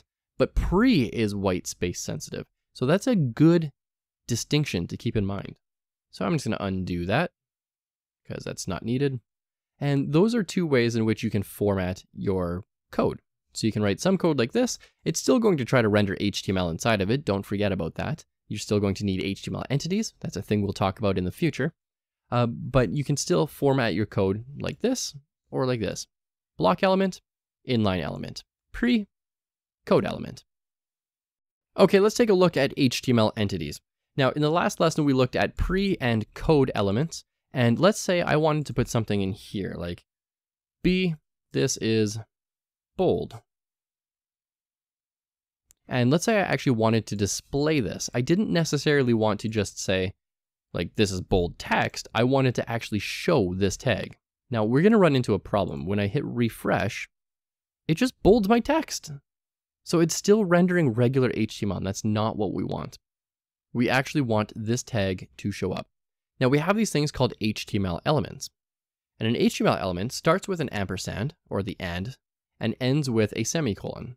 And it's really just shortcuts to show less than, greater than, copyright, things like that. Now, there are so many of them, I cannot possibly cover all of them, and you're going to have to do a little Googling for it. But we can do less than, which is this symbol here, B, and then we can do ampersand greater than, GT, And this looks really, really weird, but what this is going to do is turn it into that, and this one is going to turn it into that. But only while we're displaying it. So let's go ahead and refresh our page. And we can see that this now actually shows up. Let's go ahead and copy this whole thing over to our closing B tag. And let's add a slash in here. Look at that. So our text is no longer bold and it's showing us the HTML tags. Now we can do the same thing, the exact same thing, inside of our code element that we used in our last class or last lesson. Same thing. And we don't have to do it inside of the code element. We could do it really anywhere. It doesn't really matter. You'll see down here says B, this is bold. So that, that's an HTML element or uh, an entity. And an entity, all it is, is taking some sort of way of regularly reading the code that your browser would try to interpret and showing it the way you want to show it in a human readable way. Now, a really good example is if we were to add like a footer to our page here. So let's say this is our footer. We could say something like, and copy, and then we could put the year in here. So we could put like 2022 if that's the year. Scroll on down, and there it is, copyright. Now, just for funsies, I'm going to throw in two extras here. We can do sup for super, and that makes it up. So it brings it up a little bit instead of being centered. And we can also do sub, S-U-B, for subscript, superscript and subscript. And that brings it down. So I'm going to undo that. If, feel free to play with those if you like to, but they're not really necessary. I just thought I would throw them in there for fun because they're sort of working along lines of copyright. Copyright's usually that little tiny C at the top of a line. You'd use superscript for that. Okay, let's talk about forms real quickly. Forms. Now, we are going to be spending a little bit of time on forms, but it's not actually going to be incredibly useful to us. Forms are how we send data to a server. But we don't actually have a server. Just because we've opened an HTML file in our browser does not mean it's a server. A server usually runs a programming language like Python or PHP, Java, C, some other proper format, uh, proper programming language. We're using not a programming language. HTML is not a programming language. It is a scripting language. And thus we don't have a server. We don't need a server to run it. However, forms are important for creating contact forms, update forms, login forms, sign up forms, forgot your password forms, things like that. Now, a form typically looks like this. You have the form element, you have some sort of method, and you can actually see that it's suggesting two here, uh, well, three, but really you're going to be using get or post for the most part. Uh, let's go ahead and use get, and the action is going to go to somepage.html. Now, just as an example here, Let's go ahead and create a button. And the type is going to be submit. And we'll cover all of this individually, individually as well. Submit this form. And if I go back to my page and refresh and click submit this form, watch what it does to my URL. It goes to somepage.html. So it changed the page for us, which is kind of cool. And it would try to also collect the information from the form and put it in the URL which is not great for passwords or credit cards or things like that, but it is a good way to work with forms when you're just learning. Now let's take a look at what else we can do with a form. And again, you don't need to follow along with this. We'll cover all of this on its own. Uh, so input, we've got an input and we can do a text area. And I just let my VS Code, my editor, autofill stuff so it would show me things. This is an input field. It's one single line, like your email or your password or something like that. And this is a text area, like you're adding your address. So let's go ahead and take a look at some of this individually. What I'm going to do is just delete that because it's not going to be useful in the next lesson. All I wanted to do here was show you, hey, this is how forms work. And in the next lesson, we're going to actually get started with forms. Okay, welcome back. In the last lesson, we took a look at what a form does. An action, we don't want this to go anywhere. Let's just do this. Let's make it go to the same page we're already on. So when we have certain elements, like input, text area, or button, oh, there's one more actually, select. We're going to cover all of these individually, but when we have these, these should all be wrapped in a form element. Now this is sort of mix and match. You can do what you like. There's not a lot of rules to it, as in you don't have to have an input text area button then select. You can mix and match these in any way, shape, or form that you like. But let's start with input.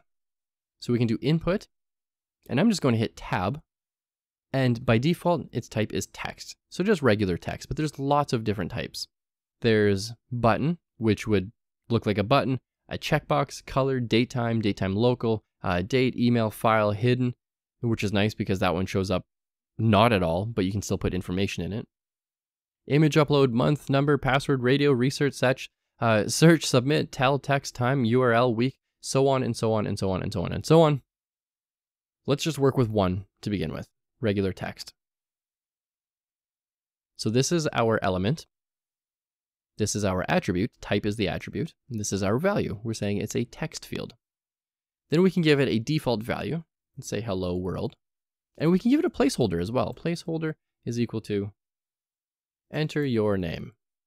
Let's go ahead and let's just take a look at what this looks like. Oh, nope. Scroll to the bottom. Thank you. This says hello world. And when I delete this, delete, delete, delete, delete, delete, delete, delete, delete. When I delete this last one, that little text in the background, that's placeholder text. But when I refresh the page, by default, it says hello world. And that's because of the value that I gave it. Now, another example would be password. Let's go ahead and you can see that it turns it into little dots that we can't actually see what it's doing.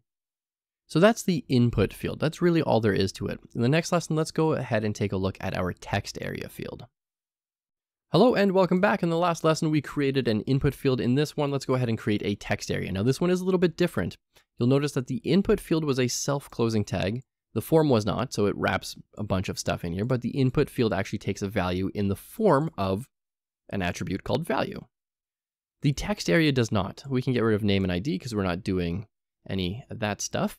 Uh, we also have a little bit of a rule breaker here where we're saying, hey, this one's not actually using value, the attribute. It's not doing this.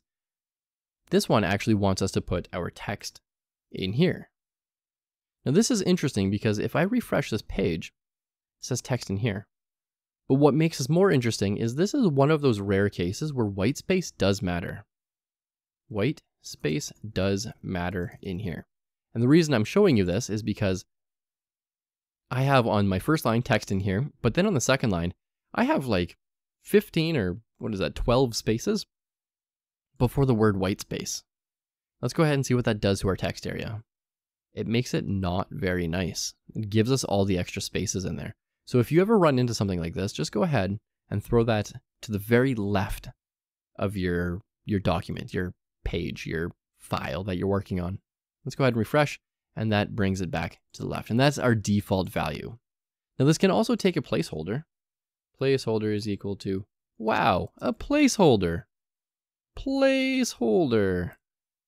Okay, refresh, go ahead and let's grab all this and you can see I've got extra white space in there as well. Let's go ahead and clean that up. I'm gonna grab all of this, delete, and it says, wow, a placeholder. Now we also have columns and rows, just like a table. We could say the columns, let's say instead of 30, let's say there's going to be 50. Columns go up and down, so this is going to be 30. So 50 is going to be, I'm going to guess, somewhere around here. Ah, oh, pretty close. And then we've got rows, which go up and down. We've got 10 rows here. We could say 5 rows. Let's make it just a little shorter. So we've got 1, 2, 3, 4, 5. And then after this, the little scroll bar is going to show up for us. 6, 7, 8, 9. And you can see that scroll bar here. We can also resize these, which is pretty nice. The biggest difference between a text area and an input field is it has columns and rows. The placeholder is the exact same, but the value actually goes between the opening and closing HTML tag. At this point in time, I would like you to give this a shot, create an input, and then create a text area. Don't forget, if you get stuck, you can ask questions down below, or alternatively, you can join the Learning to Code Facebook group, where 56,000 plus members can help you out at any given time. Okay, let's take a look at buttons. What is so important about a button? Well, if we go back to our page here, we have a password field and we've got some text area in here, but we actually don't have a way to submit this form. There's no button to submit this form, and that's what a button does. Now, a button can do one of three things. So let's do button. Type is equal to button and click me. So the important thing here is we're saying type. Just like our input, type is equal to password, button, type is equal to button. Now when I go here and refresh, I click this, nothing's happening. And that's because we said type is equal to button. This is largely for JavaScript, where JavaScript can actually do something with the click of a button. For us, this is completely useless. Next, we have reset. Now, reset doesn't look like it's going to be doing anything, but if I go ahead, delete that, and delete that, and do a bunch of random stuff in here, does, does, does, does, does, does, does, and click me, because this is set to type is equal to reset, it's going to reset my entire form. So this is going to automatically fill with the default value, and this is going to show up with its default value. Just like that, it reset the form for us. So pretty cool, honestly not used too often these days. The one you're going to be using most often is submit. And now if I refresh my page and refresh, click me, it actually reloaded my page. And you can see that it went to index.html question mark and then put me back to the bottom. Now that question mark is because we're using a method called get. And when that method is get, what we can do is here we can say name is equal to password. And the text area, we can see the name is equal to, I don't know, someone's address, for example. Let's go ahead and refresh this page. And when I submit this form once more, you can see the password is equal to hello world. That's what shows up in here. And the address is equal to text in here, a new line, white space does not matter in here. And so that put it in our URL. Now this is actually a really, really bad practice. Don't put things like your password in your URL ever. That's not really something you need to be too concerned with right now, but I am going to preach it just so that you're familiar with sort of how security works. If you ever put a password or a credit card or a social insurance number, social security number in your URL, Google can take that URL and store it on the internet. And it won't know better. It will think it's a legitimate page. Not just Google, but Bing or other search engines, bots will be able to submit the form and get that information as well. People will share the links with their password in it, things like that. You just want to avoid basically being able to share a password or a credit card number, social security number, social insurance number, anything like that. Anything that's private, you don't ever want to put in your URL. So, again, I'm getting a little preachy about security here, but it's really good to know. The thing to note here, though, is test one, test two. Password is equal to test two, address is equal to test one, just like we said. And that form is now submitting because we have button type is equal to submit. Okay, let's go ahead and look at drop-down options. Now this one is really interesting. I really like this one, but before we do that, let's clean this up just a touch because our form is looking a little bit gross and I'll show you what this looks like before and after. So I'm going to add a bunch of divs in here, knowing that a div is a dummy element. It does absolutely nothing, but it is a block element, so it's going to sort of put these on their own lines. And let's do this as well, div. And this is what our form looked like at first. I'll zoom in here. This is what our form looked like at first, and when I refresh the page, that's on its own line, own line, own line. So that's a little bit better in my opinion. Let's go ahead and create one more div in here just so that we can have a select element. And this select element is pretty interesting. So what we can do is name, we can give it a name, selected underscore option. We don't need to give it an ID. And this one's interesting because it works a little differently than the input and text area. What this does is it allows us to use the option element where we can put a value and a text representation of that value in here. So value one, and we can say this is value one. We could do the same thing on second line, value two, and this is value two. Let's go ahead and see what this looks like. This is a little drop down now. We can do this over and over and over again. I'll just make a bunch here. Not really a good example, but an example nonetheless. And we can select one of these. Now, the reason why we add a value in here plus the text representation of that value is because if I select value 1, submit this form, you can see up here it says selected option is equal to value 1. And that value 1 matches here. So when you submit your form, your server-side programming language, like Python, is going to read this value. It's going to say it is value one. It's not going to look for this is value one. It's going to be looking for just value one.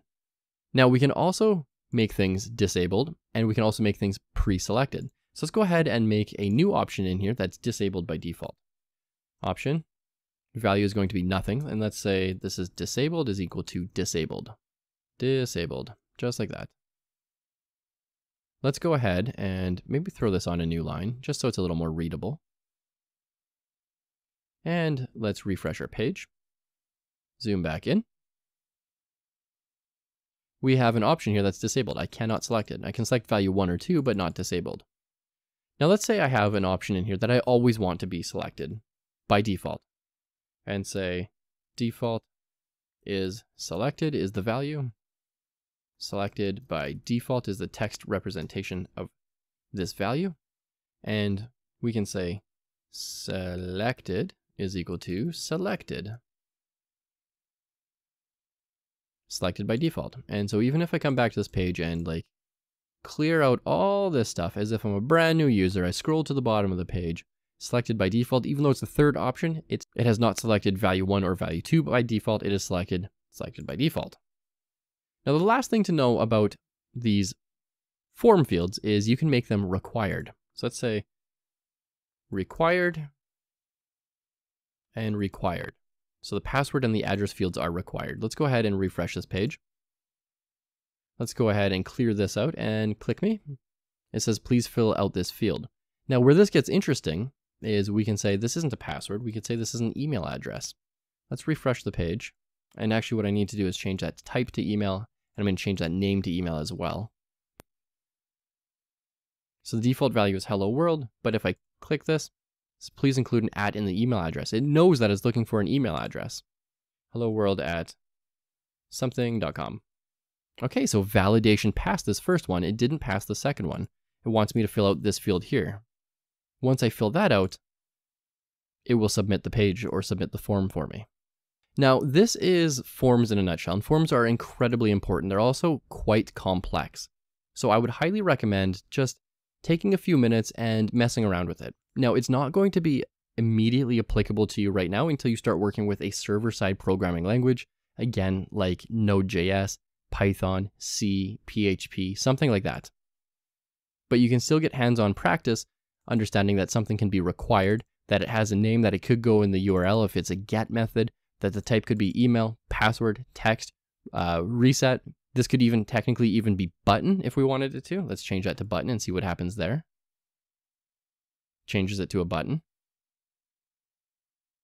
Although I like using this form of a button, it's a little more explicit, verbosely named even. And yeah, so just give this a shot and play with it a little bit. Don't try to achieve anything in particular. Just try to break things. See what happens when you type cols is equal to 500 or 1. See if that looks any different. Or rows, or see if you can make this selected, uh, the select element required as well.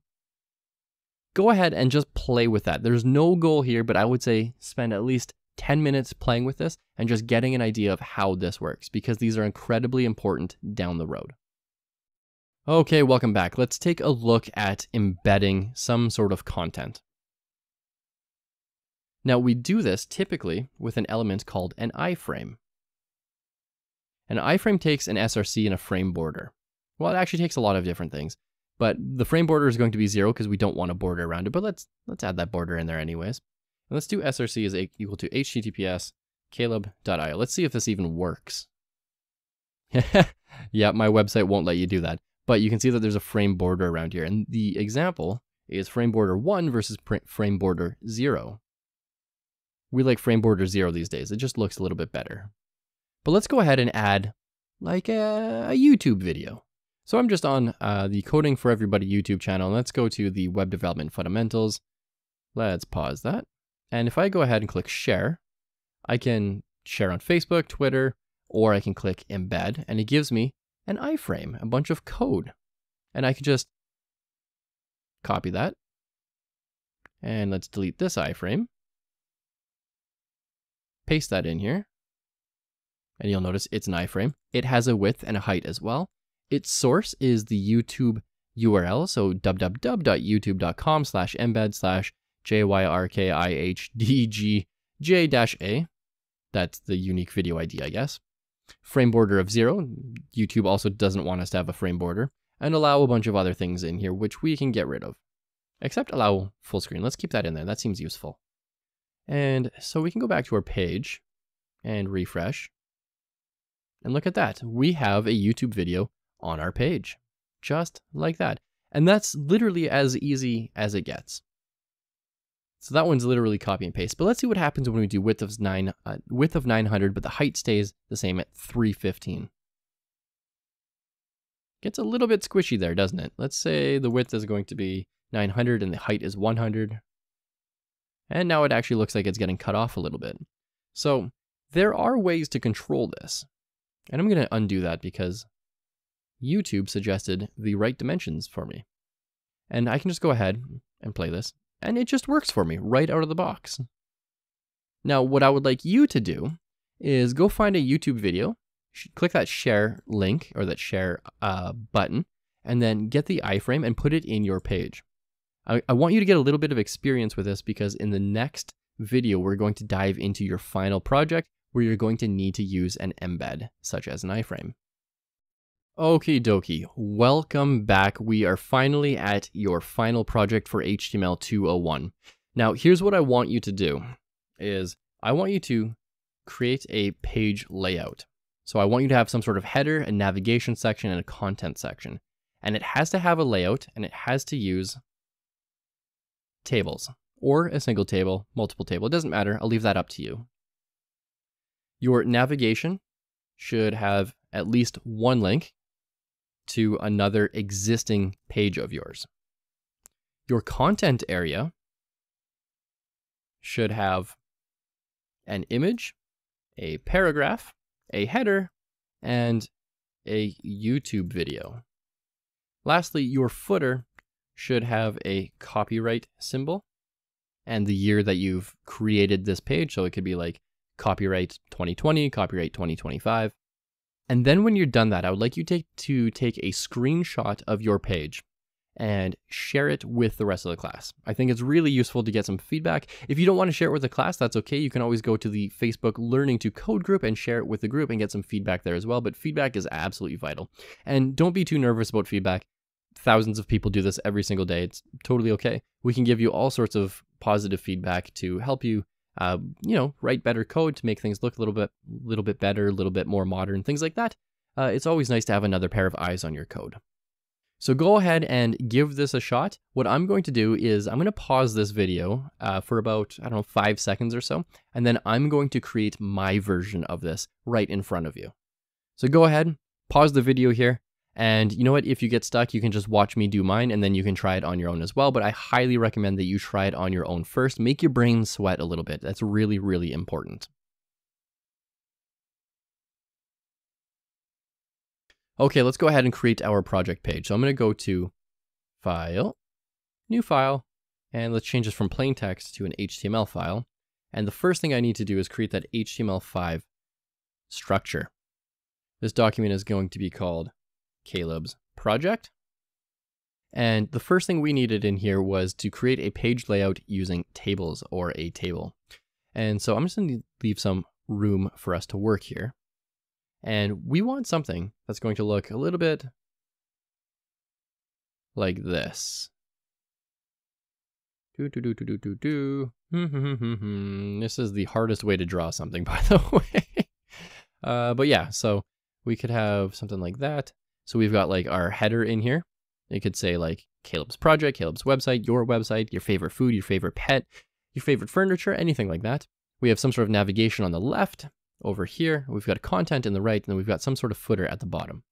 That's that's the sort of look that I'm going for. Your style might be a little bit different. Your layout might be a little bit different. But the first things first is I know I need a table. And I know I need to work with this table and see exactly what's going on. And I want the width to be 100% of this page. Next, I know I have at least one row here. So I got a table row, and I want the table heading in here. Now, it's nice that the table heading is going to bold it for me, but I don't want it to be bold. I want an H1. I want this to be huge and say Kalob Taulien's project. Next, we have another row here. So let's go ahead and create another table row. This one has two cells though. So we do TD, cell one, TD, cell two. And let's go ahead and preview this by saving this as my project.html. I can go to File, Open File, myproject.html. And we can see that the cells aren't really working. Now this is expected because we want this to take up the entire width, but this is saying, well, there's two cells. We have to display them somehow. What we can do here is th colspan is equal to 2. And this is saying there's two cells down here. Make sure this also pretends that it's two cells. And there we go. That's looking a little bit better. Now we have a navigation over here in cell 1. So let's just go ahead and label this. Navigation, and let's label this content. Okay, you can actually see that that bumped my navigation over. Let's change the width here. The width of this one is going to be something like 20%. That looks better. Lastly, what I wrote in here, which, by the way, I could wrap in a pre-tag, is I need this bottom row in here. So let's go ahead and add this bottom row. Table row, TD, footer in here. Let's see what this is shaping out to look like. Not bad, not bad. But we also want this to have a col span of two. Let's do col span of two. There we go. We've got some footer in here. And we want to center it. So let's not make it a TD. Let's make it a TH. And let's start with the easiest thing in here. So we have our layout finished. The footer should have a copyright symbol. We know that's an HTML entity. It's that little C with a circle around it. So we could say, and copy Kalob's website as of, let's live in the future, 2030. There we go. Not bad, not bad. Uh, navigation, we know that the rules were navigation should have a link to another existing page. So let's go ahead and give ourselves some room to work here. And let's create an, uh, an unordered list. And let's change this to a HTML file. We have an unordered list, and that first link is going to be an anchor tag that goes to index.html. Index.html. Go to our HTML 201 page. Okay, okay, that's coming together. I'm going to zoom in here. So that's coming together. Uh, let's go ahead and create another li with a anchor inside of it, a list item with an anchor inside of it. And let's tell this one to go to, uh, I don't know, facebook.com. But this is an external link, so we need the HTTPS colon slash slash. And this could say, go to facebook.com. There we go. We've got a couple links in there. We know this one exists because that was the page we, we were working on, or it's the page I was working on from all the other videos. Lastly, we have some content in here. What did we want to add in here? Content should have an image, a paragraph, a header, and a YouTube video. Let's go ahead and add that header first. And so you actually realize what I did there was content was just a placeholder piece of text for me.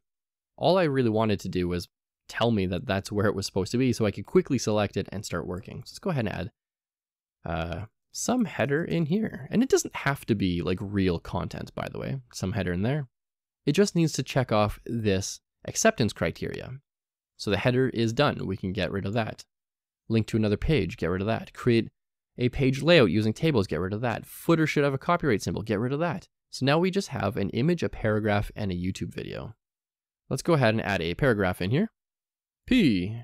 Lorem. Okay. That one is done. We no longer need the paragraph in there. We need an image. Do we have any images? Yeah, we've got a computer, so let's go ahead and add that. IMG, the source is going to be images. That's this folder here, slash computer.jpg. And the alt is going to be computer, just in case the image doesn't load. Does this work for me? Yep, there it is. There's a big image in there. Let's lastly add a YouTube video. So I'm just going to boot up YouTube here, go to the Coding for Everybody channel, and Let's go ahead and let's, let's do Python formatting. Let's go ahead and click share and let's get that embed. And all I'm doing is I'm selecting that text going to copy and down here, paste.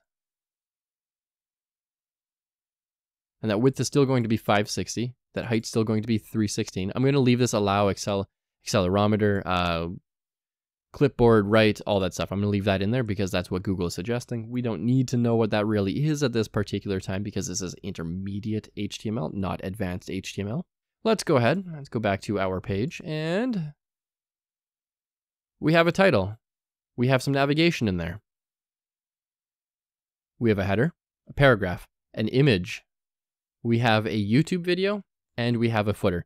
The last thing I want to do is get rid of this border and this pre in here.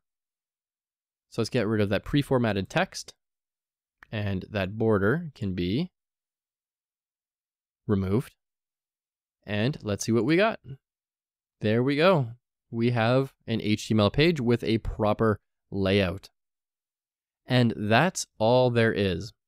So thank you for taking this course. My name is Kalob Taulien. Thank you for taking the time to learn HTML 201 or intermediate HTML with me today.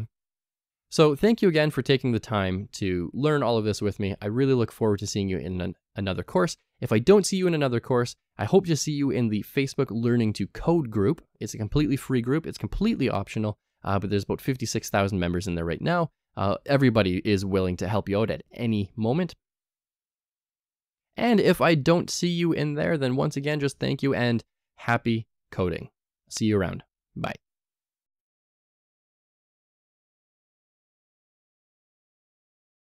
First things first, what is CSS? CSS stands for Cascading Style Sheets. They come in the file extension of .css, so unlike an HTML file where we use .html, for CSS, we use .css file extensions. HTML is the backbone of every single website, but honestly, it's pretty ugly. CSS lets us create beautiful and modern looking websites. How this works is CSS is a layer on top of HTML. So we write a regular HTML and then we make it look and act really, really nice by overwriting the defaults, the default settings that a browser gives us with HTML. We can change all of that with CSS. So CSS or cascading style sheets do not control the functionality of a website. So if you want to click a button and you want it to do something, that actually requires JavaScript. Now, JavaScript is definitely worth learning, but you should focus on learning JavaScript after you learn CSS. So you should learn HTML first, then CSS, where you currently are, this course, and then you should learn JavaScript after that. Now, if you don't know HTML, I have several HTML courses, the Ultimate HTML Developer, HTML 101, and HTML 201. So if you don't know HTML, please go back to one of those courses first, or do a little Googling and, and brush up on your HTML because we are going to be working with HTML quite a bit here because HTML and CSS work together. Lastly, CSS can be written in three different ways. Now, it all looks the same, but we can apply it three different ways. That's a better way of putting it. We have inline with the HTML style attribute, then we have internal with the style element, and lastly, we have external.css files. We're going to tackle all of these in this course. How does CSS work? In HTML 101 and HTML 201 courses, we talked about the different browser rendering engines. So your browser does three primary things. Well, it does a lot of things, but when it comes to rendering content, it does three primary things. It renders your HTML, it renders your CSS, and it renders your JavaScript. And in this course, we're going to be using HTML and CSS, so it's going to be using the HTML and CSS engines. And just as a little recap, these engines have different rules. So your HTML looks a lot different from your CSS, and your CSS looks a lot different from JavaScript. They have different rules, so we write code differently. And this is the same right across all programming languages, and this is called syntax. We'll talk more about CSS syntax in just a little bit.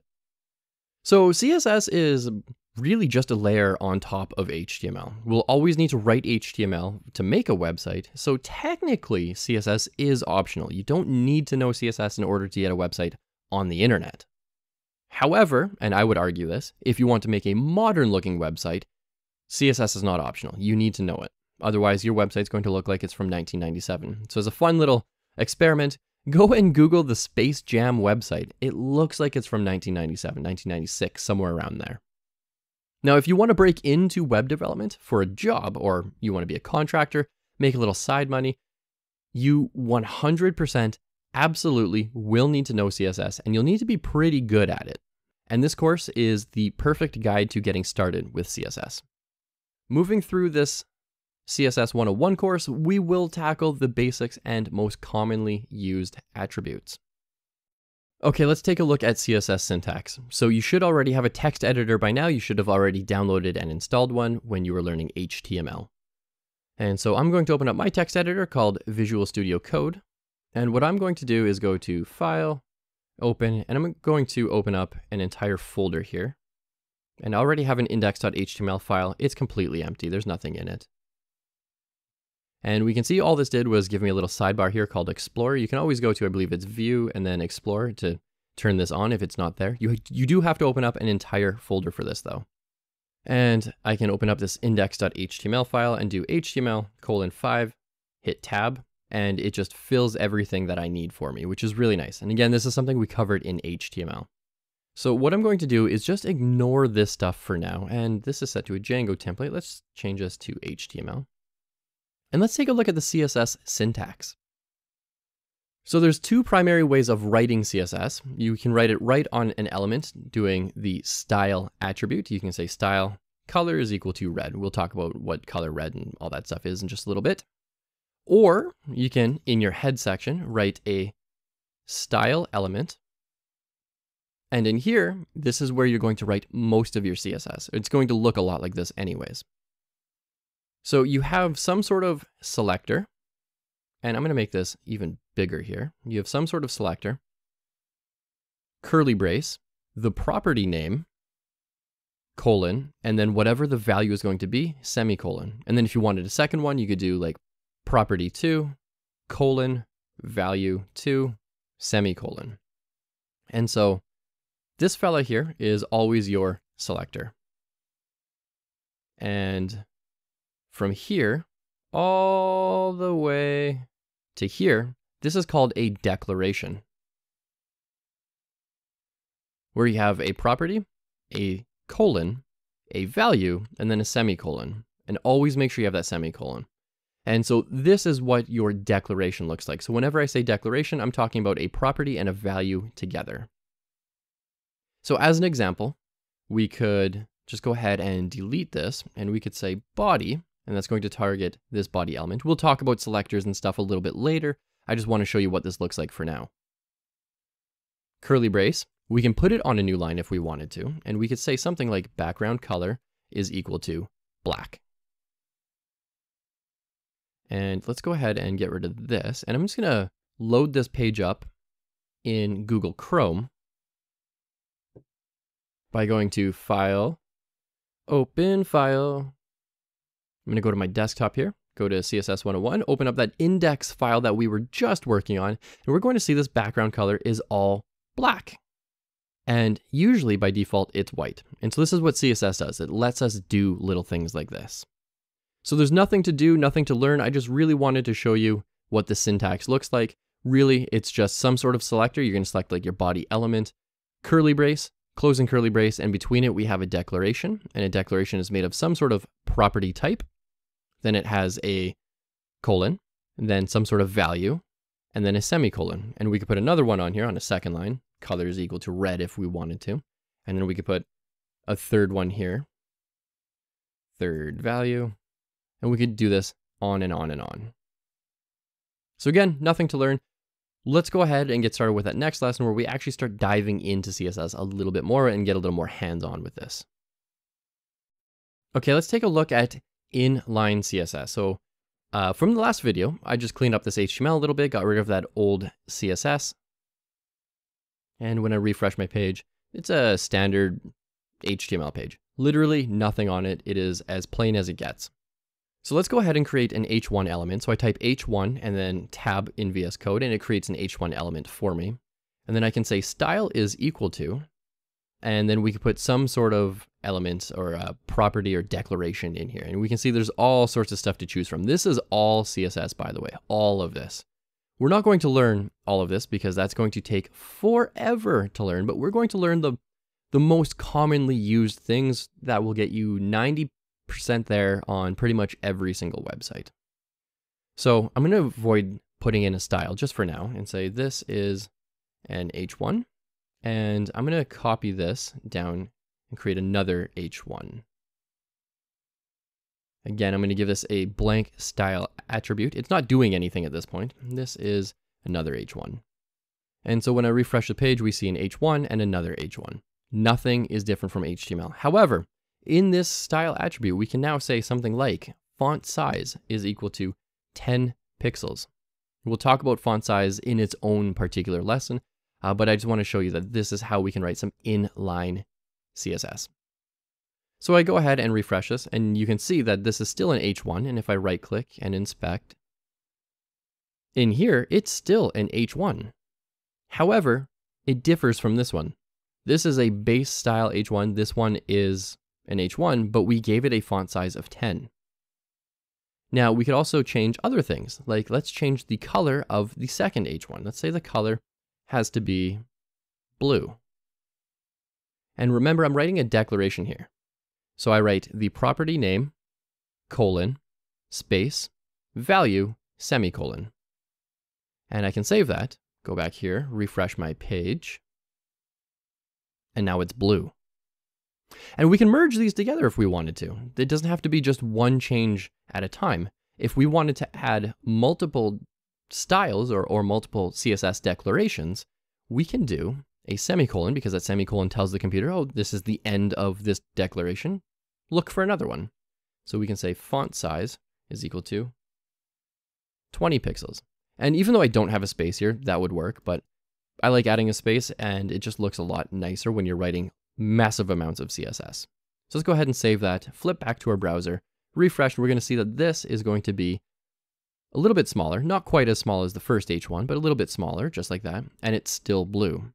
And with my inspect tool open, and again, all I did there was right click inspect, went to elements, select my H1 that I want to edit. And over here, we can see we've got color. We can toggle this on and off. We can change this to, we can click blue and change this to red. And we can change the font size. And so we can toggle all of it off. This is what it looks like by default. We can toggle it back on, and this is what it looks like after CSS. So effectively, we have written inline CSS. Now, this is a good way to get started, but it is not a best practice.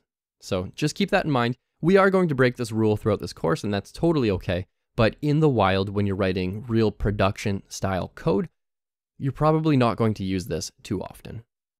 Okay, let's take a look at internal CSS. So in the last lesson, we wrote internal CSS, and that's just style is equal to, and then we wrote our regular CSS we can actually pull this out and put it into internal CSS. So let's do this. In our head, let's write style. And then remember from, I think it was two lessons ago, we had a selector, curly brace, then we wrote the property, and then some sort of value. So this is a property, color is a property, 10 pixels is a value, blue is a value. So if we wanted to select all the H1s in this page, we can do that. So what I'm going to do here is I'm going to get rid of this. And I'm going to get rid of this. And I want to show you the before and after. So I just saved that. Head on over to my browser, hit refresh, and we can see it's back to normal. Now what I can do here is I can change the selector to like an H1, and this matches the element name. So I can select the body, or I can select an H1 or a paragraph or bold or a div. I can do anything like that. Now we changed the color of one of them. We could say color is equal to, or, or colon space, which is a lot like saying it's equal to. And then that value could be blue, semicolon, space, and then a closing curly bracket. And that whole thing here, this is styling all H1s on the page. So this is going to select every H1, this one and this one, and it's going to say change the color from black to blue. So if we save that and refresh our page here, we're going to see that this turns blue just like that. Now we can add another one in here. We could say, let's target the body this time, and that's going to be our entire HTML element. We could say the body, and just for funsies, let's put this on a different line. We could say the background color is going to be black. And so we can see here that it does work on multiple lines. It's totally okay to have it on multiple lines. You don't actually need the spaces, although I would argue put spaces in there because it makes your code a lot more readable. And we're going to change all of the H1s to have a font color of blue. And then we're going to change the entire page, the entire body to have a background color of black. And so we don't add a comma after this. We don't do anything fancy. The only way your browser tells or can tell that this is an H1 selector is this closing curly brace. Same thing with your body. It's going to say, oh, there's a body. Okay. Open it. Apply your styling. Close it. And so let's go ahead and see what this looks like now. Now, within just a few minutes, we have actually started making style changes to our page. And this is internal CSS.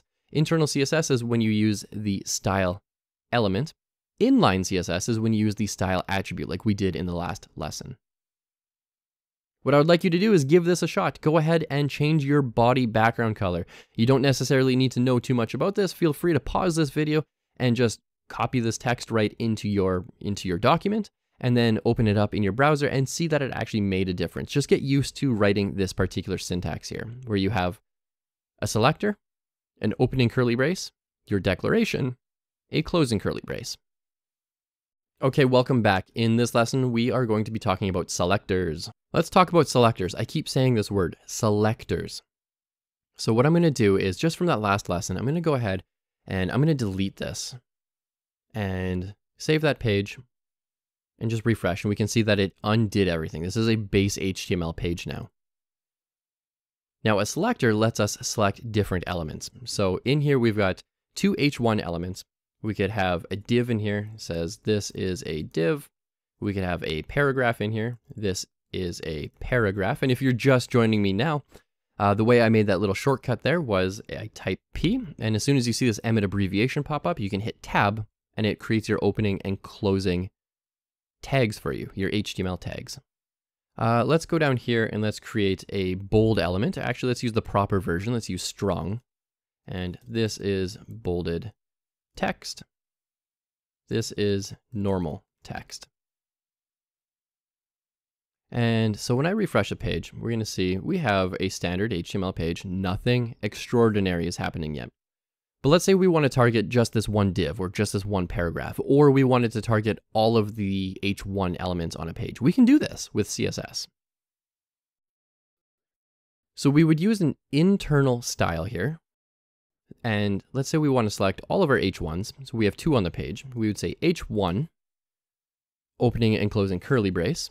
And let's change that color to blue. Save, head on over back to our browser, hit refresh, and it changes it to blue. Now let's say I wanted to select just this paragraph and make it real ugly. We could do that too. We could say, select the paragraph, and you notice that these match the HTML element. So this H1 is literally the H1 element, and this P is literally the paragraph element. And let's throw this on just one line this time. We can say, make the paragraph background color. And what color do we want to change this to? Let's change this to, what do we have here? Hmm, hmm, hmm, Dark magenta. Make sure you have that semicolon. Make sure you have that closing curly brace. Save. And let's go refresh and we can see that this text is going to change. Hopefully that is a visual change that we can see in this video. Yeah, there we go. So we have something that's actually working here. Now this is a selector. A selector is the ability to select just particular elements. Now we can select it by an element, we can select it by a class, we can select it by an ID, we can select elements by their attributes if we wanted to. But we're not going to get into that just yet. We're going to tackle these one by one. So what I would like you to do in this video is make an H1, make a div, and then just target that H1 and change the color of it. I do not want you to change the color of the div. Let's talk about class selectors. In the last lesson, we were able to select all the H1s on a page and we were able to change them. We change the styling, change how they appear. In this lesson, we're going to take a look at how we can how we can select multiple elements using a class. So let's say we have an h1, select me, and below this we have a div, select me too, and we also have a paragraph, don't select me. Now there are several ways we can select both the div and the h1, but in this lesson we're going to look at the class attribute. So if I go into my h1 here, type class, then this is just HTML. We can change this color to blue, and we can also say in the div, blue.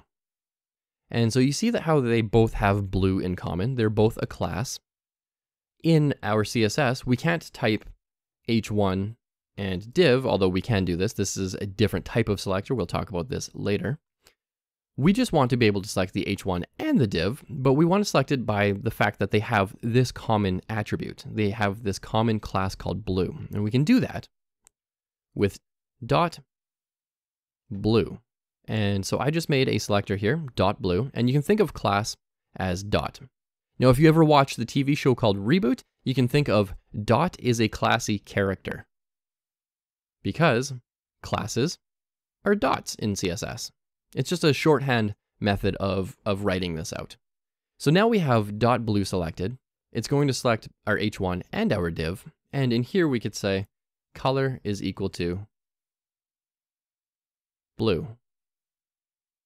Save and refresh this page. And we can see that it says select me is blue, select me to is blue, don't select me is still default black. Now, what if I wanted to make this a little more complicated? Let's add a paragraph in here with some lorem. So I hit lorem or I type lorem, hit tab, and it creates some lorem ipsum text. And if we preview, it's a regular paragraph. Let's go ahead and select this, but let's make let's make this h1 and the paragraph uppercase. So we can change this by adding a class, class is equal to, and let's call this uppercase. And this name is not super important, but I'm just gonna call it something simple like uppercase. And let's also add a second class selector onto our h1. So we use space, upper, case. And you notice how these two now have something in common. We can go back up to our CSS and we can say class, uppercase, open our syntax there. We can do text transform, and then we have all these different options here. Let's go with uppercase. And let's save that. Go back to our page and we're gonna see that select me and this class, this element so we can see that the H1 select me and this paragraph is going to be uppercase, just like that. So now we've selected this one and we've selected this one, but we have not selected uh, select me to, the second one, or the last one. So this is a good example of how elements can share something in common and we can apply styling based on that, that thing that they have in common. We also looked at how we can have two classes or more. You can have more and more and more in here if you wanted to. And the way we separate these is with a space. So we said the first class is going to be blue, the second class is going to be uppercase. So it made our first element here blue and uppercase. The second element only has blue, so we go up here. It only changes the text color to blue. And then in a paragraph, we're saying only uppercase, and it's only changing that to uppercase. It's not changing it to blue. Lastly, we have an element down here, don't select me, and there are no classes, there are no selectors for the p element to change all p elements. So this is just default, whatever the browser is going to give us. Oh, and one last thing here is these are case sensitive. So dot uppercase is not the same as uppercase with a U. Make sure they are spelt the exact same. I see a lot of people throughout the years, I've seen them do something like this where it's uppercase and then this one is lowercase uh, lowercase u, and this one is an uppercase u. And they say, oh, it doesn't work for me. Why is it broken? It's, it's actually not. It's just very case sensitive. So uppercase, uh, or even like blue and uppercase B is different. This is saying select blue with an uppercase B. So it is different. So just keep an eye on that. All right, let's take a look at ID selectors. An ID selector is a way to select something based on another HTML attribute called ID. And so we can say in this one here, let's make some space here. We can say the ID for select me is going to be the title. And we do this, we select this one with a number sign. And so in CSS, we can go back to our style element here. I'll just move that up a bit. We can do ID, the title, and this is case sensitive as well. And we can change this to have, let's say, text decoration of underline. So in the last lesson, what we did was we selected this element, this element, and this element, and we applied different styling to it. In this lesson, we're going to select select me by its ID, and we're going to give this an underline. So let's go ahead and refresh, and it's now underlined. And the reason that's not blue is because in the last lesson, I was telling you how this is super case sensitive. That was the case here. Let's go ahead and refresh this. Now it's blue, it's underlined, and it's uppercased. And we're using multiple selectors here. So this H1 element has the blue styling, has uppercase styling, and it has an ID called the title. And once again, that ID just starts with the number sign. The rest of the syntax is identical to an element selector, like what we saw originally, a class selector, like what we saw in the last video, and all it is is that curly brace, your declaration, and then a closing curly brace. Now, one thing to note about IDs is they should be completely unique. So you can, in theory, write ID is equal to the title, just like we have up here. And this is going to select both of these because they're identical. And we should only ever have one ID. It's like your driver's license or your government ID, like your passport. It should only, there only should ever be the one document in existence. And just like an ID here, there should only ever be one. But we're saying that, hey, there's one selector, but it's being applied twice. Let's see what happens here. So you can see that our browser did not honor the rule. It actually made this underlined as well. Now that is, I guess that's fine, but please don't do this. What we should be doing is the title, and this could be like the subtitle. IDs should always be unique. Now, why this is important is because after CSS, you're going to be learning JavaScript, and JavaScript has the ability to grab an element by its ID, and if there are two of them, it's only going to grab the first one, and you might possibly want the second one, and that could really mess up your coding and cause hours of frustration. You don't want that. So always make sure your IDs are completely unique. Let's talk about grouping selectors together. So what I'm going to do is from that last lesson, I'm just going to go ahead and delete this code, and I'm going to delete the styling that we have here. Now, let's say there is a circumstance where you have an H1 on your page, this is an H1. You have a div on your page. This is a div. And you have a paragraph on your page. This is a paragraph. And let's say you wanted to select the H1 and the paragraph, and you wanted to change the color to blue. So currently, the way we know how to do that is we can add a class to both of these. So I can click here, and then in VS Code on Mac, I can do Command click, or on Windows, I think it's either Alt or Control click. And you can type in two places at the same time, which is really, really useful. And then we can do class is equal to blue. And that's what we did in the last couple of lessons. But we might not always have access to the class attribute. We might not be able to add anything to this. And there will be circumstances in the future where that's just not possible. So let's say we want to select this H1 and this paragraph. Well, currently we do h1 color is equal to blue. And then on a new line, we do paragraph color is equal to blue. And this does do the job. If we flip back here and refresh from what we previously saw, changes our H1 to blue and changes the paragraph to blue. Okay, cool, that works. There's a better way to do this because you see how we have to write this twice.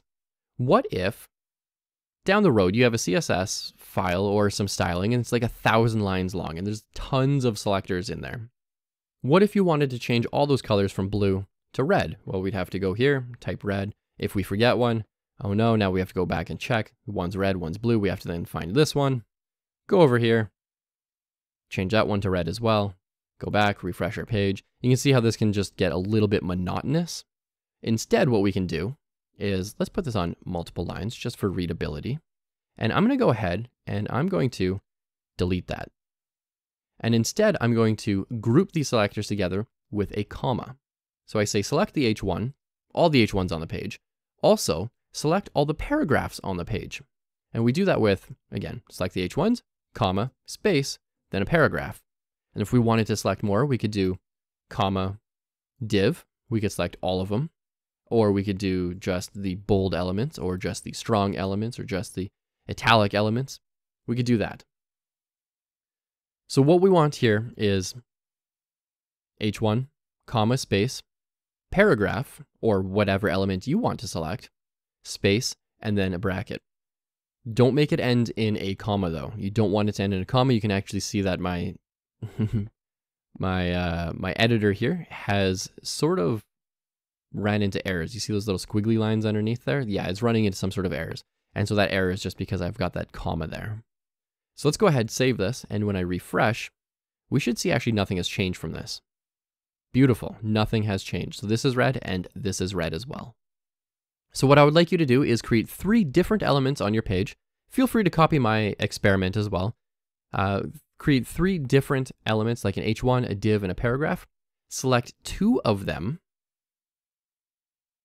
and then change the declaration and then change the font color. And make sure that third one is not selected.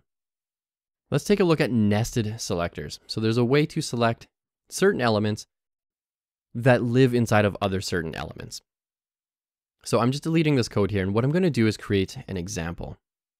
I'm going to create a div, and in that div, I'm going to have a paragraph. So I type P, Emmet abbreviation shows up. I can now hit tab. Let's throw some lorem ipsum in here. And I'm going to also create another part that says this is bold. And I'm to make this bold as well. So B. Hmm. So strong. Let's go ahead, select that. Cut, move to the end of the line, paste, and let's make something in here bold as well. Strong, go to the end of the line, cut, and let's go down here, paste. And what this looks like is this. We have a paragraph with some bold text, and then we've got some text outside of a paragraph. Look at this code real quick. This stuff is outside of a paragraph. It's inside the div, but it's outside of the paragraph. So we've got a paragraph here with an inline strong. Now let's say we just wanted to target me. Let's change this to target me. Well, currently, we know a few different ways of doing this. We could select all of the strong elements. We could give it a class. We could give it a class called selected if we wanted to, or we could add an ID of selected. Or maybe not the same one, not the same name as a class name. That gets a little confusing. Uh, select me. Now we could add a class or an ID to this element but when you work with frameworks in the future, such as Django, you you know, you might not have access to this right away. And so an easier way is to select it by selecting the div and then the paragraph and then this particular element. And so maybe let's just put this on a new line as well, make this a little more readable. And let's get rid of this stuff in here. So let's look at nested selectors. So currently we can select all of our strong elements and we can say the color is going to be blue. And this is great, but it selected this one. Maybe we don't want that one to be selected. Maybe we want just this one to be selected. How do we do that? We can do that without a class. We can do that without an ID. We cannot do that by selecting just the element because there are two different elements here. So what we can do is we can say target all paragraphs and then all the strong elements inside of a paragraph. And we do that by saying P space strong. So we have a P element here, paragraph, that matches right there on line 12. Space, not a comma, not a dash, nothing like that, just a space, then strong. And what's really cool about this in VS Code is you can just put your mouse in here, click, and if you look up here, it says strong p div body HTML. It tells you exactly where this element is living. So we just want to select all the paragraphs. So we're going to select every paragraph on the page. And then we're going to select every strong element inside of each of those paragraphs and turn it blue. And so when we save this, and refresh our page, we're going to see that this one will turn black and this one will stay blue. Just like that. Now that is called nesting selectors, and we can go as deep as we want as well. So if we wanted to target just the ME here, we could say this is italics. And if we wanted to target just this one, we could say select all the paragraphs on the page, select all the strong elements inside of each paragraph, and then select all the I elements inside of each strong element. And so again, if I put my mouse there and I click I strong P in reverse order, that's P strong I. And you can see that it matches up here. And so let's go ahead and give this a shot. And now only this is blue. And it inherits the italics that our browser tries to apply by default. So that is nesting. I really want you to give this a shot. So go ahead and create something like this, where we have a div and a paragraph, make this blue, and then have a paragraph outside of your div. Don't target this. This should not be blue. So I want you to target this one, but not this one. Don't use a class, don't use an ID, use a nested selector. Let's look at commenting code. In CSS, there's uh, a good way to comment code, but it's a little bit different from HTML. So in HTML, and I'm just leaving off from the last lesson here, that's where I got this code from. In HTML, we have less than, exclamation mark, dash dash, and in here, we have an HTML comment. In CSS, it's kind of similar, kind of different. Same, same, but different, you know? Uh, so in here, in our style element, we do slash asterisk, and you can see it turned everything below here gray. And then we can say, this is a CSS comment. And to close it, we do asterisk, and then that same slash. So we just do it backwards. So this is the forward, this is the opening one, and this is the closing one. And this is a CSS comment. And so you can write what your CSS is doing. You can comment out your code like this. Uh, I'm going to do a shortcut way on VS Code. I can do command, it's command plus slash. On Windows, it's going to be control plus slash. And so I just go to this line here and I hit command or control slash and it comments it out. So in the last lesson, what we did was we were targeting this, this little ME here. But because I commented that code out, my browser is now going to say, oh, okay, I know that there's code here, but it's in a comment, so don't execute it, don't do anything with it, don't even think about it, just pretend it doesn't exist. And when I hit refresh, we're going, we're going to see that this changes back to black, and it's still going to be italicized, but it's not going to be blue anymore. Just like that. And so code comments are really good for leaving your thoughts, your ideas, your to-dos. If you like, let's say you're working for two hours tonight and then it's bedtime and you want to pick it up in the morning, you're going to see this a lot. To do a thing in here, something like that. Or if you're just testing out code and you want to comment or uncomment, you can always just test it out like this. And all I'm doing is commenting and uncommenting with command slash or control slash. Let's take a look at text colors now. Now, we've been working with this a lot. I think we're pretty familiar with how this works, but just leaving off from that last lesson, we're selecting P strong I, which is going to be down here, P strong and then I. We're going to target that ME. And let's make this really obnoxious so we can really see what we're working with here. Font size is going to be 50 pixels, and we're going to change that color to blue. So if I go back here, this is going to be a big ME. It's going to be blue. It's going to be italicized. We're going to see it just like that. But we've been typing names like blue or red, and we can see that if we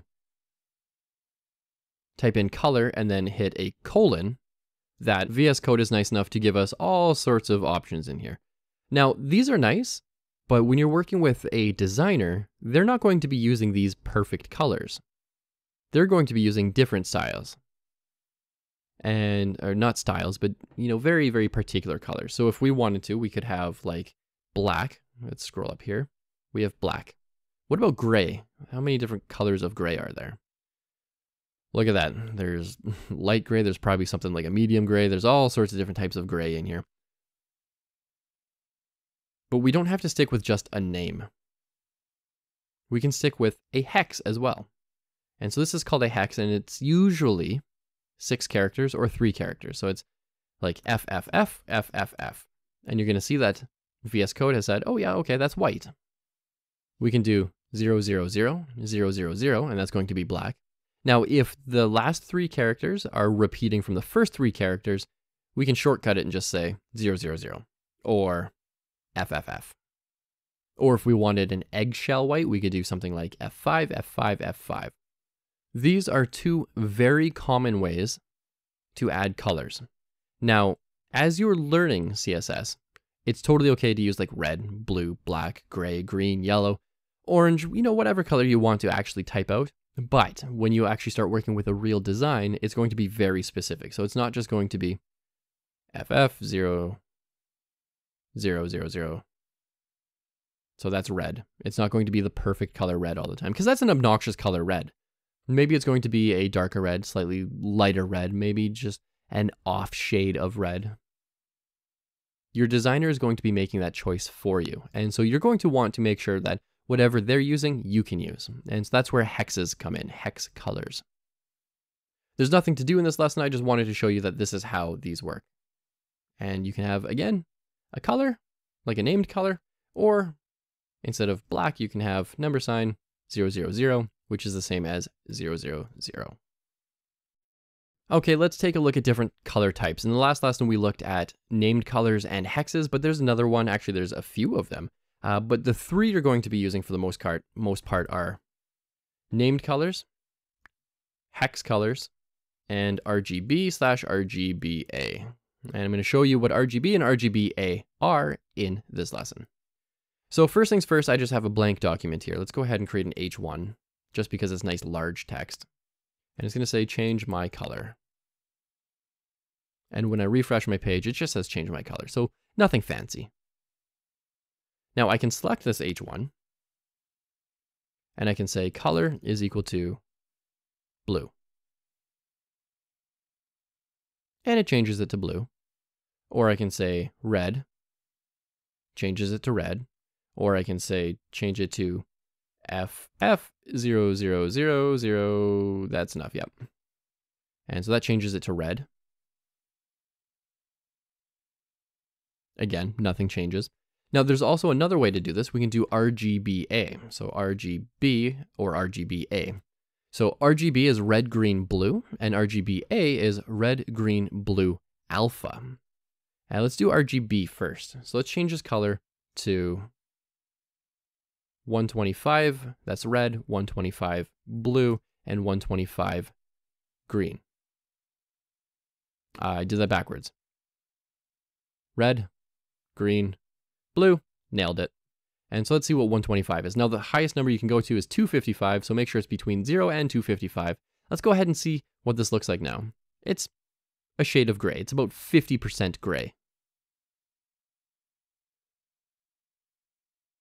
You're going to see this a lot as well, mostly when you're dealing with base colors like black, for instance. So 000, black is the absence of color in science, and that means zero red, zero green, zero blue. Changes it back to black. Now, if we wanted to make this transparent a little bit, we could do RGBA, and as that fourth parameter here, we could say comma, and then instead of like 50%, we use a decimal. And so let's do 0.5, and that's 50%. And this is just like grade 7 mathematics, something like that, where 1 is equal to 100%, 0 is equal to 0%, 0.5 is equal to 50%. So this is going to be black, but it's going to be 50% see-through. So it's going to look gray, just like that. Now let's go ahead and change that background color of the body. We can say body. Background color, and let's change this to red. And we're gonna see that this probably isn't going to look gray anymore. It kind of looks a little bit see-through. So it kind of looks like a darker red just because it's, it's black, but it's 50% see-through. And so it takes on the color that's behind it. Now, again, when you're working with designers in the future, they're going to be using RGBA a lot just because that alpha, that transparency, is really, really nice to work with. What I would like you to do is give this a shot. Use RGB and then RGBA. You might have to Google a couple different colors. You can Google like, what is the color yellow in RGB? And then you can change the alpha with RGBA. Let's talk about links. Links are pretty ugly by default. They're usually blue if they're not clicked and then purple if they are clicked. So I'm just gonna clean this code up from the last lesson here. Do do do. Give us some room to work. And so let's say we have some lorem ipsum in here and we wanted to make a link. We could do this. A href is equal to https kalob.io. And let's turn this into a link and some extra white space. And so because we know in HTML, white space doesn't matter. Let's refresh our page and we can see we have all of this in one line and there's a link. Now this link is purple by default because I've already gone to kalob.io. Uh, if you haven't gone there, it's going to be blue. But let's go ahead and change this. So we can select this link with an A element because it's the only link on the page. So we can select it and it's totally fine. We don't have to worry about multiple links with multiple styles. And we can say the color of this is going to be red. And when we refresh our page, it's red. Now that doesn't look very good. Let's start making things look a little nicer. Let's say that color has to be black. It has to fit in with the rest of the text here. Okay, so that looks a little bit better. But what happens when I click and hold? Depending on your browser, that can actually change. What we want to do here is we want to be able to change these, these states, these link states. So now what we can say is A, and you can see when I do one colon after the A selector, it gives me all sorts of things to choose from. Some of these are pseudo selectors, some of these are just regular selectors. Let's go ahead and use hover. What happens when we put our mouse over the link? And so the syntax for this is our selector and then our state. And when we hover over this, let's change the color to blue. So I just saved that, and when I go back to the page, you can actually see nothing happens. When I refresh, however, I'll put my mouse over it and it's going to turn blue, just like that. So now we have some sort of interactivity using just CSS. There's also an active state, so A, active, and that's when you click and hold. So when you do uh, click and hold, let's change that color to red. So let's save that, refresh our page. When I hover over, it turns blue. When I click and hold, it turns red. So these are the different states of a link. We're saying by default, make it black. When you hover over it with an action with your mouse, make it blue. And when you click it, make it red. The last one we have here is visited.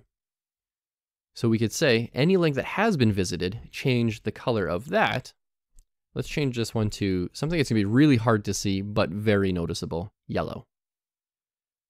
And because I've already clicked this link, right, I click it, takes me here, I go back, because I visited this link already, it's now yellow. And these are the different link states. So go ahead and give this a shot. I want you to create a link on your page, change the default color, change the hover color, change the active color, and change the visited color. I want you to experiment with these and get a, a little bit of experience with it because you're going to be using this probably every single day as a front-end web developer. All right, let's take a look at font sizes. So font sizing, we've actually worked with this a little bit. All I'm going to do here is create an H1 and put some lorem ipsum in there. And when I show you the page, yep, that is pretty obnoxious. But we can change this. And let's give this a class of small. That's just what we're going to call it. And so we can say select all the H1s on the page with a class of small. And this is new. This is a new selector. We haven't seen this yet. So we're going to select every H1 and then make sure we only select the H1s out of that group that have the class of small. And we can do font size, and let's make this like super tiny, like three pixels. So I'm gonna save that, refresh, and it's super tiny. I'm zoomed in quite a bit too. I'm at 200%. If I zoom out to 100%, Yeah, you can't even see that whatsoever.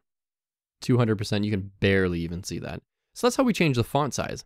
And that's the font size declaration. So it's font dash size colon space and then your measurement. Now we don't use a measurement like three because three is not going to do anything. If I do this, refresh, it's almost like nothing happened.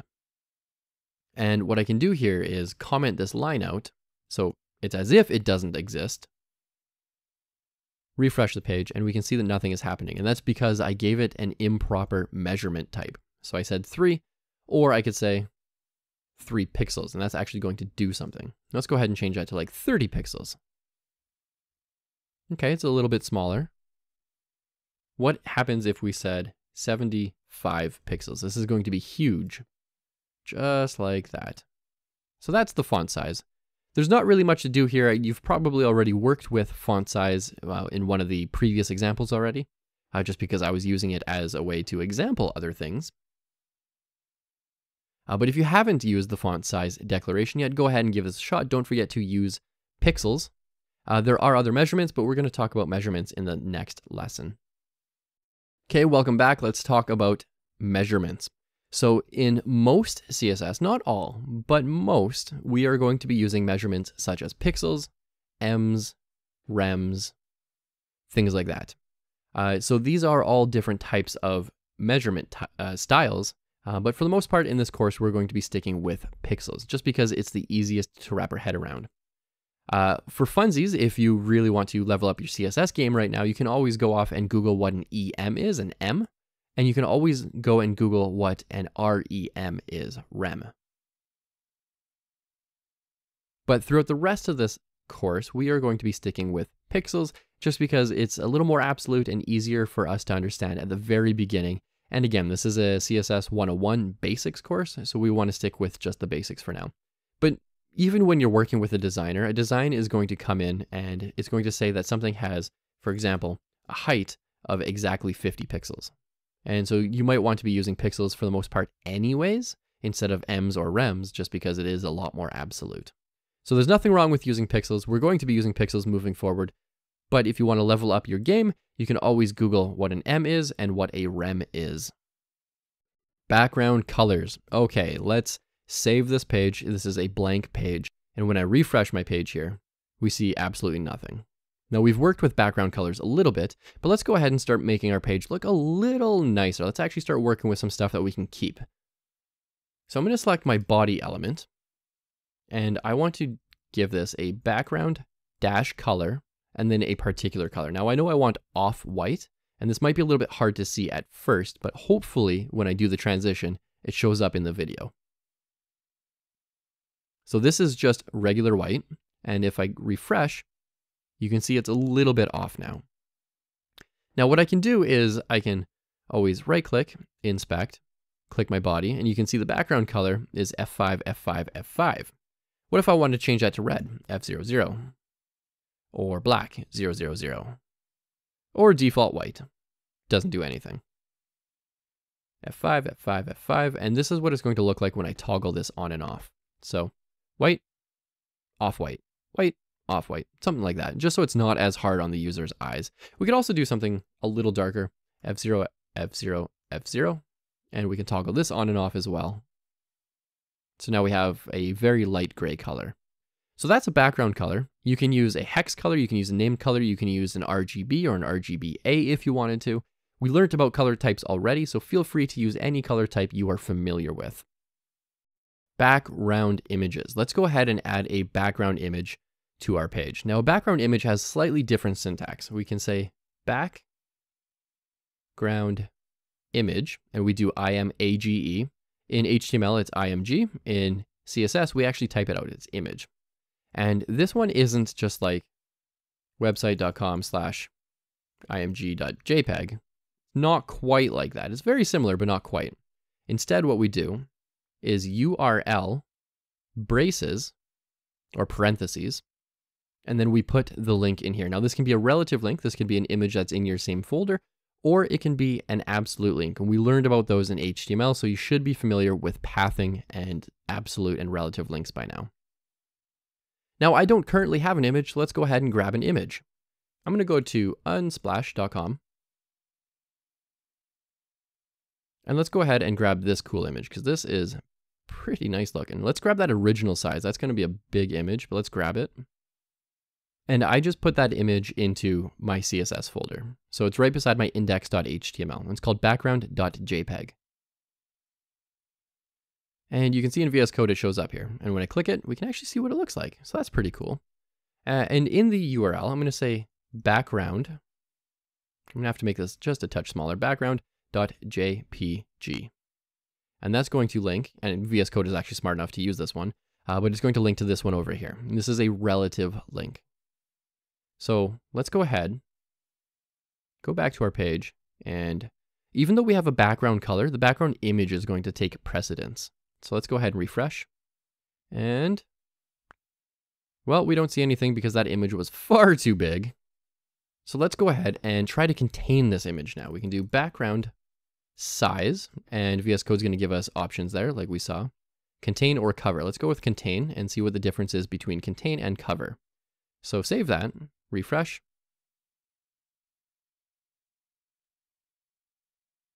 And it looks like the image is showing up over and over and over again. And in fact, you know what, this might have actually been too big of an image. So what we can do here is, let's just go back to Unsplash. Let's grab a different image, something that's gonna be a little bit, I want it to look cool, but I also want it to be smaller. So let's grab, oh, let's grab this photo of Chewie here. Let's download a smaller image, a small one. So now I have two background images. I've got background.jpg, I've also got chewie.jpg. Let's open up VS Code. We can see it in here. This is Chewie. I, I purposely downloaded a smaller image. And let's go ahead, comment this out. Let's just backtrack a bit. And let's type in chewie.jpg That matches the name over here. And with a standard background, there we go. That's better. And we can actually see it's repeating over here a little bit. Let's get rid of this. And that's totally okay. So now let's see what the background size contain does. It makes this image contained in the body element over and over and over and over and over again. What about cover? Cover makes sure that the image takes the entire width, the entire spacing of the entire body element. Now, what's cool about this is we can say div stuff here, and we can change this from a body to a div. So let's select our only div on the page and refresh. And we can see that it's sort of starting to show up there. Let's go ahead and give this a height as well. Just for funsies, let's do 300 pixels. There we go. We can also give this a background color of something darker. Let's do 000. Uh, but we have to move this onto the body. So now we're getting into a little bit of refactoring. This is completely normal you're going to be doing a lot of refactoring as you start to write more and more code as well. So now we've got a background color of black. We can see the image in here. And it's going to take up as much space as it can from this element. So if we change this height from 300 pixels to 100 pixels, we only see basically the sky. Let's do 200 pixels. And we can see just their heads. Let's change that background size from cover. Let's change it back to contain. And so what this is going to do is try to take this whole image and it's going to contain it in here. Now it's repeating because we want to see the whole image, but it also wants to by default take up as much width as possible. So let's go ahead and change that background repeating. We can do background. Nope, not color. Repeat. And then we can repeat on the x-axis, y-axis, or no repeat. So let's say repeat on the, no, it's already repeating on the x-axis. Let's go ahead and say no repeat. And now we have an image on a page using a div. And this is a common practice. You're going to see this a lot. There is no image element. It's just the background. Now let's see what happens when we go in here and we change this to our old one, background.jpg. We can see that shows up in there as well. And let's just go ahead and undo that. And so this is background images in a nutshell. You have your background image, your URL to whatever resource. You have a background size contain, you have background repeat. There's also things like background positioning. So we could do background position, and this is going to take, oh, look at all these different measurements. CH, CM, EM, EX, FR, IM, uh, all sorts of things in here. But these ones, we actually want to use the named ones. Let's go ahead and say center on the left axis, or the X axis, left and right, and then center on the Y axis. That's top and bottom. And now we have an image that is perfectly centered. And what you can't see over here is our text still shows up, but we've just centered that image. Now, what I would like you to do is go to unsplash.com, grab an image, any image, uh, change the background size, change how it repeats, change its positioning as well. And if you need a little bit of help with that on a div instead of on a body, you can always just set the height to like 200 pixels and you can make sure that the image actually works on your page because it's all about positioning. That's really what background images are about. It's about specialized positioning. Let's look at the inspect tool. We did this in our HTML 101 HTML 201 courses as well. We can always right click on the page and go to inspect. And this is really important because we can click on an element like a body and we can see the styling. So I clicked on right click, inspect, make sure you're in the elements tab. And then in the sub tab, you want styles, not computed or event listeners. You want styles. And then I just select the body and it's got a background color. I can toggle this on and off, or I can change it if I wanted to. I could change it to red, make it really obnoxious. Uh, I could even go in here into the body itself and I could say color is equal to white. And let's change that background color back to black. And all I'm doing is clicking around here. So I click in here, it lets me create a new declaration, new property and value. Or I can go in here and I can just click white, edit it. Or I can go in here and change the color from color to background color and overwrite it. Background color. And to toggle these on and off, all we have to do is click that checkbox on and off. Now where this gets really handy is in that last lesson, we set a background image on this div. Now, what if you don't know all the values? And because CSS has a lot of properties, it also has a lot of values. And a lot of this comes down to sort of memorization and understanding where you can get your answers from. So you have a background size here. I'm just going to click on contain. It selects it for me, delete, and now I can go to auto, contain, cover, and I'm just toggling through these. I'm just hitting my down arrow and we can see what these look like. So we have three main ones here. So auto is the same as initial, as revert and unset, but contain and cover are different. So we can see what we're looking for here. Now, why this is important is because if we go back to contain and we wanted to change the height, we could do this. We can make that height bigger and bigger and bigger, and we're actually not going to see too much here uh, but we can make it smaller, and that's just because my inspect tool was in the way. And there we go. I don't know why it made height a second time for 201 pixels, but all I did was click on the original 200 and go up or down. I'm hitting the up arrow or the down arrow. We can also change this to something massive like 3000 pixels, which is going to be huge. Or we can change the height to 300 pixels, and if we want to experiment, that's cool. We can, we can absolutely do that. We can toggle it on and off, see what the default is. We can do all sorts of things. And if you're ever like, ooh, you know what, what else is there? You can always just type in background and you can see all these different things. There's background attachment, blend mode, clip, color, image, origin, position, position X, position Y, repeat, you know, it goes on and on and on and on. There's all sorts of stuff in here.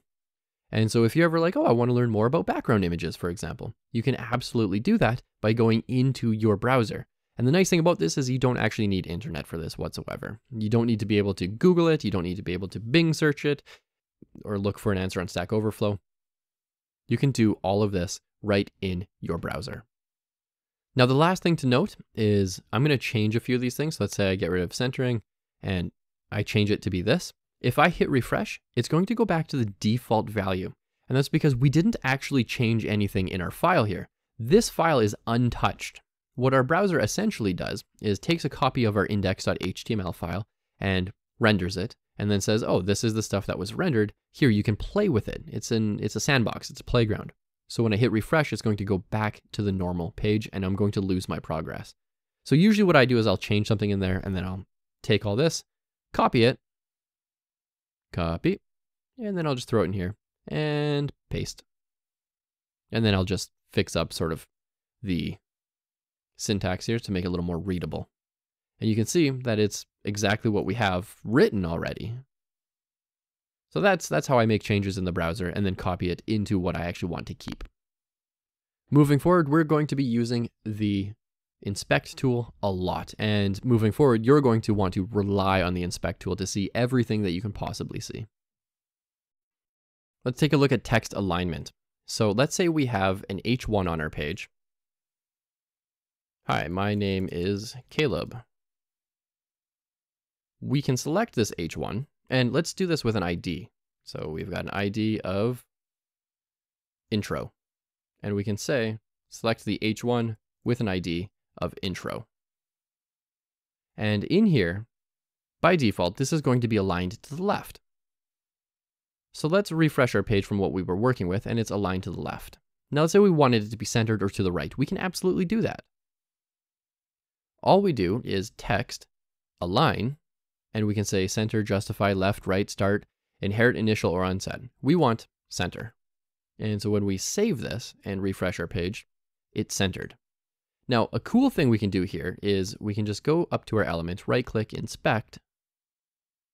Make sure you selected, you've selected that H1 and where it says text align center, we can change this. So this is what center looks like.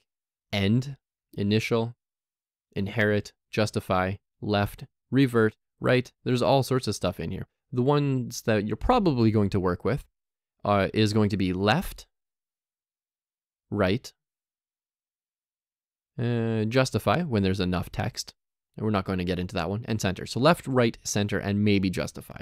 In this lesson, what I want you to do is create some text, use like an H1, and change that text alignment to be centered. Then open up your inspect tool and change it to be right. Like that. Now, if you are writing HTML and you've been writing the center element, no longer use that. You can rely on CSS instead. It's better to use CSS than to use the center element. If you have not been using the center element, please ignore that. You saw nothing. Once you are done that, let's head on over to that next lesson. Let's take a look at borders. So borders are really, really important.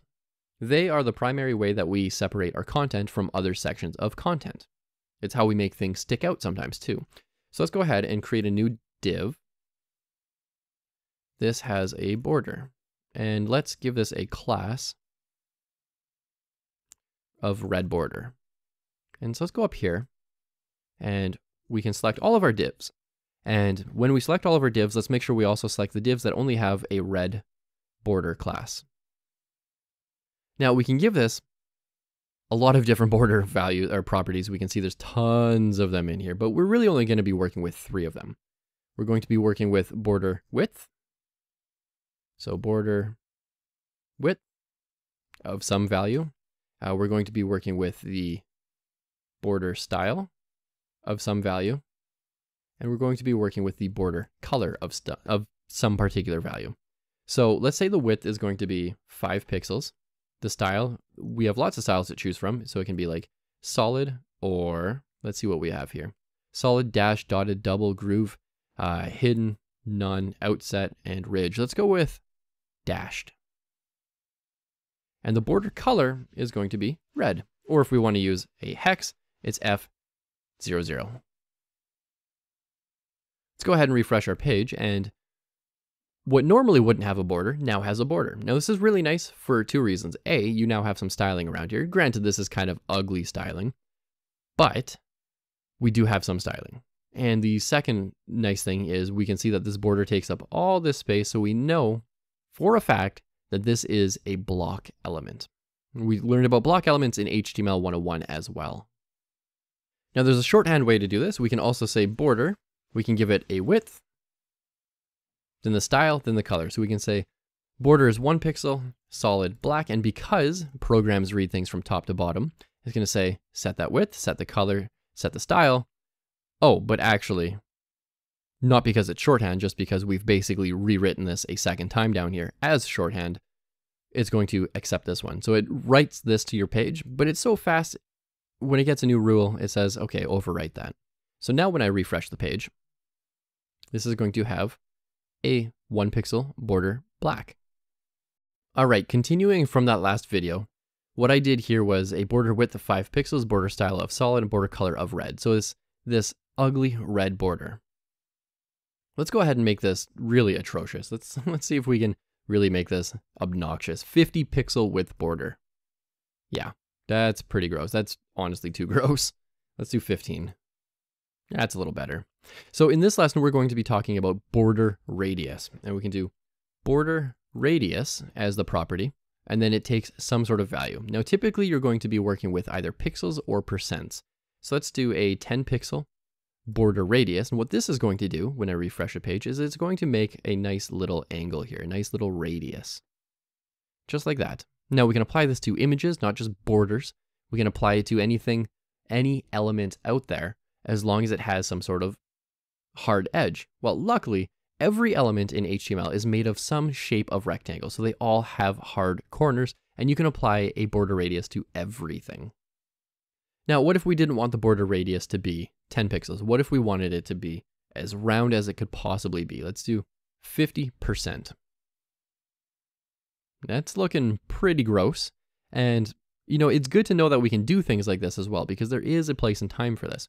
And I'm going to show you right now how this sort of works. Now, this looks disgusting, but what if we said this element has a width of 200 pixels and a height of 200 pixels? Now, it's going to be perfectly square. I'm going to comment this out. And this is going to be perfectly square like this. Let's move that down.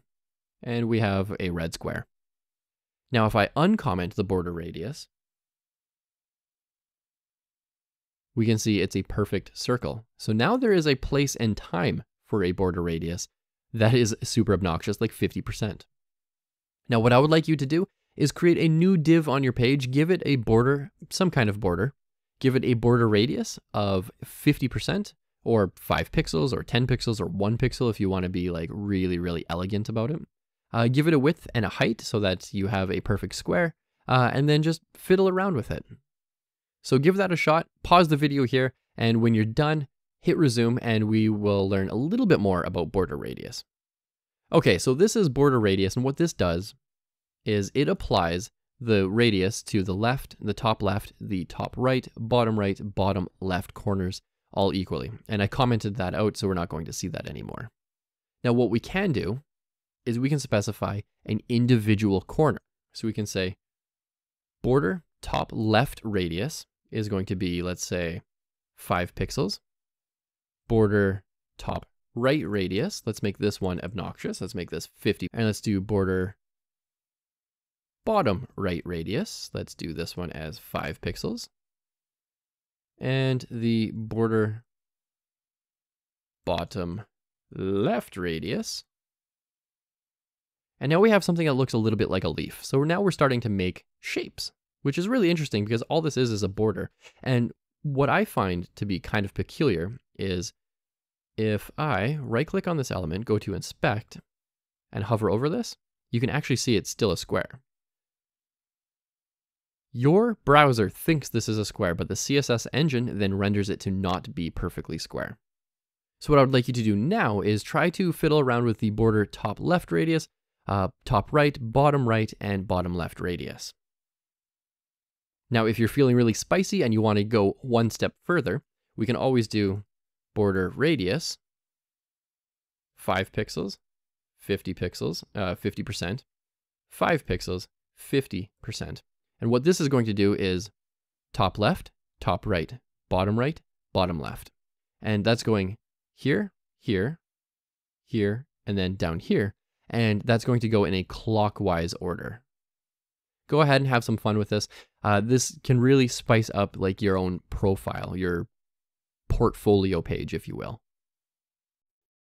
Let's look at display. So in HTML 101 and HTML 201, we learned about different block types. And so in H1, this is a block element, and a span, this is an inline element with more text beside it. And if we do with more text beside it, we're going to see something very interesting. So when I load up my page here, this is a block element. This H1, and you can see it's taking up all this extra space over here.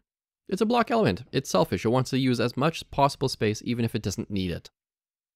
And you can tell that it's a block element because even though this is a block element and we wrote with more text beside it, it kicked it down into its own line. Whereas a span is an inline element and it said, you know what, I'm only going to take up the amount of space that I actually need. And yes, other elements and other text can live beside me. I'm totally cool with that because I'm not selfish. But block elements are kind of selfish and they take up all the space that they possibly can. Now with CSS, we can overwrite this. And this is really important because you're going to see one element over and over and over again, and that's the div. The div element, this is a block element. The div element is a block element. It's going to be selfish. It's going to take up as much space as it possibly can. And so let's say we have these two block elements and we want these to be side by side. We can do this. We can overwrite this now with CSS. We can say select both divs on the page and we can say display and its default behavior is block. But we could say display inline. Let's also give this a border, one pixel solid red, so both of them have a border and we can see where we're working. In fact, actually, let's let's back that up just one sec. Let's change this, let's comment this out. These are block elements. It's taking up all the space that they possibly can from left to right.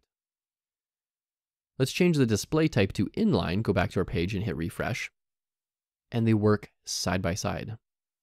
Now, why this is important? Well, there are probably a thousand different use cases, but the most popular use case that you're going to see is div. Divs are block elements, but they're also dummy elements. They don't actually mean anything. So you're going to be overwriting display block from a div to display inline or inline block. Now, now here's the difference between inline and inline block. Okay, this is a very important thing to distinguish is on our div here, if we said the width was supposed to be 200 pixels each and the height was supposed to be 200 pixels each. And actually, this is really cool. I didn't know that VS Code does this, but this tells me here that the property is ignored due to the display. With display inline, the width, height, margin top, margin bottom, and float properties have no effect. So now we're getting into internal rules of CSS. So when we go back to our page, it has absolutely no effect. Now, to get around this, we simply say display inline block. And when I refresh the page, we can see that they turn into proper squares. So what I would like you to do is fiddle with this because this is vital, vital, vital, vital for working with CSS. I want you to create two divs and then I want you to make them side by side. Use display inline and then inline block and set a width and a height on both of them. Make sure that they can be side by side and that they are two squares, just like I did in this video. Give that a shot. Once you're done, let's head on over to that next lesson. Let's talk about width here. So let's go ahead and create a new element. I'm going to style it first, and then I'm going to give it an element. So let's select a div that has a class of half width. And here we can say the width is going to be 50%. And I can actually read this and create something out of this. Now watch this. This is really cool. In VS Code, I can do div dot half width and then hit tab and it wrote my class out for me. So basically I just wrote CSS, hit tab, and it wrote out the HTML for me. That's really cool. That's called an Emmet abbreviation. This is half width. And so when I refresh the page from the last lesson, doesn't look like much is happening, but in my inspect tools here, in my developer tools, you can see that it's actually taking up half the width here. And if I scroll all the way down, I can select that inside here, and it's only taking up 50%. And I can change that too. Let's go ahead, change it to 90%. And now you can see it's taking up 90%. Now, I find that hard to work with, so what I like to do is add a border. So I do border one pixel solid red, and this just shows me what I'm working with here. So when I refresh a page, it went back from 90% to 50 because I was just fiddling around in the developer tools and it doesn't save your work there. Uh, so I changed that width back to 50%, gave it a border, and we can see what we're working with here. Now we can also give this a width of something a little more solidified. So 50% is 50% of your browser. So if you shrink your browser down, and I'll show you what I did there. Let's go back. Right click, inspect, and I'm using Google Chrome for this. Click this little icon, toggle device toolbar, and we can see when we toggle this that the width is always 50% of the page. It's never ever going to change. It's always going to be 50% of the page, even if that page is super tiny. And this is 300 pixels wide, so this is a very small mobile device. Or we can say, let's say 500 pixels, and when I refresh this, and this is pretty hard to see, I apologize for that, is it's always 500 pixels here. Always, always, always. And so when I do this, we can see it's always 500 pixels. And when I do this, the box itself actually isn't getting smaller. My viewport is getting smaller, but watch this. When I get small enough, it bumps on over. So that's really hard to see. Uh, kind of a terrible example, but there are two different ways to specify a width. Now, a thing to know about width is you need to have display inline block or display block set, one of the two. It's important that you have one of the two set because if you set display inline and you set a width, VS Code is already complaining here. Let's go ahead and get rid of that view. Inline is only going to take up the minimum amount of width that it possibly needs. It's not going to understand that you want a width of 500 pixels. So to get around that, we do inline block. That works. We can check this out. We can see that it only takes up 502 pixels on my screen. Or we can do block. Same thing, 502 pixels on my screen, but it also takes up this extra white space there.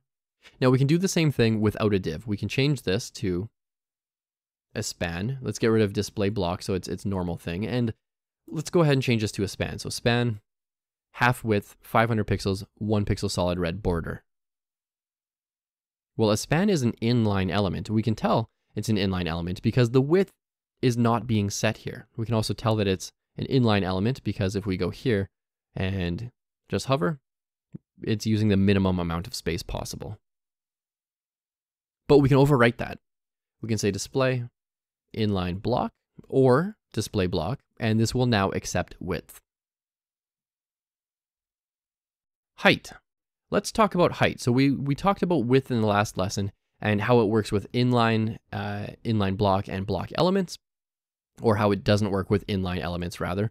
Uh, so I'm not going to go over that again. If that was sort of beyond your understanding when I just said this about 10 seconds ago, definitely go back to the lesson on width where I talk about the different display types.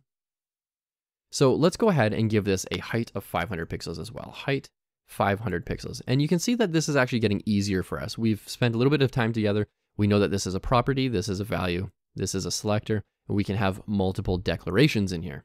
And so width 500 pixels, height 500 pixels. We don't really need to go over like what height actually is in like the English language. We know what it is already. And we know that width works one way, so height should probably work a similar way. So we're, we're speeding up how fast we can learn CSS here, which is really nice.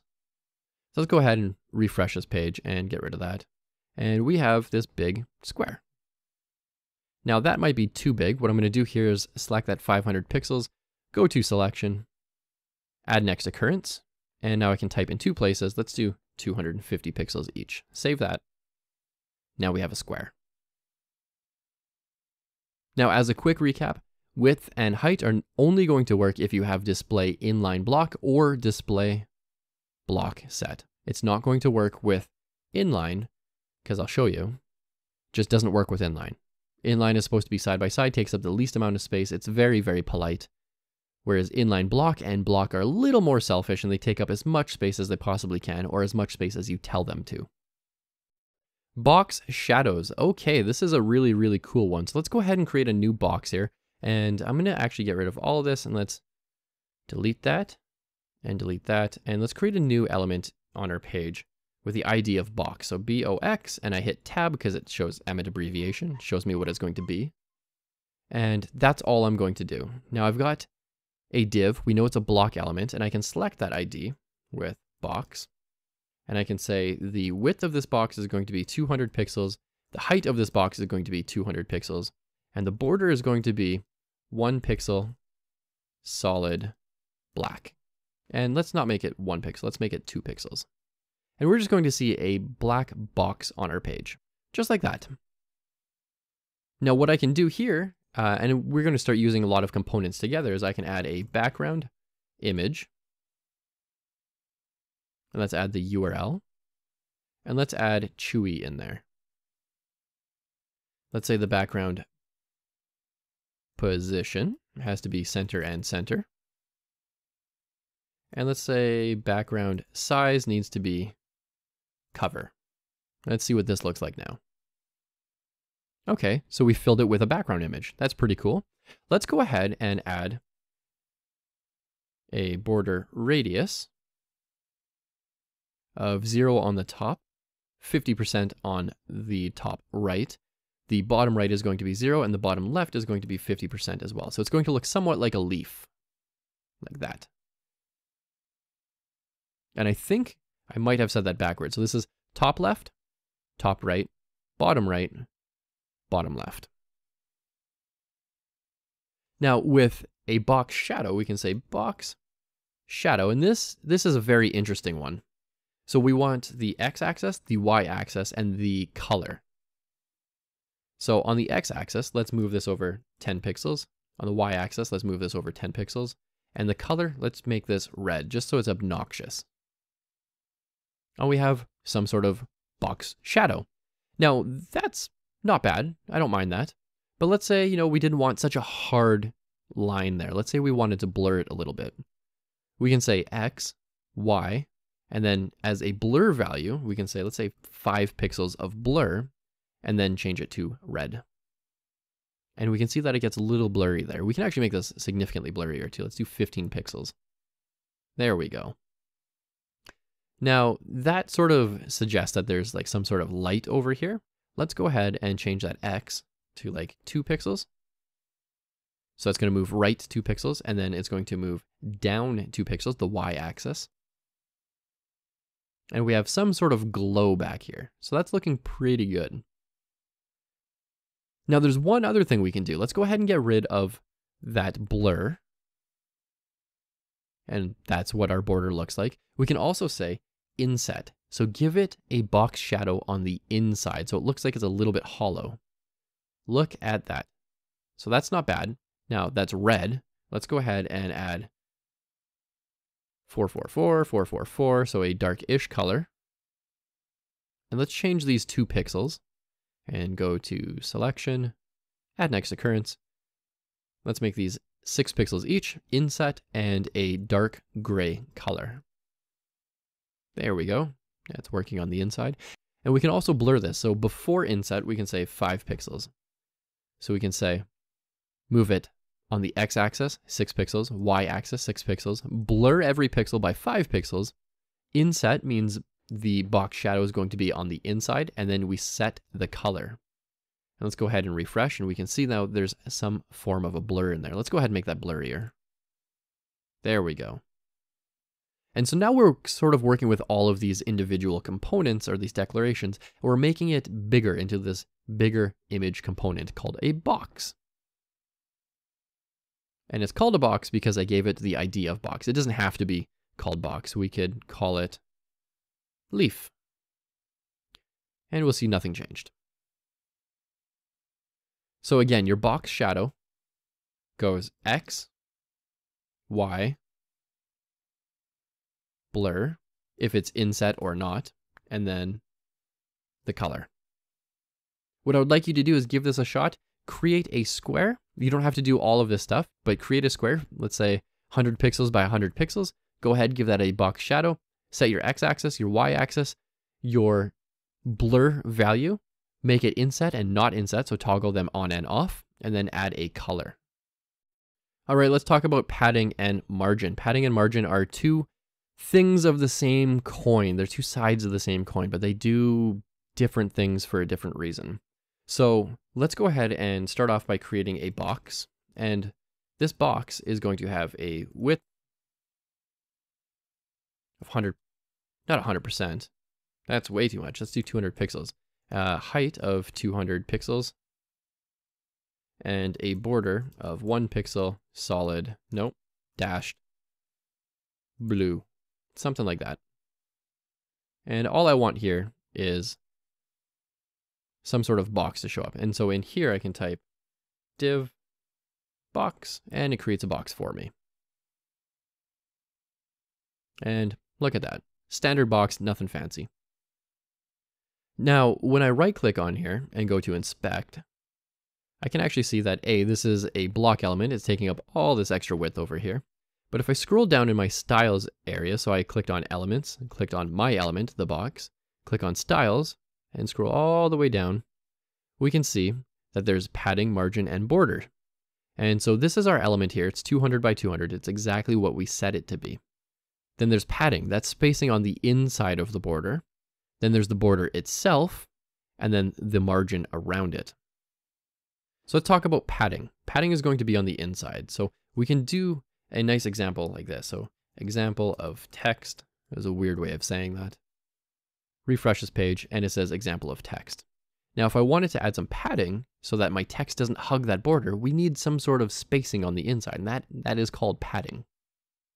So we do padding, and let's add 10 pixels, and that just sort of widens it. It widens the gap between the content and the border. And if we scroll on down, we can see that our inner content is still 200 by 200. The padding is 10 pixels on either side, on all four sides. We have a one pixel border, and there's no margin. Now, a lot like with our border radius, and I'm going to add that padding in here, padding 10 pixels. A lot like our border radius, we have top, right, bottom, and left. And we can actually see that in here. We have top, right, bottom, left. And there's a shorthand way of writing 10 pixels, 15, 20, 30. We could change all of that. So we could say, let's first of all comment this out. We could say padding 10 pixels, that's the top. Then let's do this. Top, right, bottom, left. It goes in clockwise direction. So 10 pixels on the top, 15 pixels on the right, 20 pixels on the bottom, 25 pixels on the left. Refresh our page and we can see that, yep, it definitely did something over here. And when I click this and go over here, we can see top is 10, right is 15, bottom is 20, left is 25. And so that's how we add spacing on the inside of an element. This is very, very, very important. In the next lesson, I'm going to talk about margin, which is essentially the exact same thing, but the spacing doesn't live within the border, it lives just outside of the border. Let's take a look at margin. Margin is a lot like padding. However, padding is inside of a border and margin is on the outside of a border. So carrying on from our last video, our last lesson, let's go ahead and add a margin of 30 pixels. And when I go back to my page and hit refresh, this isn't going to say dash. This is going to say 30, 30, 30, and 30. So refresh, and there we go. It's 30 all the way around, and it gives us 30 pixels all the way around. Now, we're going to see something weird here is it's also saying the margin is also all this area. That's because it's a block element. Let's go ahead and change this to display inline block. And you're going to see that it actually respects the margin 30 pixels all the way around. Let's go ahead, scroll to the bottom so we can see that it's taking effect on the bottom as well. And again, where it says styles here, you can just scroll on down and it will show you what it is. And just like padding, it doesn't have to be just margin 30 all the way across. What we could say is let's copy this and I just copied that whole line. Margin, so we've got top, right, bottom, and left. And now we can see 10, 15, 20, 25. That's exactly what we told it to do. Now, a really cool thing, if you ever want to center an element, is we can do margin. Let's say we wanted margin auto. And what this is going to do is automatically center this for us. And actually, I forgot a thing. Uh, it needs to be a block element. So this one needs to be a block element. And that's why it reserves that extra space all the way over here. That block element is reserving that space in case it needs to move around a little bit. So when I hit refresh, we have now centered our block element. And if you want to uh, give it a top and bottom margin, we can always say margin dash top 50 pixels, margin bottom 50 pixels. And there's a shortcut way to do this as well. We could also, or alternatively say, margin top 50 pixels, right auto, bottom 50 pixels, left, auto. And we can comment this out as well. Go back to our page and refresh, and that top margin's been applied, but it's still centered in the middle of our page. Okay, let's talk about max width. We have been working with width quite a bit. Let's go ahead and use max width. Now, max width is not necessarily going to be used on every single element, but it is going to be used on, let's say, an inline element. So let's say we have some sort of element with an ID called inline, and it's going to have a, not a width, uh, a display inline block. Let's go ahead and create this element. Inline, hit tab, and some text here. And let's also give that a border so we can see this. Border, one pixel, solid red. And so we see this text here. Now we can say, because it's an inline block element, that it should only ever reach a maximum width before the text breaks onto a new line or overflows. So when we say give something a width of, let's say 500 pixels, it's going to give us a width of 500 pixels. But let's say we wanted it to be flexible. So it can start off this small and it can get up until this size. We would use a max width. So let's go ahead and add a max dash width. And we're going to see that the width actually changes back down to the minimum size.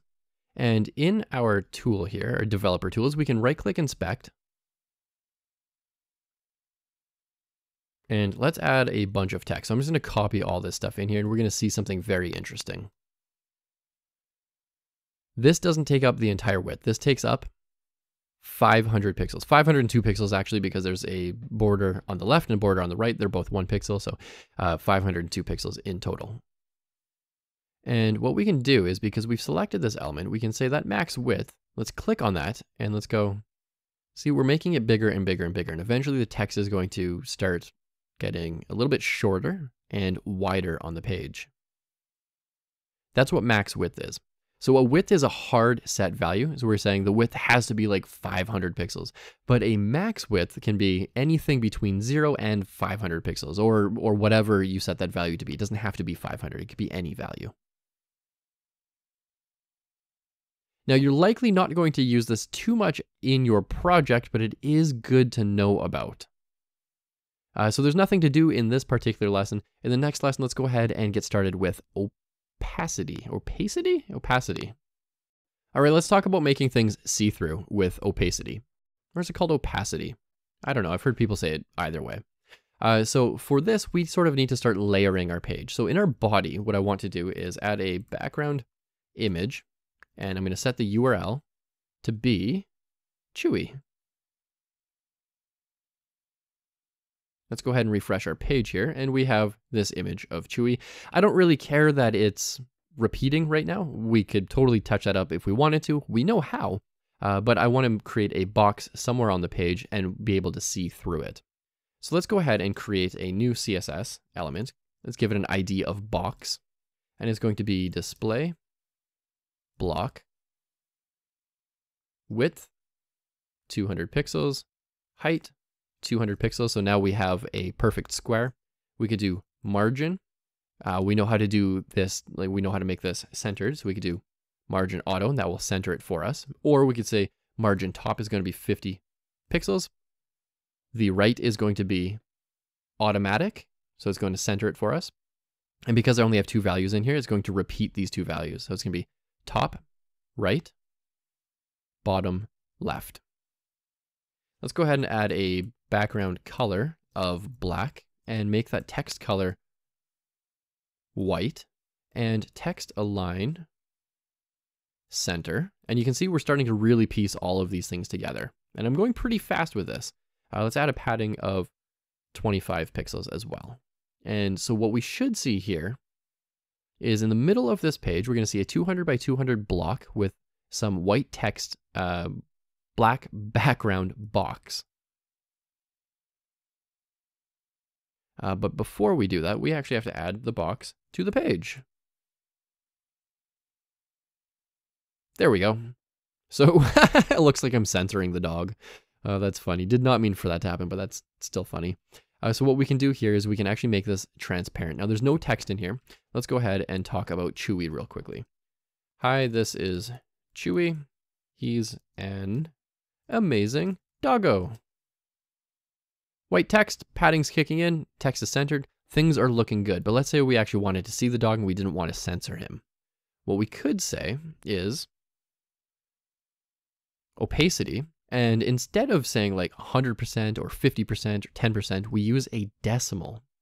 And so 100 is always equal to 1, and 0 is equal to 0, and 50 is equal to 0.5. So a quick little math lesson there. So let's say we want this to be 50% see-through. We could do 0.5. And now we can actually see through it. Now, what we can't see is this text is also transparent. Now, this is one way of doing opacity, and this is going to change this entire box to be uh, not transparent, but translucent. It's going to be 50% see-through. Now, we could do this a different way and make that text make sure that it's not see-through. So, uh, ooh, a good example here would be color is equal to red. And that's not really red, that's pink, and it's because it's 50% see-through.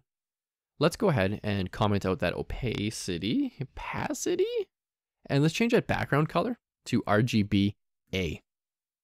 So we're going to do 0, 0, 0, and 0.5 for 50%. And this is going to change a background color, but that text color is not going to change. It's not going to be 50% transparent because we said, hey, the whole element has 100% transparency, but the background color, just as one declaration, has 50% see-through rate. And there we go. That text is a little more bold, but that background didn't change. So there's two ways of doing opacity here. You can use RGBA, which a lot of people are going to do because opacity is going to change the entire thing to be translucent. Or you can change the entire thing to be translucent using opacity. Now, what I would like you to do is experiment with this. You can even use this exact same code that I've written here. But I want you to experiment with this using RGBA and opacity. And remember, because we're using translucency or transparency, we're making it see-through anyways, uh, we want to use a decimal, not a percent. All right, let's take a look at external CSS. This is very, very important. So, so far we've been writing all of our styles inside of a style element. What we can do is we can throw all of this into an external file. So we create a new HTML file, uh, not an HTML file, an HTML element called link. So I just typed link, hit tab, and it created a rel style sheet. And this is the relationship of the linked document. So we're saying, hey, browser, there's going to be an, another file that you need to go and fetch for us. But just so you know, it's going to be a style sheet. And then the href is going to be the name of the style. So we do style.css. Now, just taking off from that last lesson, if I right click inspect and go to console and then refresh my page, we're going to see 404 error file not pound, uh, found. Style.css does not exist. And that's because we don't have a file called style.css yet.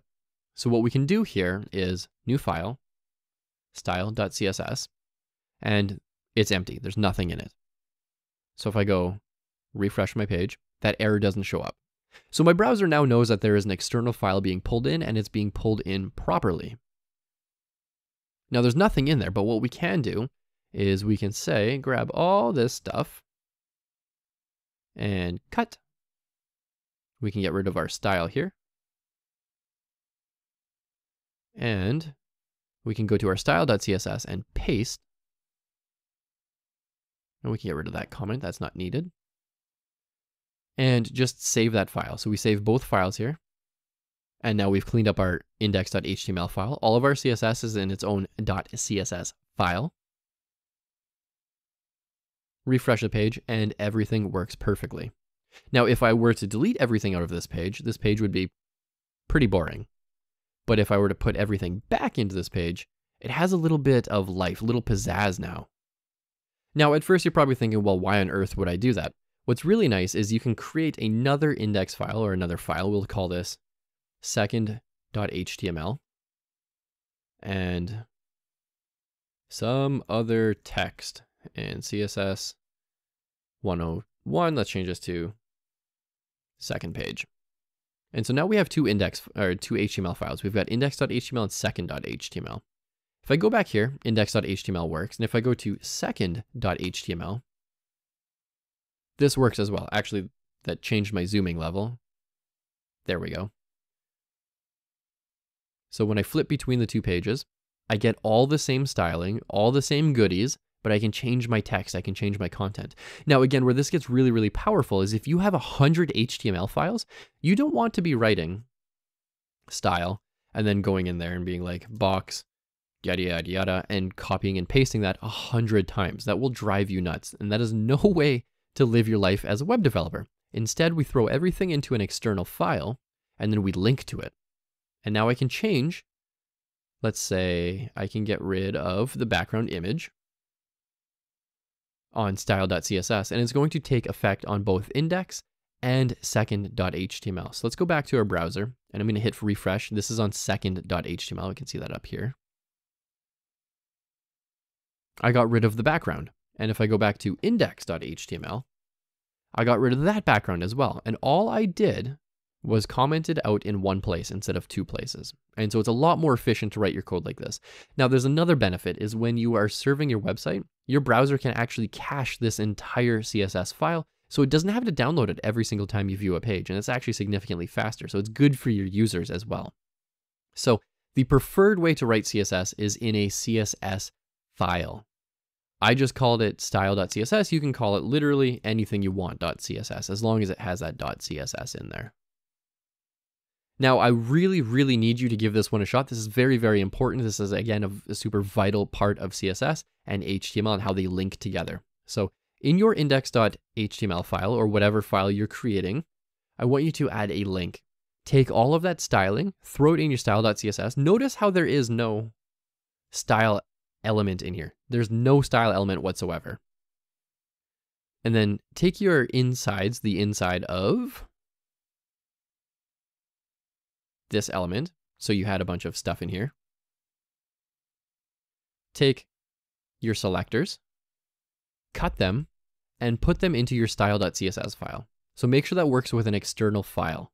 And then after that, I want you to level that up, copy this file into like another one called second.html and make sure that your CSS file loads on both pages at the same time. All right, let's take a look at floating elements. So what I'm gonna do here is I'm gonna I'm going to comment out this box and I'm going to keep my external style sheet linked to my page. So I'm going to write code in style.css, but I'm not going to delete this. I want to keep this because maybe I want to use it some other time. But I'm going to leave uh, or make some extra space to work here. And what I want to do is demonstrate floating elements. And so a floating element is very, this is very interesting. So we can have a paragraph and we can put lorem in here and we could copy this paragraph over and over and over again. Let's go ahead and copy this over and over and over. Actually, nope, that was wrong. Let's back that up. Let's add a line break. Let's do this this way. Do, do, do, do, do, do, do, do. We're going to have a lot of text in here. And let's refresh our page. And so you can see that style.css is still working for us. Actually, let's go ahead and comment that out because that's going to be counterintuitive to this lesson. There we go. And so we have all this text in here. And now the idea of floating is when you have an image, you can put an image somewhere in here and you can either make it float to the left or float to the right. And that's going to make your text wrap around everything. So let's go ahead and add an image and I'll show you what a normal image looks like inside of a big paragraph like this. We could do, let's say the BR here, we could say img src is equal to chewie.jpg and let's give it a width of 200 pixels or 200 pixels and the height is going to be automatically inherited. So whatever the aspect ratio is for a width of 200 it's going to have the proper height. And that didn't work because I spelled chewie wrong. Okay so we've got this image over here and like it's close but it doesn't really look like a like a news website or or like a newspaper would do it. We actually want the text to wrap around here. So what we can do is we can say style is equal to float, and then we can say float right. And what this is going to do is boom, move that image all the way to the right and have text flow around it, which is really, really nice. We can also say float left, and it does the exact same thing. Now we can also add some margin around here, margin 10 pixels, just so that we have some spacing around there. We could do border one pixel solid black, and I'm doing internal CSS here. And then I could say, give this a box shadow, x-axis, zero, y-axis zero. Let's make it blur by five pixels and make this black. And now we have some sort of image that actually sticks out. Now this is all internal CSS, and this is probably the most frowned way of writing CSS. So I'm gonna grab that, cut, delete it, and I'm gonna give this a class of floating image. And then if I go over to style.css, I can select that image with image.floating image. Alternatively, this would work as well. And I can just paste that in there. And so new line, new line, move over there, new line. And if I did that right and I refresh this, nothing should change. Beautiful. And if I wanted to change that float, I could change that to right. Just like that. So that's how we sort of make images and content float side by side. Now, what do you think is going to happen if I have two images floating side by side like this? Let's take a look. They float side by side. They literally try to get as close to each other as possible. Now, there's a little bit of text in here, and so it's going to offset things as well, which is very, very interesting. So you might not get the exact outcome that you're looking for, uh, but it can be very, very close. Now, the nice thing about this is floating image is going to be floating to the right. We can overwrite this with internal CSS, and this is a good case for internal CSS. We can say float left. There we go. That looks a little bit better. Now, I really want you to give this a shot. You're going to be using floats quite a bit until you get into significantly more advanced CSS. Uh, floats are very, very important at this point in time in your development career or your development path, so make sure you are somewhat familiar with them. Uh, what you can do as another um, sort of fun example or something to play with is you can do an ordered list or an unordered list, an li, and you can put them all side by side. Or you can have div.float, and you can put these all side by side, make them float side by side. Go ahead, give that a shot. Don't feel like you need to master this one, uh, but give it a shot, have some fun with it, and just sort of get some hands-on experience with how this one works. It's, it's a little bit weird to get a hang of at first, but it's really good to tinker around with it and just, you know, experiment. Okay, let's talk about your project. So your project here is going to be to go to rocketman.learnwagtail.com. And I want you to recreate the navigation and the hero section using what we've learned. This. I want you to recreate this. Now you can always go to that website and you can right click inspect and see how I did all these different things. And that's going to get you pretty far, but it's not going to get you all the way. This particular page uses a different type of styling, uses a framework, it uses things like Flexbox, which we didn't necessarily learn but there are ways around that. I'm going to and I'm going to leave that up to you to figure out how to get around more complex things by using simpler methods. And that's actually a really good thing to learn in web development. Always keep things as simple as possible. Now, this is not an easy project, and I'll just flip back here. This is not an easy project, but it's really, really good practice, and it uses everything we have learned in this course. So once again, this is not an easy project, but it is perfect practice. And the reason I say that is because one day a designer is going to hand you a design and it's going to look something like this. And they're going to say, okay, now you have to code it. And you have to figure that out on your own. Now you can always go to rocketman.learnwagtail.com and you can see that right up here. But yeah, a designer is going to say, here's a design, make it happen. And you're going to have to try to make it happen. And you're not going to have very much guidance or support, and you're going to have to figure that out on your own. So this is really, really, really good practice. This is real life practice here. So go ahead, go to rocketman.learnwagtail.com, recreate the navigation and hero section using what we've learned. If you're like, oh, I don't have access to this particular image or this logo, that's okay. You can use your own logo. You can just Google something. You can throw any image in there that you want. Uh, it doesn't also have to be based on rockets. This is just a fun little website I made once upon a time. You can make it about coding, your favorite food, your favorite family member, your favorite hobby. It could be really anything, but recreate this layout and feel free to swap out the content, so the text that you see on here, or feel free to swap out the images or both. With that said, go ahead and give that a shot. Reference anything you need. Feel free to Google as much as you possibly need in order to get to the answers that you're looking for. And a lot of questions will come up, and that's totally normal, but feel free to Google your questions so that you can find the answers. And again, that's a big part of web development as well. If you took CSS 101, you should already know three display types, inline, inline block, and block. In this video, let's go ahead and demo the difference between all three of them because this is vital to know for the rest of this course. So I have my editor open here. And I went to File, Open, and then I opened a folder called Lesson Files. I'm going to create a new file in here called index.html. And in here, let's do HTML colon 5, hit tab, and it creates our page for us. And let's call this working document CSS 201.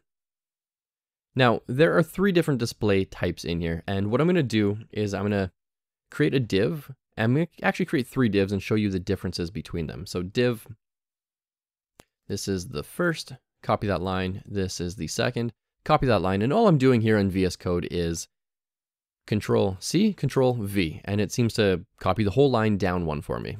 And then this is the third. Now I'm going to go over to my browser and I'm going to go to File Open. And I'm going to open index.html. And okay, we see a boring, boring, boring, boring page. But what we can do here is just demo this quickly. And again, this is super vital to know. So we have three divs here. Let's go ahead and create a new selector. Let's go ahead and all I did there was right click, inspect, and clicked on one of these divs, it doesn't matter which one, and click this little button over here that says New Style Rule. I'm going to make this bigger as well. Click this button. It's going to automatically give me a div, and we could change the display type. Now we can't change this one because that one comes default with our browser, but we can overwrite it. And we can say display block is what it currently is. Let's give this a border though. Border one pixel solid red. And this is what display block looks like. And this is in vast contrast to display inline, where all the elements are side by side. And then we can do inline block, which doesn't really look like it did a whole lot. It is moving it down just a, just a, a touch there. And what inline block allows us to do is padding 10 pixels, and we could do margin 5 pixels if we wanted to. 5 pixels. Now we can do uh, a margin, we can add a margin, we can add a padding with a block element as well. And we can toggle these on and off if we wanted to. Now, one thing to note is inline looks a little bit different from inline block. So we can do inline, inline block, and just moving this up and down. I'm just toggling this with my up and down arrow keys. And so this is inline, this is inline block. And it's important to notice those differences because we're going to be using inline block a lot in this course. And this is block. We're also going to be using this. So these are the three uh, display types that we're going to get started with in this course. And it is absolutely vital that you know these because we're going to be working with things like Flexblock, Flexbox, and Grid. And those are not easy to sort of wrap our heads around. So we need to be pretty familiar with that. And we covered that in CSS 101. Uh, if you're in that course, definitely feel free to go back to the display lesson in CSS 101 where we cover this a little more in depth. Okay, let's take a look at the box model. This is something we didn't cover in CSS 101, which I really wanted to, but I think it was slightly too advanced. So the box model is this idea that you have a box and you can have padding and margin, and it depends on your browser's rules on how to calculate the width of that element. So if we create a div here, and let's just call it div class box, and that's all we're going to do. I'm going to save that. Come on over to this page, and I already pre-opened this before I recorded this lesson. So if I go to inspect, I'm going to see that in my body, I have box, and I can add a class here for dot box. And let's add some styling. So border one pixel solid red. Let's give this a height of 300 pixels, a width of 300 pixels. And let's change that border instead of one pixel, let's do like five pixels. And now when I come down here, when I scroll all the way down, we can see that it's 300 by 300. Okay, cool. Now, if I wanted to, I could add a padding here. I could say padding 30 pixels. And you notice how when I toggle this on and off, it makes my box bigger. And that's not necessarily what I want because when I add padding 30 pixels, this box is no longer 300 pixels, it's 370 pixels wide. It has 5 pixels on either side for 10, 5 on the left, 5 on the right, 300 pixels on the inside, and then 30 pixels of padding on the left and the right. So if we add this up, we have 5, 30, 300, 30 over here, and another 5. And if we scroll on down, we can actually see all these numbers here. Border of 5, padding 30, inside of 300. Now, sometimes that's what we want, but for the most part, that's not what we want. What we want is to say, make the whole thing 300 pixels wide or 300 pixels tall, and that includes the padding. So by default, the box model, what we're looking at here, our box model here, does not include having padding, does not include having margin. So what we can say is box sizing, and by default, it's content box, but we want border box. And you can see that it makes it bigger or smaller here. And we're changing the default behavior of our browser. Typically, we want border box. What border box does is says, add that border, add that padding, and make sure all of that together is a width of 300. So now when I hover over this, we can see that that box is a little bit smaller. And when I scroll on down, none of these digits actually change, but the box itself is smaller. It's saying the entire thing is 300 pixels. That's the difference between border box and content box. Now what I would like you to do is give this a shot, create a 300 by 300 box on your page. It does not need to look good. Uh, add some padding to it and then change the box sizing and just notice what the difference is. And this is really, really important for us moving through this course because we're going to be using content box a lot. Okay, let's take a look at outline. Outline is the border that goes around everything. It's honestly the border around a border. You can add an outline and you can tell it to have an offset. Uh, we use the outline offset to give some space between the element and your outline. We'll demonstrate that in just a second. But basically outline is like having two borders and it's really nice for visual improvement. Now, most of the time outlines are actually super important for accessibility. So whenever you hover over an element, or when you tab over, like when you use a keyboard and you hit tab over and over on your page, sometimes a button will have like a yellow outline around it, or a red outline, or a black outline. And it's not the border, it's just this outline. And it tells screen readers and people with visually uh, impaired handicaps, people who can't see very well, what is actually selected. It also, for those keyboard warriors out there who like to use a keyboard instead of a mouse, it helps them a lot. And there's a lot of them out there. So it's, it's really, really important. So what I'm going to do here is I'm going to save this as a new file called outline. And what I want here is I still have this box. And what I would like to do is add an outline around it. So if I go here, and this is just leaving off from the last lesson, I'm using the exact same file. It's okay because I'm just in the editor here in the inspect tool and our developer tools. I can add an outline, and let's make this just a wee bit smaller. I can add an outline, and it's a lot like a border. So I can say 5 pixels, solid, black. And you can see that it's actually on the outside of all of it. Now, if we look down at our box model, it doesn't even show up in here.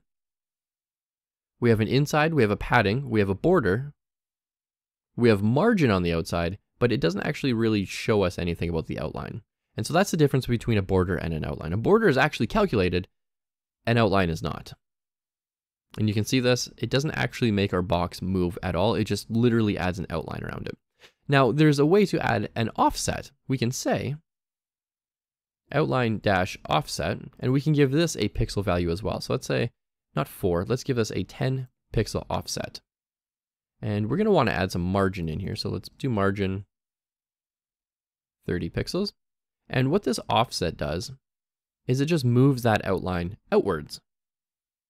Now what I would like you to do for this particular lesson is create an element and give it a border, then give it an outline. It doesn't really matter what your color is.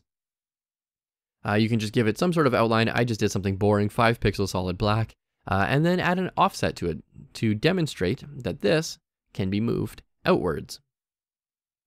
Text shadow is a lot like a box shadow. The only difference really here is that a box shadow can have like an inside shadow called an inset, and text does not. All right, so what I'm going to start doing here is I'm going to write internal CSS. Not external CSS, not inline CSS, but internal CSS, so that when you download these project files, you can actually have access to all the CSS. Uh, so I have a box in here. Cool, cool, cool, cool. And let's go ahead and add some text in here. And this text is going to say, hello world. And when I load this up in my browser, it just says hello world. We can make this significantly bigger. We can change the font size if we wanted to a little bit later, which actually maybe we'll do as well, just so that we can really dive into CSS. So let's select that box by our class. We learned about this selector in CSS 101. And so all this is saying is select this element by this class name. Give us a font size of maybe like 40 pixels. Let's save and refresh. There we go, that's bigger. And now what we can do is we can add a text shadow. So text shadow. And this takes an X, a Y, a blur value, and the color. So let's go ahead and change that X value. We want to move this to the right, let's say 10 pixels. Then the Y value is also going to be 10 pixels. That's going to move it downwards. A blur, let's say it's not going to blur at all. So it's going to be an exact copy, exact outline of our text. And the color here is going to be red. Just something obnoxious that we can really see what's going on. Now we have a text, a text shadow that moves this down 10 pixels and moves it to the right 10 pixels. Now, if we wanted something a little more elegant, we could do something like 2 pixels. And by the way, to select this, all I did was select my 10 pixels, or it's now 2 pixels, but I selected that 10 pixels. And if you go to selection, add next occurrence, for me, that's Command D. It's going to be different for you, probably, I can imagine. Uh, you can just type in two places at the same time, which is really, really useful. It's a good shortcut to remember. Let's go ahead and save that. Let's refresh, and that looks a little bit better. Now, we can also add a blur value. This blur value currently is zero, which is the same as not having it whatsoever. By default, it's not blurring at all. Let's go ahead and add a blur value of 5 pixels. And all this is going to do is say, for every pixel that's back there, every red pixel, blur it out 5 pixels. And so we have a nice little blur there. It actually looks like this is coming off of the page a little bit. Now what we can do is we can actually change the body background color. So body background color is going to be black. It's going to be the same color as our text. And let's go ahead and refresh this. And now it looks a little spookier. Now, I'm recording this around Halloween, so this is really, really, uh, well, this is applicable because this is kind of spooky. Uh, but we can't see that text anymore, which is really nice. We could also try to, instead of doing that, we could do a color, RGBA, and it doesn't really matter what color we fill its color. Let's fill it with black, but let's also make it completely see-through with a zero alpha in there. And now we just have the blurred text. So that is text shadow. What I would like you to do is write some text on your page. It could just say hello world, uh, and then add a text shadow. Add your x-axis, your y-axis, or your horizontal and your vertical alignment. Uh, add a blur, and then add a color. You don't have to do the RGBA. We learned about that in CSS 101 as well, so if you need to, uh, go back to CSS 101 and quickly learn what RGBA is, but really it's just a color mode. It's saying red, green, blue, alpha. Alpha is your transparency. So we said 0, 0, 0, that's black make it completely see-through. All right, so this is minimum width. We are going to be talking about what that is. Now in CSS 101, we learned about maximum width, we learned about regular width. If you don't know about max width, honestly, it's the exact same as minimum width. However, it's the opposite. So it's same, same, but different. Now, maximum width says a, an element can only have a maximum width, uh, and it will try to go from the smallest size to that maximum width before breaking your text onto a new line. Minimum width is sort of the same, but opposite. So I can select this box here, and I can give this a border, 4 pixels, solid blue. And let's go in here and throw some lorem ipsum in here. Lorem, and then in VS Code I just hit tab. And that's because I have Django template selected here. This should be an HTML. Let's undo that. Lorem, tab, there we go. And when I load up this page, we can see all this text. Now this is actually sort of a bad example. I'm gonna just delete everything except this one line so that we have this width in here. let's go ahead and delete all of that.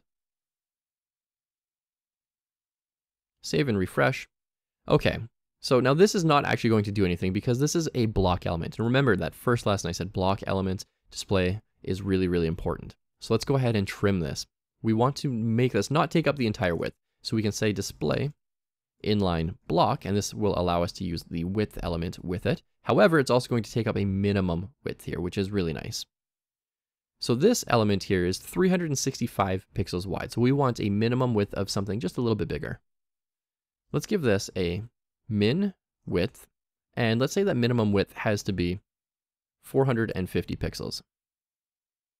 And so what this is going to do is sort of move this out to somewhere over here.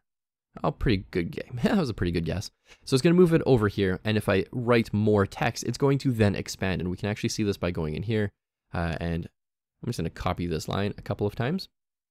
And you can see that it expanded all the way over. So it has that minimum width, and all, all I'm doing here is undoing and redoing, but it has that minimum width, so it doesn't matter if there's extra space or not, it's going to take up that minimum width. And then once it has more content, possibly too much content, what it's going to do is then move this to be a 100% width. Now we can we can marry this with max width as well. So we can say the max width can only be somewhere out here. So let's go ahead and combine these. We can say a max width of, let's say, 500 pixels. Refresh, it looks like nothing changed, but what this is going to do is say somewhere about here probably uh, is the maximum width. So before this blue border was taking up this entire width, this one no longer will. So I'm going to double click in here and paste that a few times. And we can see that it only takes up up to here now. And our box element, if we go down here, 450 pixels wide is what it is by default. Up here, it's 508 pixels, and that's because it's taking up 4 pixels on either side. So 500 pixels on the inside, 400 pixels, uh, 4 pixels on either side, rather. And we can change that. Box sizing. And let's do border box, and you can actually see it's making that little 8 pixel difference border box. And if we go back over here, we can see the whole element is 500 pixels. So now we're already using the display uh, stuff that we learned from our display lesson. We're also learning and using box sizing from the box sizing or the box model lesson. So this is min width. The idea again here is just that it's going to be a minimum width. And if you have more content, it can grow to be larger. Positioning is how we move elements around a page. There are a few ways to do this. We can do absolute positions, we can write a relative position, a fixed position, or a sticky position. There's also another one called static, which everything is by default.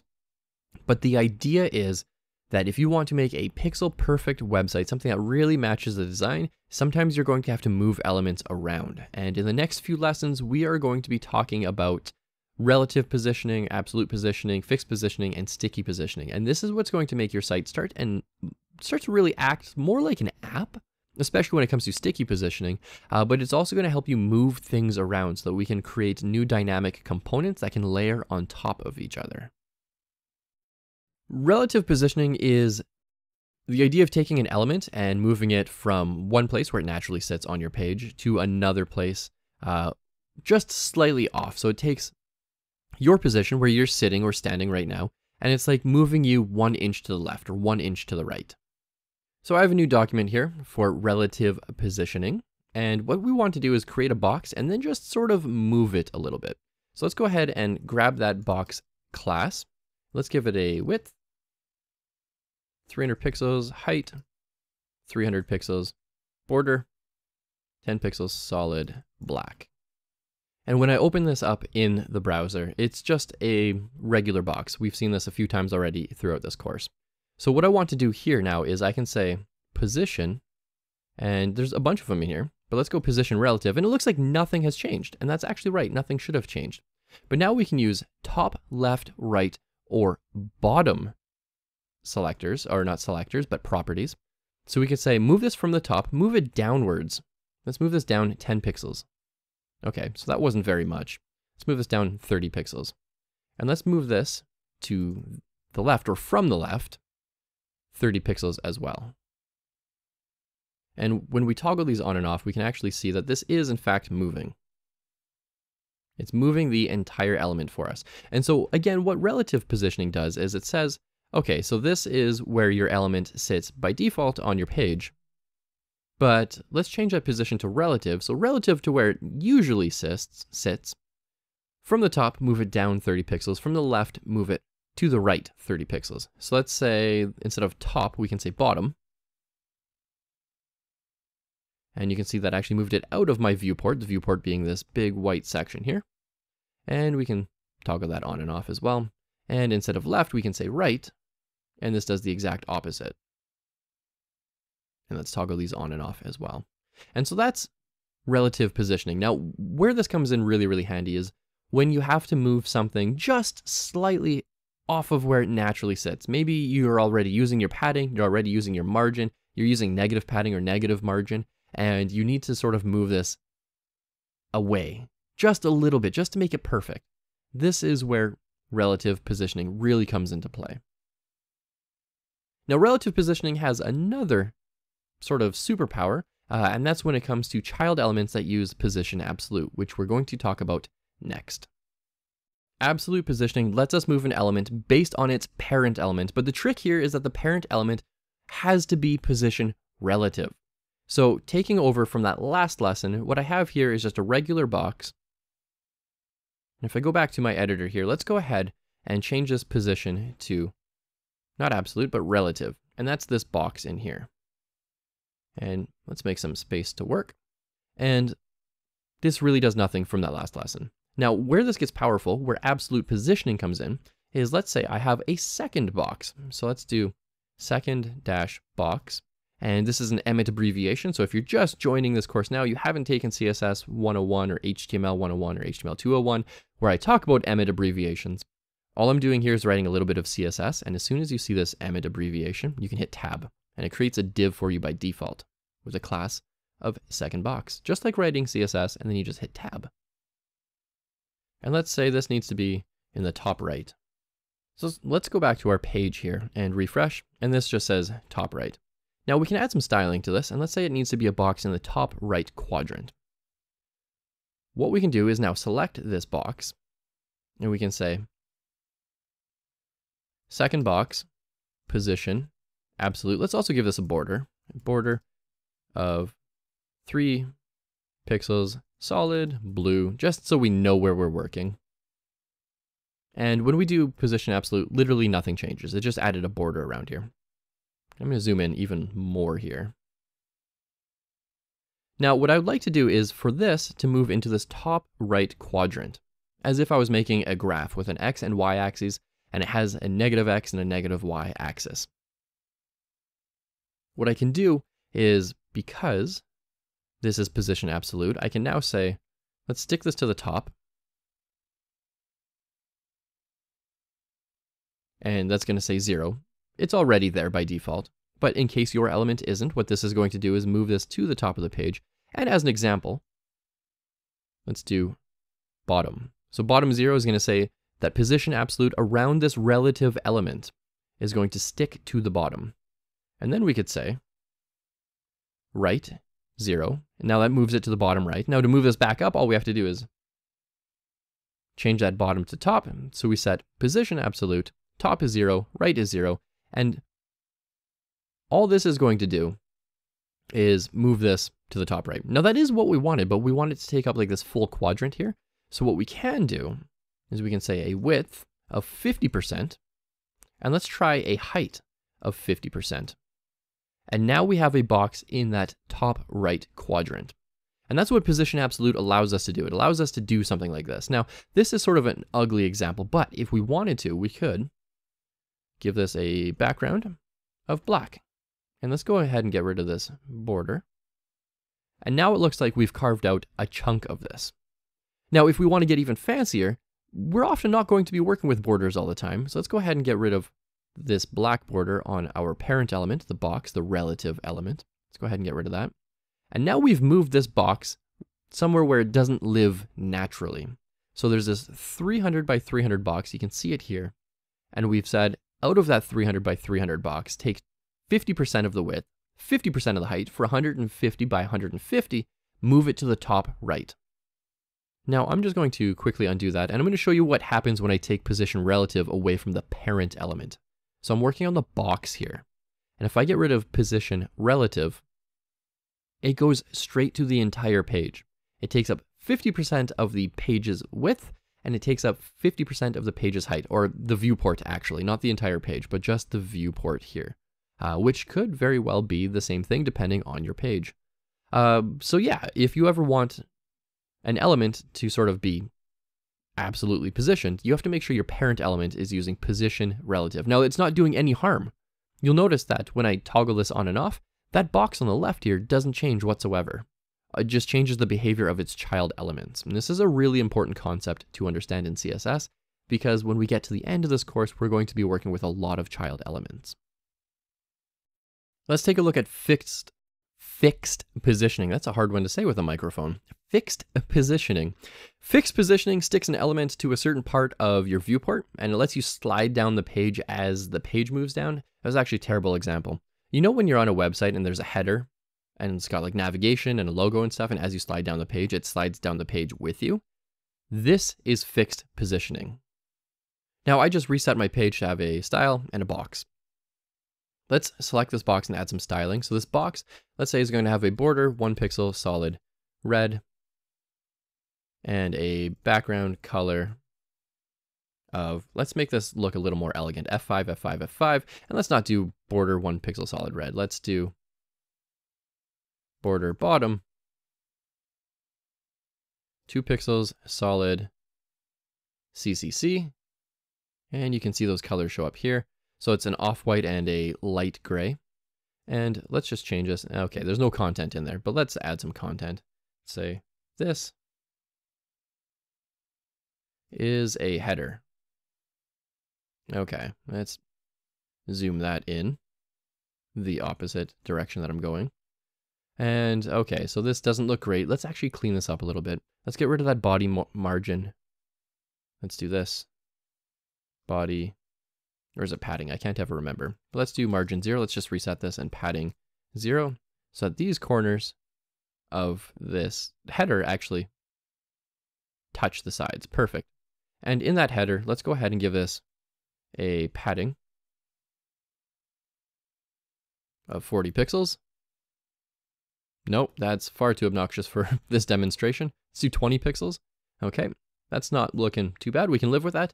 Now, let's say we want to scroll down the page. Now, I don't have enough content to scroll down the page here, but what I can do is say that body needs to have a minimum height or a fixed height of, let's say, 3000 pixels. And all this is going to do is let me scroll all the way down as if I had more content. Now, what if I wanted to scroll down and I wanted this to stay with me? We can do that. And all we say here is position fixed. Now, this might be a little bit janky depending on the browser you're using, depending on the version of the browser you're using.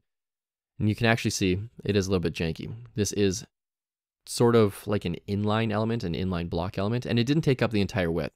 What we need to do is set a value, top, right, bottom, or left value. And what we can do is we can say, stick this to the top of the page, make it stick to the left of the page like it currently is, but also give this a width of 100% of the page. And I'll just move that up a bit. And there we go. Now I'm scrolling down the page and you can actually see my sidebar over here. As I scroll, it's staying sticky. Now this is a very bad example. A better example would be if I have a paragraph in here and I throw some lorem and I just copy this over and over and over and over and over and over and over and over again. And so we're going to be able to see that this page can actually scroll. So I save that refresh. And at the top of my page, I've got my lorem ipsum. But as I scroll down, it now stays with me. This is fixed positioning. This makes it sort of sticky to the top of the page. Now, sticky positioning is a different type of positioning. We're going to talk we're going to tackle that one next. However, fixed positioning is really really nice because it's going to layer on top of your entire page. So you know when you're on a website and it got it has that annoying little thing at the bottom right and it's like message us for support or whatever and it's on like 50% of all websites these days. It's kind of irritating to be honest, uh, but it sticks with you no matter where you are on the page and layers on top of everything. That's what position fixed does for you. Now, what I would like you to do is give this a shot.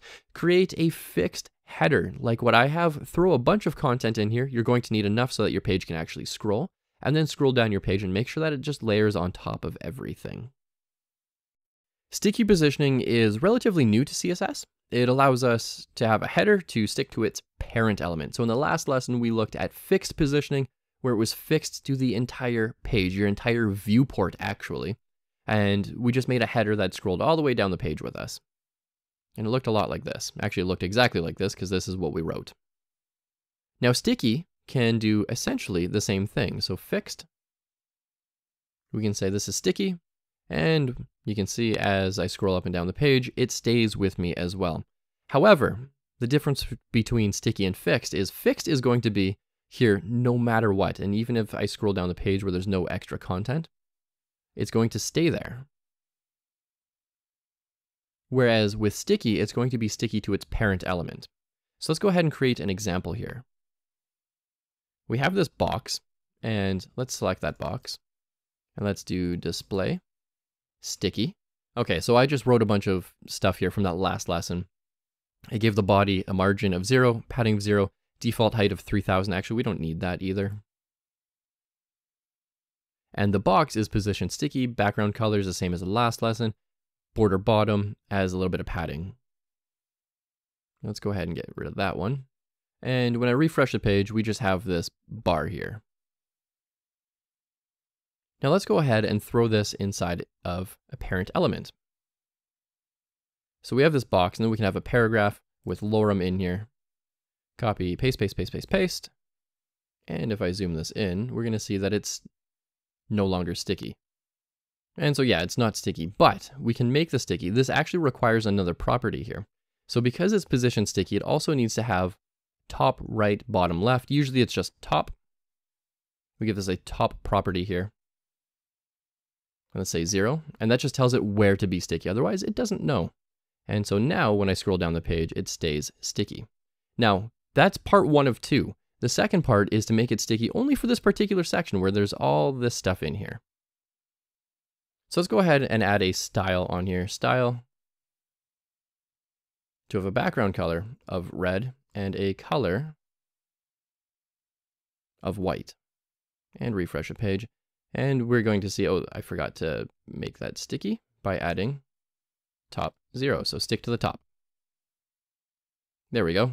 So now it's sticky. Let's add another section underneath this blue and let's change that header as well. So let's go ahead and basically copy this entire thing. And I just collapsed that with a little arrow here. And let's go underneath. And this one's going to be background color of blue. And let's change what's in here. So let's say section two of our box. Now we're using, we're reusing CSS. And in the top one here, let's do section one. Okay, let's scroll back up to the top of the page, refresh. Oh, we can't see that color very well. Color is equal to black. That's better. So this is section one, and as I scroll down, it's going to stay there. And section two, woo, gets bumped out of the way. And then there's section two. And as I scroll up, section one comes back into play. I really like this part. That's really nice. That used to be really hard for us to do, but it comes default with CSS 3 these days, which is really, really nice. So that is what sticky is. Now in summary, you need position sticky, you need a top value. So we've got a top value of zero, and all we did here was we have a parent element. I have some inline CSS here. Not the greatest way to do things, but it really drove the whole example home. Uh, so we have a parent container here, and then inside of it, we have position sticky, and it's going to be sticky around all of this content because it's sticky to its parent element. Now, what I would like you to do is give this a shot because this is really important for making websites look and act really, really nice on mobile devices, which is part of responsive web development, and that's part of more advanced CSS. So knowing position sticky is going to be very, very helpful for you. So please give this a shot. If you get stuck, don't forget you can always ask questions in the Learning to Code Facebook group. Overflow is when you can constrict an element's width and height, but then you sort of run the risk of your content sort of like overflowing to the outside of it. In this lesson, I'm going to provide an example and how you can sort of create like a, a scroll bar inside of your boxes. Now we have a few different options. We can choose to hide the overflow. We can let the user scroll either left and right, up and down, or just up and down. More often than not, we really just want the user to scroll inside of a box up and down. So let's go ahead and add some content to this box. Now I just have this regular box. We've been working with this throughout the rest of this course, or up until this part of the course anyways. Let's add some lorem ipsum in here, and let's add another line and another line. And let's just make this really long. And the idea here is that this box is supposed to be 300 pixels wide by 300 pixels tall. And this is going to be more content than that box can contain. So if I refresh this page and zoom in, oh, it's actually not quite enough. Let's go ahead and copy this just a couple more times. Here we go. And the idea here is if I zoom out, we have this box and our content is breaking out of it. Now, the reason this happens is because we have set a width and a height. We said specifically with this one, the height of this box is 300 pixels. And it needs to be 300 pixels because maybe that's what our designer said. Our designer said it has to be 300 pixels, cannot be any bigger. It's not allowed to grow, otherwise it's going to look a little weird. So what we can do is add this little scroll bar to the right side here. And we do this quite easily. So on our box class, all we have to do is say overflow, and let's change this to an HTML document again. I write a lot of Django, so my HTML files automatically default to a Django template. Uh, yours should automatically default to HTML by default as soon as you have the .html extension in your file name. So overflow, we have a few different options here.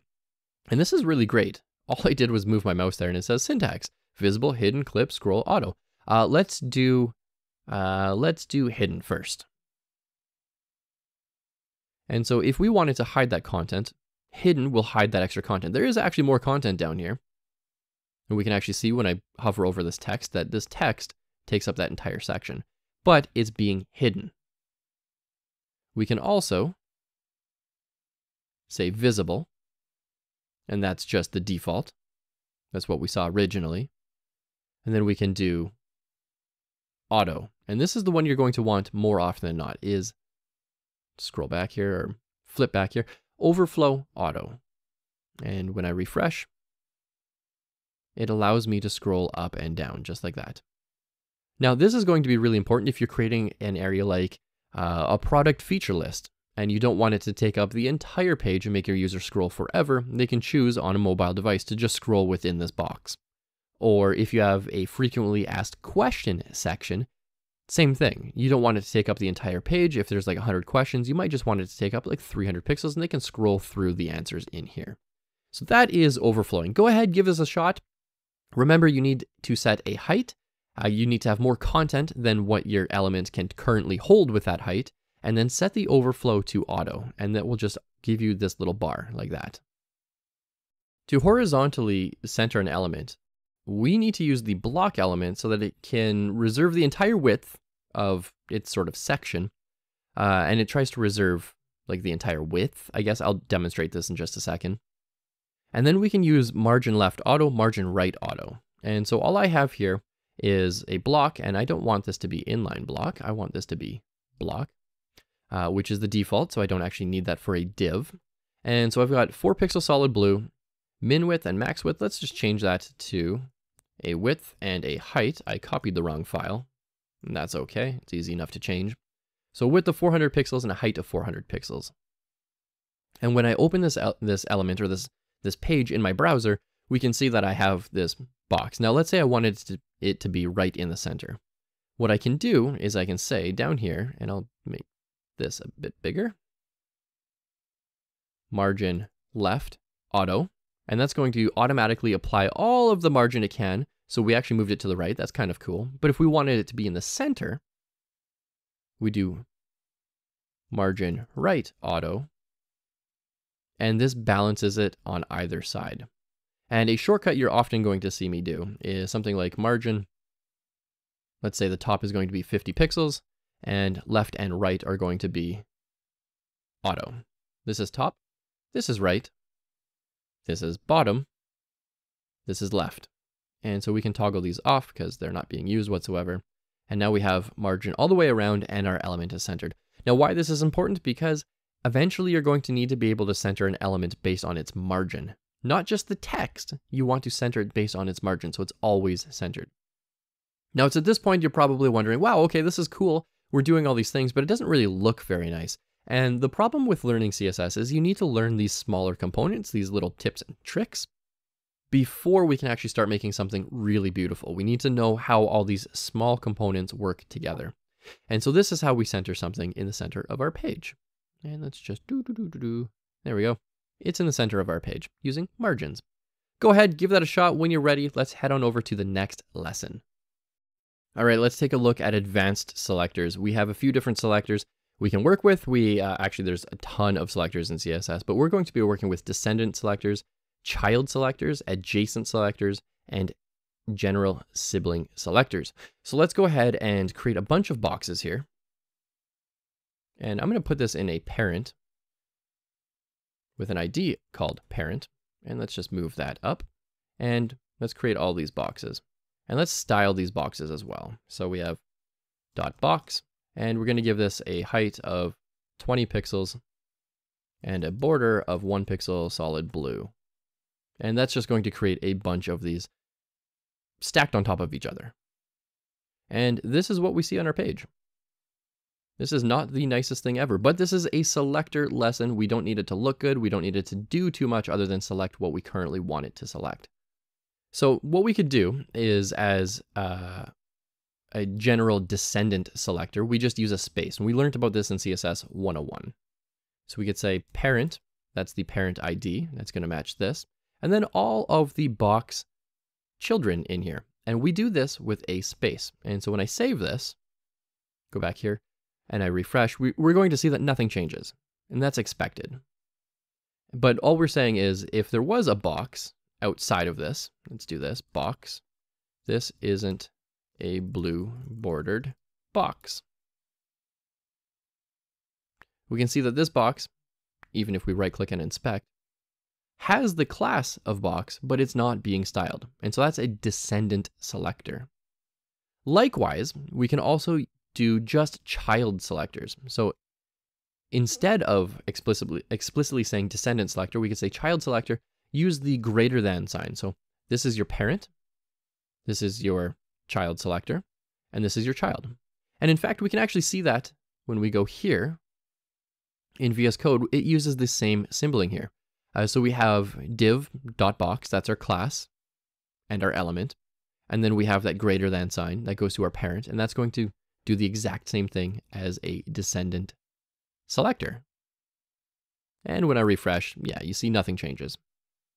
Now we can do this thing where uh, we select adjacent selectors. So we can now say parent, and then I want to select all of the boxes plus more boxes. And we can say background color is equal to red. And so this one here is our adjacent selector. And it's just going to select elements that are, I guess, adjacent to it. And so it doesn't select that first one, but it selects the next one, and the next one, and the next one, and the next one, all the way down. And so that is an adjacent selector. It's not going to select the first one, it's going to select the next ones. And then we have this general sibling selector. So we can select everything in our parent, select our boxes, and then we have this tilde. And so on my keyboard, it's right beside the number one at the top left of my keyboard. It might be different depending on if you have an international keyboard, but a generic English keyboard is right beside the number one, and it's this tilde. It's, well, I guess that's a tilde? I can't actually remember. It's a squiggly line anyways.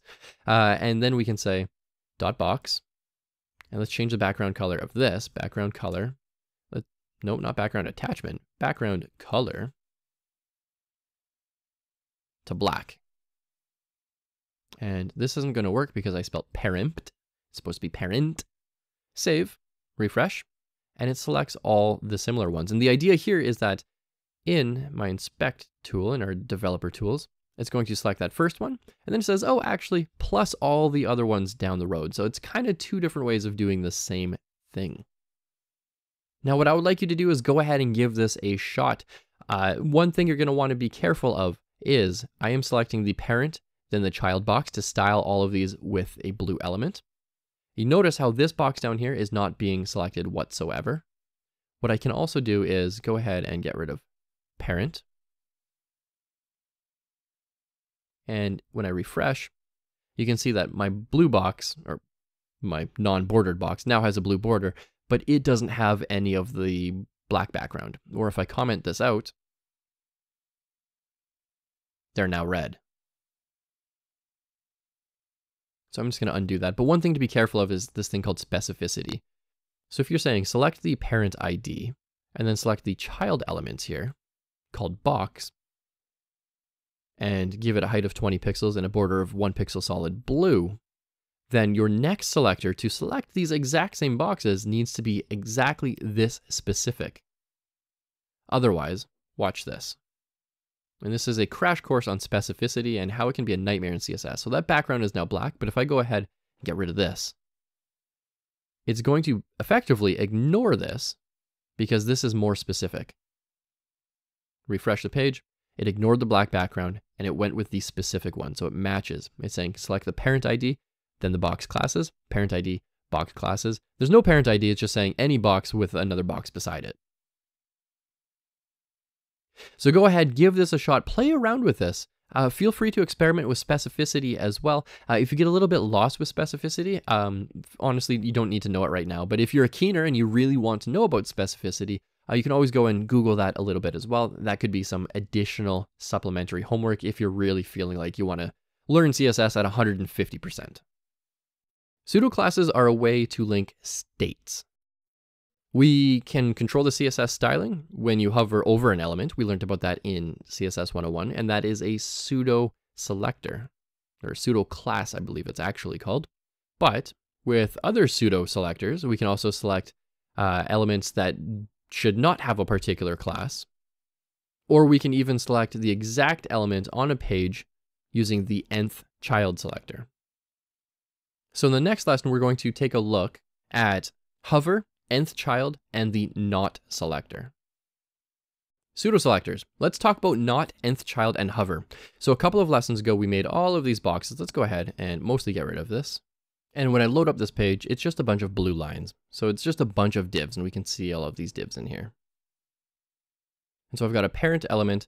It has an ID called parent, so we know it's the parent. And a bunch of boxes. Now a pseudo selector will use the just a regular colon to use this or to activate the selector. There's a lot of them, um, but in this lesson we're really only going to work on not, nth child, and hover. And it looks like this. Dot box, colon, and then your pseudo class name. So this one is called hover. And we can change this background color to gray if we wanted to. And Let's zoom in here. And when I hover over these, it changes the background color. No, it doesn't just have to be the background color we can change. We can change the border color. We can change the font size. We can change the font family. We can change literally everything. It works the exact same way, but all we're saying here is select all the classes of box. So all of these in here. And then when you put your mouse over it, when you hover over it, what is it going to do? That is a pseudo selector. Now we learned about this in CSS 101 real quick. Let's go ahead and use something a little more advanced. So we can now say box. Uh, let's use the not and actually see there's a lot of them in here. We're not going to go through all of these. There are just so many. Uh, and frankly, most of them aren't, aren't typically used, uh, but they are supported. So let's do box colon not. And then what we do in here is we, we give it another selector. What should it not be selecting? So don't select me. Let's go ahead and copy that and throw that into like, I don't know, the third one. And let's finish this off.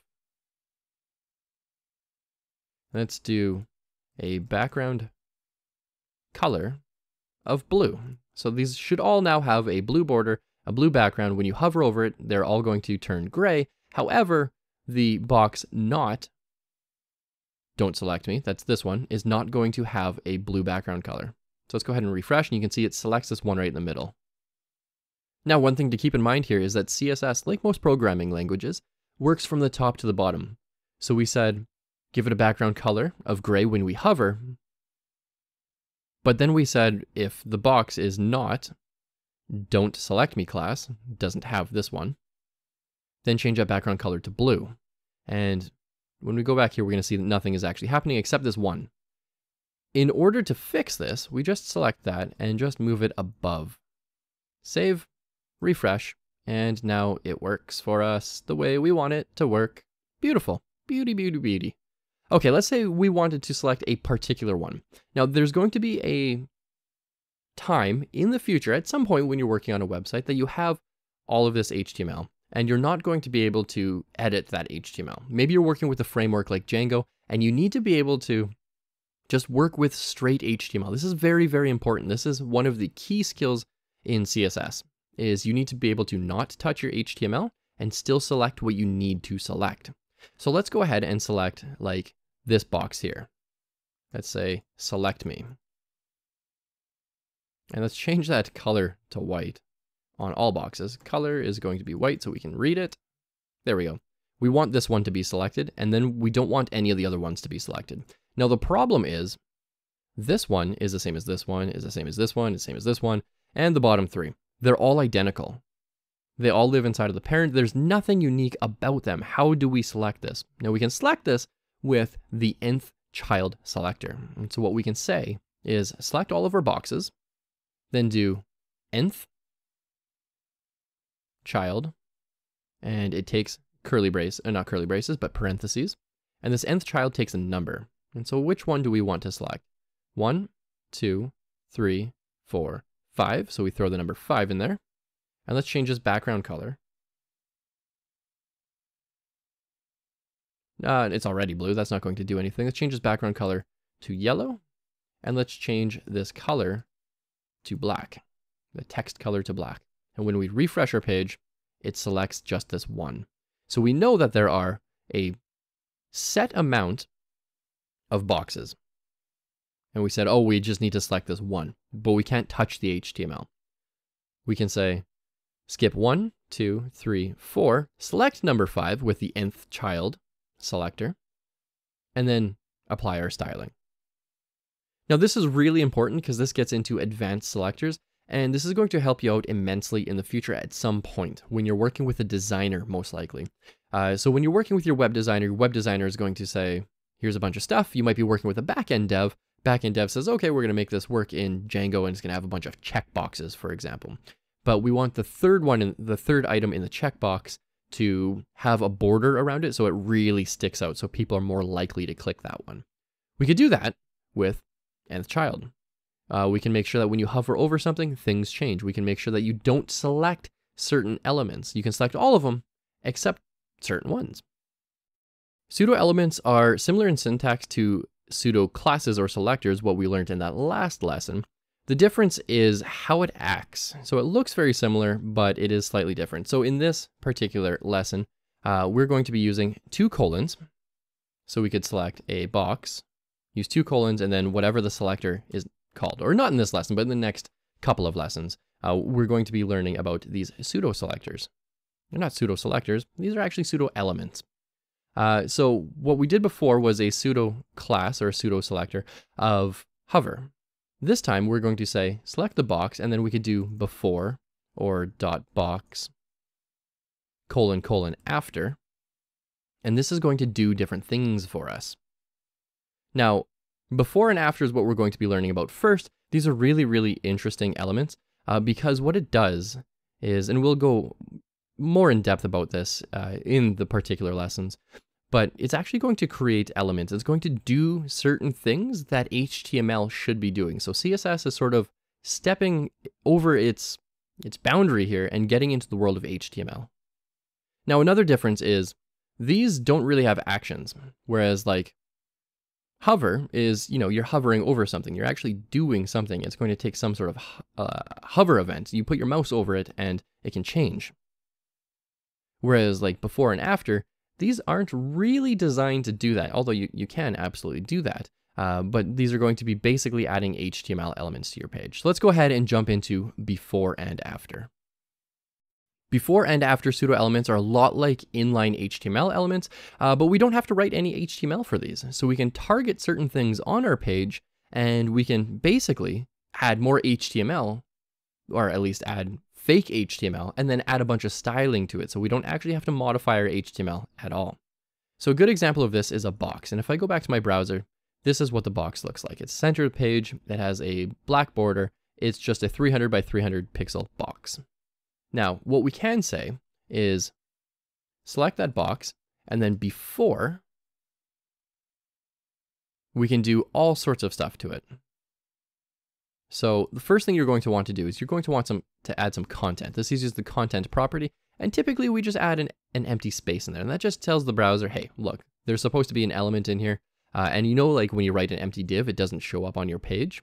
Same thing, but we're going to add a space, and that makes sure it does show up on the page. Then we can do a display. So we can say display block, and then we can give a border of 10 pixels, solid, red. And let's see what this looks like so far. This is not going to be perfect, but it's going to be pretty close. And at this point, actually, as soon as I refresh this page, we're going to see, yep.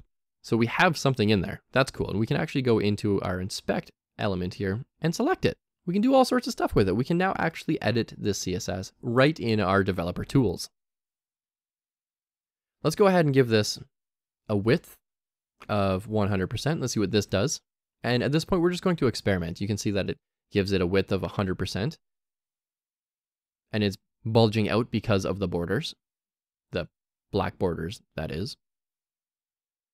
Let's say we want to give it a height. 100%. Let's see if this is honored as well. Okay, not bad, not bad. Uh, let's say we wanted to move this. So let's get into some positioning. Let's do position relative on the entire box itself. Uh, but then in the before pseudo element, this fake element that doesn't actually exist on the page, there's no HTML here. We can't edit the HTML. We can say, let's move this. So let's move this to the top right. And so we can say position absolute. And we know that this is going to work because its parent selector is using position relative. Its parent element is using position relative. We do position absolute. Let's do top minus 10 pixels, and let's do left minus 10 pixels. And we're going to see this sort of bumps up here. Oh, actually, that's because we have borders in there. yep, 10 pixels solid red border, so we just overlapped it. Let's go ahead and do 30 instead. There we go. Now you can actually see that this before is on top of this black border.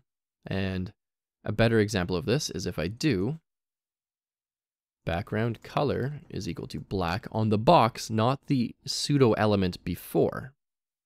We can see that the red is outlined on top of it. Now, if we wanted to change that, we absolutely could. We could do, and this is part of positioning, we could say z index minus 1. And that layers it behind.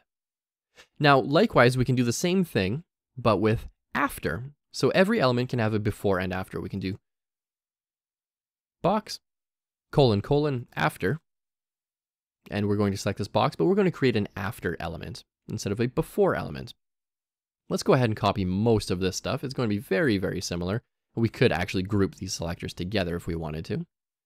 Uh, let's change this from solid red to solid blue. And instead of top, let's do bottom and right. And let's see how this turns out for us. It's not going to be exactly what you expect, but it's going to, it's going to show something and we can adjust from there. Okay, cool, cool. So we have these on top, uh, these before and after elements and they're behind. Let's go ahead and get rid of that Z index, or we can make it a positive Z index of like one or let's say 10 and that just layers it on top. So now we have this nice little layering. What happens if we get rid of bottom and right? Okay, so right after the element, it's, it's going to be right inside. You can actually see that there's this border here, this black border, that 10 pixel border. It's right on the inside. What if we said top and left are the same as the before. It moves it exactly where we expect it to go. So now as one more example, let's go ahead and get rid of this top left. Let's go get rid of this top left. and these are going to be the exact same. We can't actually see these anymore, but we can select them. So we have a before, and we can say before is going to be top minus 30 pixels, and left. And I'll just move that up in the video here. Minus 30 pixels. Okay. And we can select the after, and we can do the same thing, but different.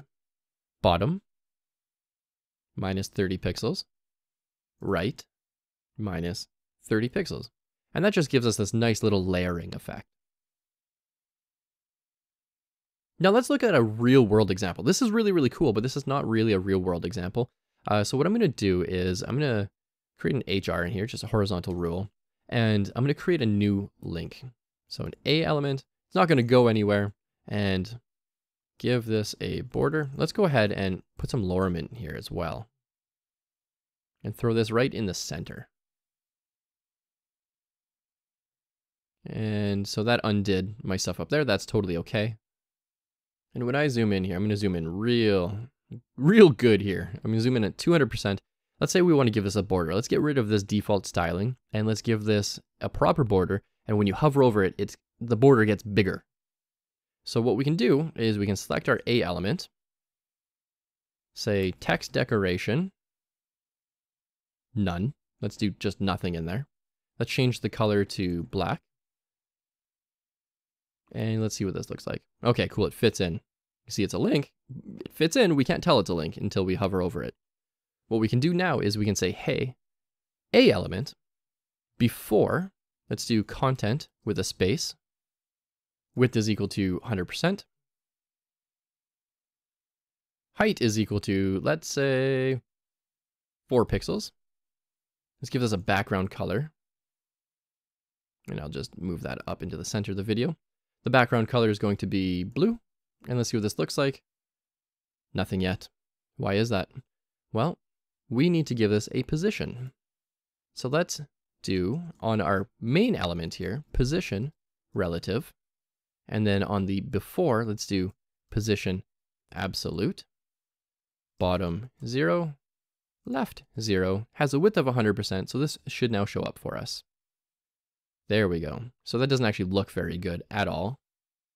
And that's not really the point here. The point is to show you that we can give this a border. Now this is no different than border bottom, what did we say here?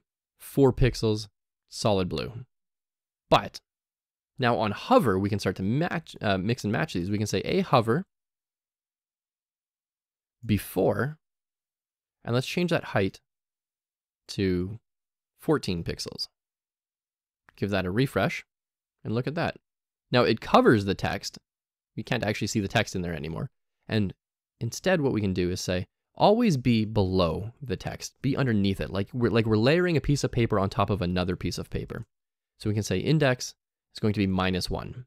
By default, all Z indexes or Z indexes are at zero. We're going to say, throw this just behind this text. And now, bam. Well, we still can't really see that, so let's change that from blue to yellow. There we go. That's looking a little better. That's still very hard to see in the video. Let's do red. That's a lot better. And so now we have this pseudo element using a hover state, and we're actually modifying this element itself. So if we go in here and expand our A, we can see that there's a before. And another cool thing we can do is we can click that dot dot dot, that ellipsis, and we can do for state hover. And that hovers this state for us as if we put our mouse over it permanently. And then we can click this before and we can see what's going on in here. Including the A selector using a hover pseudo class using a before pseudo element. Now, what I would like you to do is give this a shot. This is very, very important because this is part of advanced CSS. We are getting into the meaty parts of CSS. So give this a shot.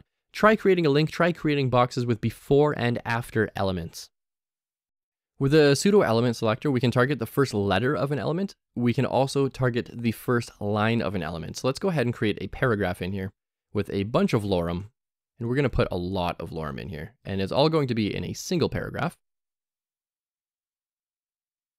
And I'm going to put it on multiple lines just to keep my code clean, but it's going to look like one paragraph on the page. So if we go here, okay. too small. Let's zoom in. And let's say this is like, we, we're writing a, a website or we're coding a website for a newspaper or some sort of magazine, and we want that first letter to be huge. We can target that. We can say in our styling here, target the P element, and we can do first letter, and then we can do font size of, uh, let's do something big. Let's do like 50 pixels. And this is going to make this L, just the very first L, not the other ones, just this very first one really big. Let's go ahead. Okay, looks all right. It's bigger, but we want the text to sort of wrap around it. And we know we can do wrap around things with float. Float left. And this is very, very important uh, to know, uh, but it's also something we learned in CSS 101. So if you're not familiar with float, you might want to get familiar with float. It's very useful in certain cases like this. And so uh, that L is still a little too big, but what we can do is we can select this P, go down to the bottom, uh, nope, it's not in there because it's not an element. Uh, pseudo, there we go, first letter element. Let's go ahead and change that font size. And I'll just adjust this to, uh, I don't know. Let's just keep making this smaller till it looks, you know, half decent. Yeah, something like that. And then we can also add a margin of like 50 pixels if we wanted it to really stick out. We can add a margin of 5 pixels to make it a little more smooth looking. And I'll just move this up. And this is the first letter selector. So let's go ahead and add that margin in there as well. Margin 5 pixels. Now we can also select the first line, and it's not going to be necessarily this line of code, it's going to be this line. And that's going to depend on your browser. So we're getting into something a little more responsive here. And so let's go ahead and say P, first line, and let's do font weight of bold.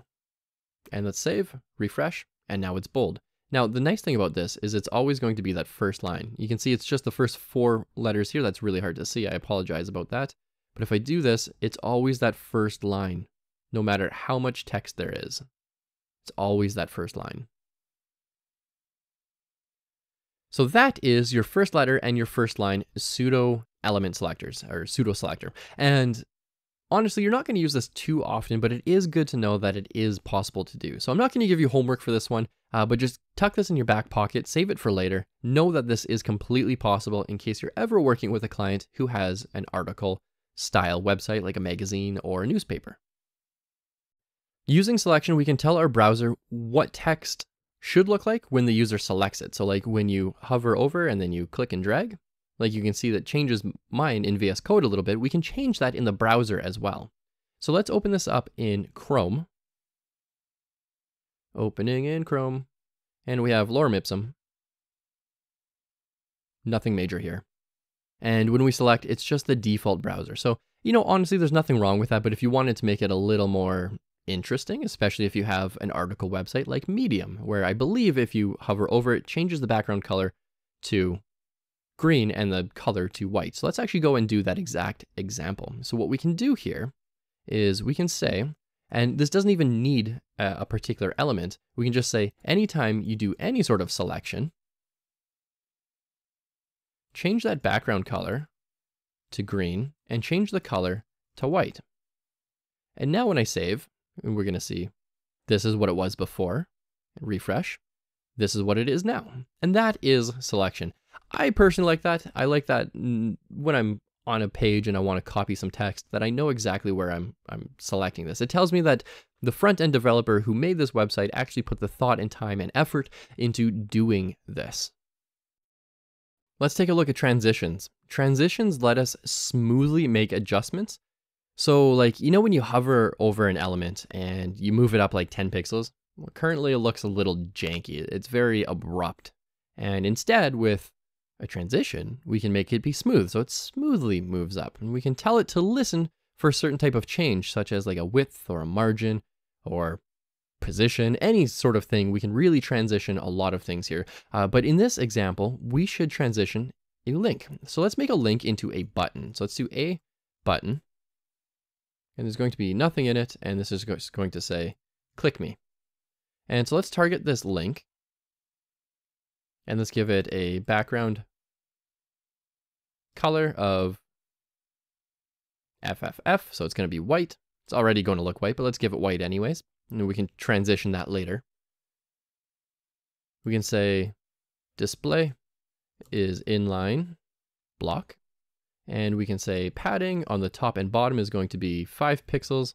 And on the right and left is going to be 15 pixels. Let's also give this a color, an explicit color. This is going to help with our transitions. So color is not actually going to be white, it's going to be black, 000. And let's just see what this looks like.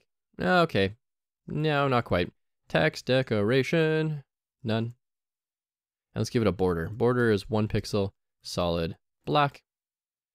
And let's go ahead and make this bigger. Zoom, zoom, zoom, zooming in. I'm at 500%. So this is the button.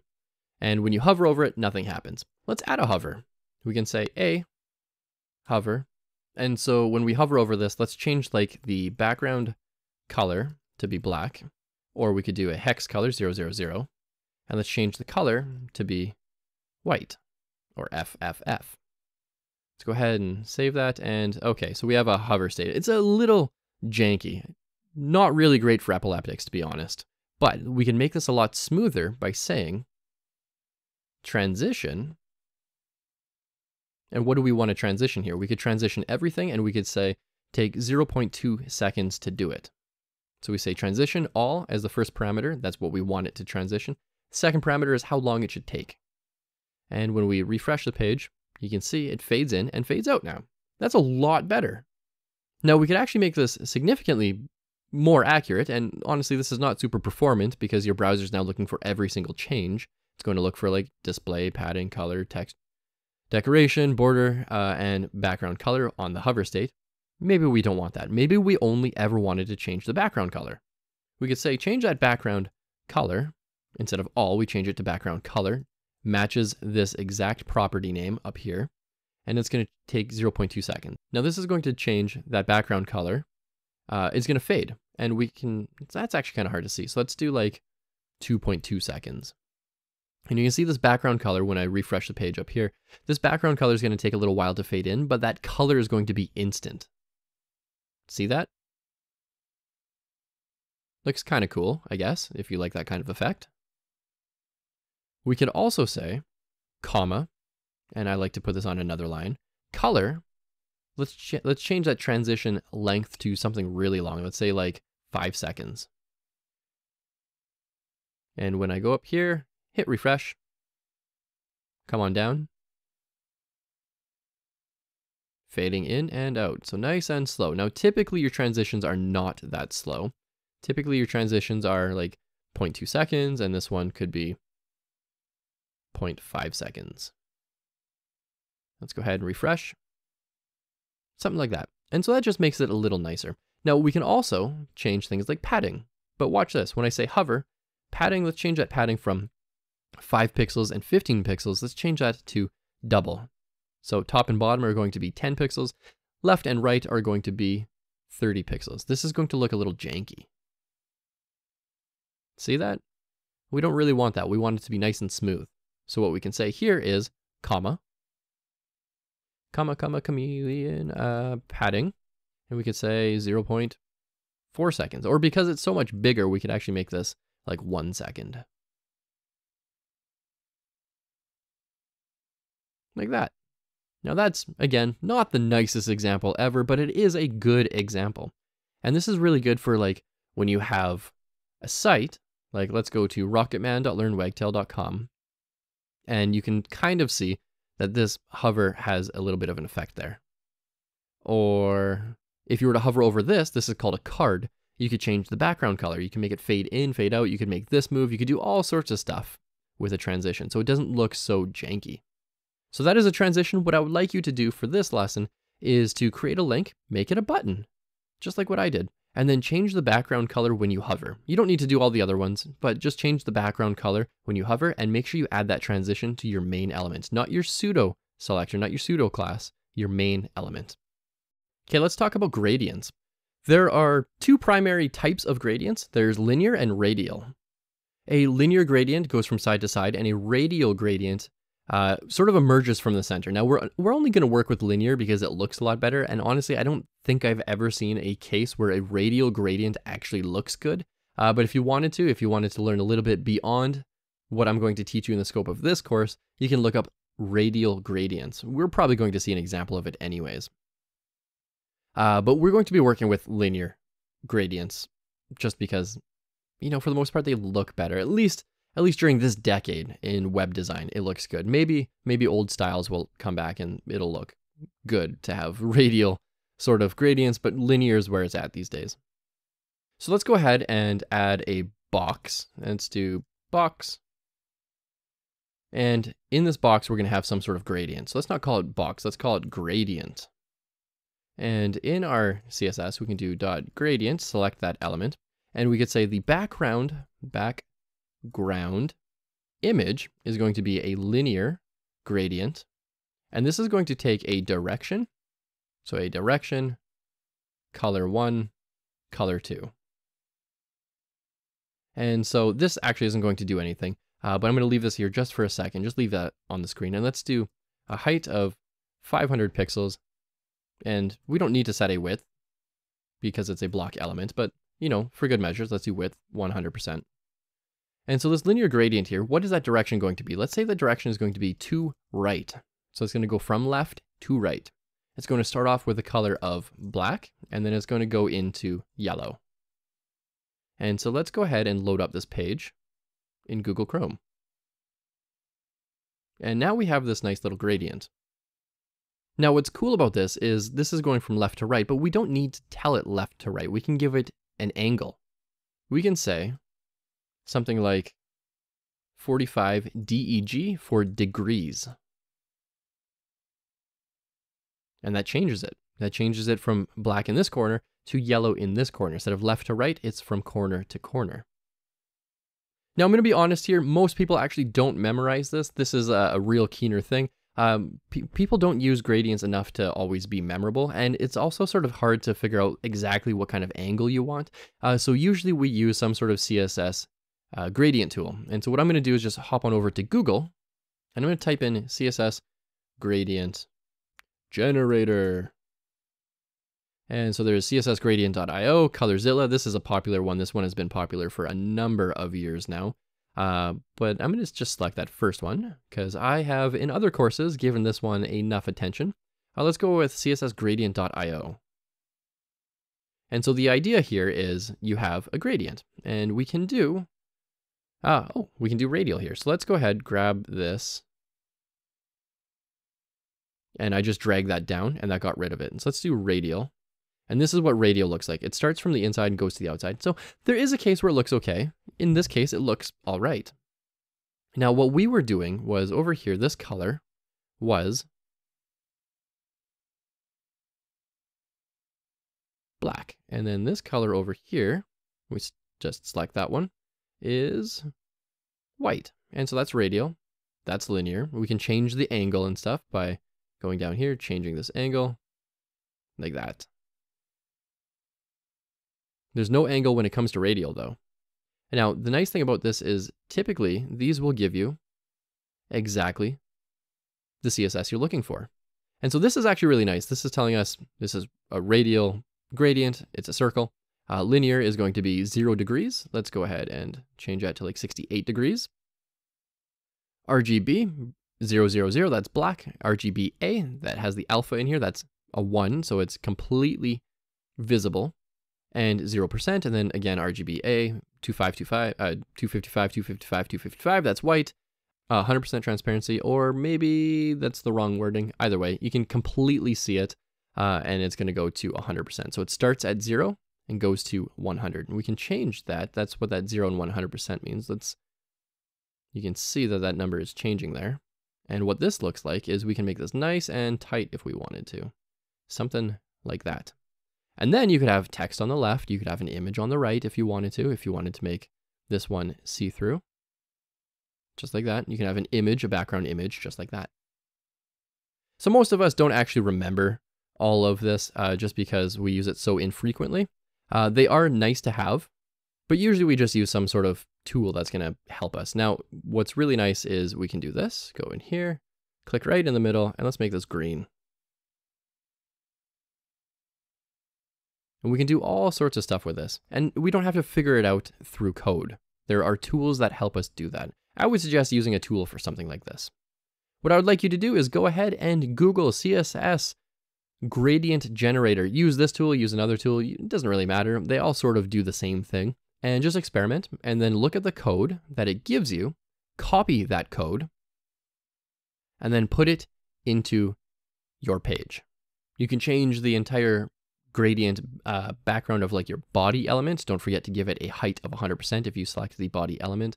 Or a class or a, a div element like what I did, and I selected the gradient and then I just applied it to there. So just go ahead and give that a shot. It's really, really fun. It adds a nice little spice to your website as well. Tagging along from that last lesson, we can create a background image so it appears darker without actually having to do very much work. Now there are a couple different ways to achieve this. One is using a filter, which we haven't learned yet, or another is using a gradient to layer on top. And in this lesson, we're going to use the gradient on top, uh, just because sometimes you want a gradient on top. You're going to see this all over the place. Once you see this, you can see it like all over Facebook, you can see it all over Twitter. There's gradients everywhere, and they're nice and elegant as well. So first things first, let's go ahead and select the body element. And I'm going to give this, no, not just body. I'm going to select the body and the HTML elements. I'm going to give this a height of 100%. And let's get rid of the margin and the padding.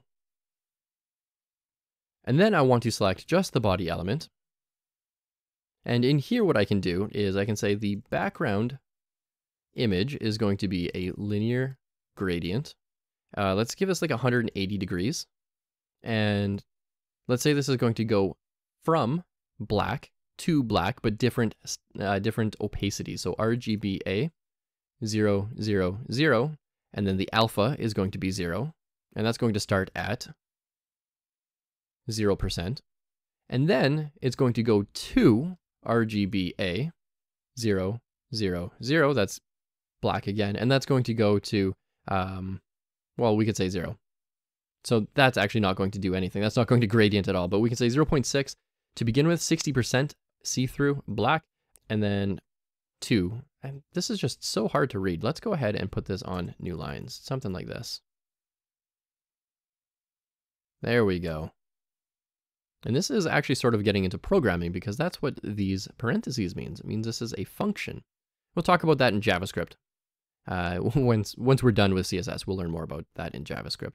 Um, but what we're saying here is we've got a linear gradient, 180 degrees. Start with black, it's 60% see-through. Uh, go to 80%, and it's going to end at 100% down the road. So let's just see what this looks like in Google Chrome. Okay, so that's a, that's a nice little gradient. Uh, let's go ahead and actually make this a little more yeah, there we go. So the lighter on the top, darker on the bottom. Now, if we wanted to add an image to this, we absolutely could. But first, we need an image. So let's go to unsplash.com and let's take a look at this image. Rocket, this one. And I'm going to right click and copy image address. And I'm going to hot link straight to this, uh, to that image. And what we can do here is comma, and let's Let's maybe actually put this back on its original line there. And I like making these line up so it looks nice. And then we could say URL, like a regular background image. Paste that URL in there. Semicolon, and let's go ahead and take a look at this. That looks pretty good. Now let's go ahead and delete this linear gradient. Let's just cut that out for a sec. This is what the image looks like normally with that linear gradient on top of it. This is what it looks like now. Now, the nice thing about this is we can add some text. Uh, but before we do that, let's go ahead and add color is going to be white. Font size is going to be something huge like 90 pixels. And text align is going to be center. And so in our body, we can now say, this is a rocket. Save. This is a rocket. And so this text is a little more visible versus this. If I go ahead and just delete that, you know, it's it's not bad. We can still see it. Let's let's even do this. Let's do padding top 200 pixels. No, let's go further. Let's go 500 pixels. So we can't even see all of that now. That's just the nature of this image. We can't necessarily change the image all the time, but what we can do is we can throw that linear gradient back in here. And now we can read it perfectly fine. Now, a case in point is if you took the CSS 101 class, uh, if you go to rocketman.learnwagtail.com, that's exactly what's going on here. It's even the exact same image. Now, I would like you to give that a shot. Don't forget, you have access to this file. Uh, also, you can ask questions in the Learning to Code Facebook group if you ever have questions or you're curious about something or you just want to get feedback. We can load custom web fonts into our site. So the way fonts work is it will try to access the font on your computer. And we, we've seen this sort of before in CSS 101, where it's like font family, and then it has like the first font and then like some sort of fallback that most people have, like Arial.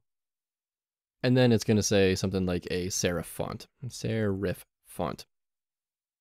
And so it's going to try this one. If it doesn't exist, it's going to try this one. And if it doesn't exist, it's going to let your computer choose. But let's say this one doesn't exist. How do we make it exist? Now, a nice thing we can do is basically import it from somewhere else. So we can go to fonts.google.com and let's go ahead and just grab a cool looking font that we can find, something that really sticks out that's going to be a little bit different. None of these are pretty wild. Ah, there's that one. Uh, no. Let's do this one. Pacifico. And so I just click that, select this style, and I can add different font variations if I wanted to. I'm not going to. I'm just going to click embed up here. And we can import either through directly through our CSS, which is pretty cool, or through our HTML. I'm going to do the HTML way. So take all of that, copy. I apologize, that's small to see, but if you follow along, it'll be easier on your computer to see it. And then above our style, just paste that in there. Now, we don't know what this name is yet. We think it's Pacifico, but it could be lowercase, uppercase, could have a different name. We, we never know. So what we do is go back here and it says CSS rules to apply font families. Font family, Pacifico, or cursive. Let's go ahead and change that. And what I'm going to do is I'm going to comment that out and we're going to see some lorem ipsum in here. Lorem ipsum and let's go ahead and change that font size again to something bigger, something like 45 pixels. And this is what we see. This is our standard font. If I uncomment Pacifico, it changes it. Now, here's the thing is if I don't add this line in here, if I just cut that out of my code, it goes to cursive. This is what my computer uses when it's told to use cursive. Uh, so it's saying, hey, Kalob's computer use Pacifico, but if it doesn't have Pacifico, use cursive. Well, Pacifico doesn't exist. And so we said, make it exist. This HTML element is going to say, hey, go in here, download this file called Pacifico. In that file, we know it's called Pacifico, so we can now have access to it and use it. Boom, just like that. What I would like you to do is give this a shot. Go to fonts.google.com, pick a font that's free. They do have some on here that are paid, do not pay for a font at this point, please. Just find a free font like Roboto. Roboto is a good one. Uh, you can choose all different styles if you want. These are different font weights as well. Uh, so we could say like select that, select that, select that, select that, and we can use these different font families in here. Go ahead, give that a shot, try using a custom font. Okay, let's talk about transformations. A transformation is a way that we can rotate, skew, scale, or move an element away from its natural spot. Now, in this example, I just have a regular box on my page. And when I just open this up, it's a regular box. In fact, let's let's add a margin to this. Let's do margin 50 pixels and auto, and that's going to center align that for me. Now, let's go ahead and go through some of these transformations. Now, transformations aren't hard. We can mix and match them if we wanted to, but let's just go one at a time. So Let's first start with translate. This one is interesting. Translate, I think personally, is not the, the proper name. Uh, the property is called transform, transform, and the key, or uh, you know, the full declaration is going to be transform translate, and then it takes parentheses. And we can move this on the x-axis and y-axis. So we can say move this on the x-axis 100 pixels, comma, on the y-axis 100 pixels. And when we go back to our page, refresh, we can see it actually moved. So that's what translate does. It just moves it. It translates where it naturally sits on the page. We've done this with position relative, position absolute, position fixed, position sticky. We've done all sorts of movements like that. We can also use margin uh, on the top and the left to sort of push the element around, but translate is another way to do this, which is really, really nice. Let's take a look at the next one. So I'm going to comment this out, and I'm going to comment this using proper CSS. We could also do rotate. Let's see what rotate does. So we want to do transform, transform, rotate. Let's do 45 degrees, DEG for degrees. And that just rotates it for us. And we can do any sort of degrees we want. We could do like rotate it 68 degrees or 91 degrees, which is sort of the same as like rotating it one degree or 10 degrees. You know, we can rotate this as much as we want. Uh, if you do rotate it perfectly 90, it's going to look like nothing happened just because this is a square. So that's 90 degrees. Okay, let's take a look at animations. Animations let us move things in a smooth and controlled way. It's a lot like a transition, but we don't necessarily need some sort of event to trigger it. Like, you know, when you hover over a link and that transition sort of changes? Well, that's because you hovered your mouse over it. But what if we just wanted something to move on the page without some sort of trigger? We can do that with an animation. And the nice thing about that is we can tell the animation to start right away, we can give it some sort of delay, we can do all sorts of stuff with animations. For example, we could make things wiggle, we can make things rotate, we can make things jump out or bounce if we wanted to, or really anything that we can do with CSS, we can animate. So what I'm going to do here is I have a box, um, and let's go ahead and just show this box, and let's do border radius 50%. And this is going to be a box, but it's also going to be a circle. It's going to display as a circle. So here we go. I've got this circle. Nothing fancy. It's completely static. So first things first, when we're creating an animation, we need to give it an animation name. So let's go ahead and create a new animation. We use the at symbol, keyframes, and then a name. So I'm going to call this slide me. And it's going to take a from, and it's going to take a to. Now I want to make sure that this is movable. So let's say this position of this element is going to be absolute, absolute. It's going to be at the top of my page and the top left of my page. And when I refresh the page, it just hugs that top, that top wall here and that left wall there. So what I can now say is from top is equal to zero, and let's say left is equal to zero. And where I want it to go is left is 100%. So let's just move it left all the way across the page. And when I refresh this page, nothing's going to happen because we created an animation, but we didn't set the animation to be applicable to our element. So what we do in our element is we say animation name is equal to slide me. And this is case sensitive, so I've got a capital M in there. Make sure you have a capital M in yours if you're using a capital M, so it has to be the exact same. When we save this and refresh, we actually saw that it doesn't work. Let's go ahead and give this an animation duration. It doesn't know how long to, to slide for. Let's say it's going to slide for four seconds. Now let's go back. And as soon as we give it a duration, it's going to move all the way across the page and then off of it. And then it starts over. Now, if we wanted to, to do this forever, we could say animation iteration count. Iteration count. Nailed it. And we would say infinity, infinite. And it's going to go to the end and start again. And start again. Just like that. Now, if we wanted it to move to the left and then come back, we could give it an animation direction. Animation direction. And we could say alternate. And so, hold on, I'll refresh this. And it'll go to the left, and then it's going to slide, or it went all the way left, and then it's going to slide back left, and then it's going to move back right, and then slide left. Now that is a simple animation. We can make these significantly more complicated if we wanted to. We could, let's just comment this out entirely, and let's create a new animation. So I commented that out, and it's like it doesn't even exist. So we can do keyframes, slide me, so this is going to be the exact same name as this one here. Just happens to be that this one's commented out. And then we could say something like at 0%, do something. Then at 50%, do something else. And then at 100%, nope, not there. Then at 100%, do something else. So at 0%, what do we want this to do? We want this to be at the top 0, left 0. At 50%, let's change the background color to blue, and let's actually set the background color to black by default.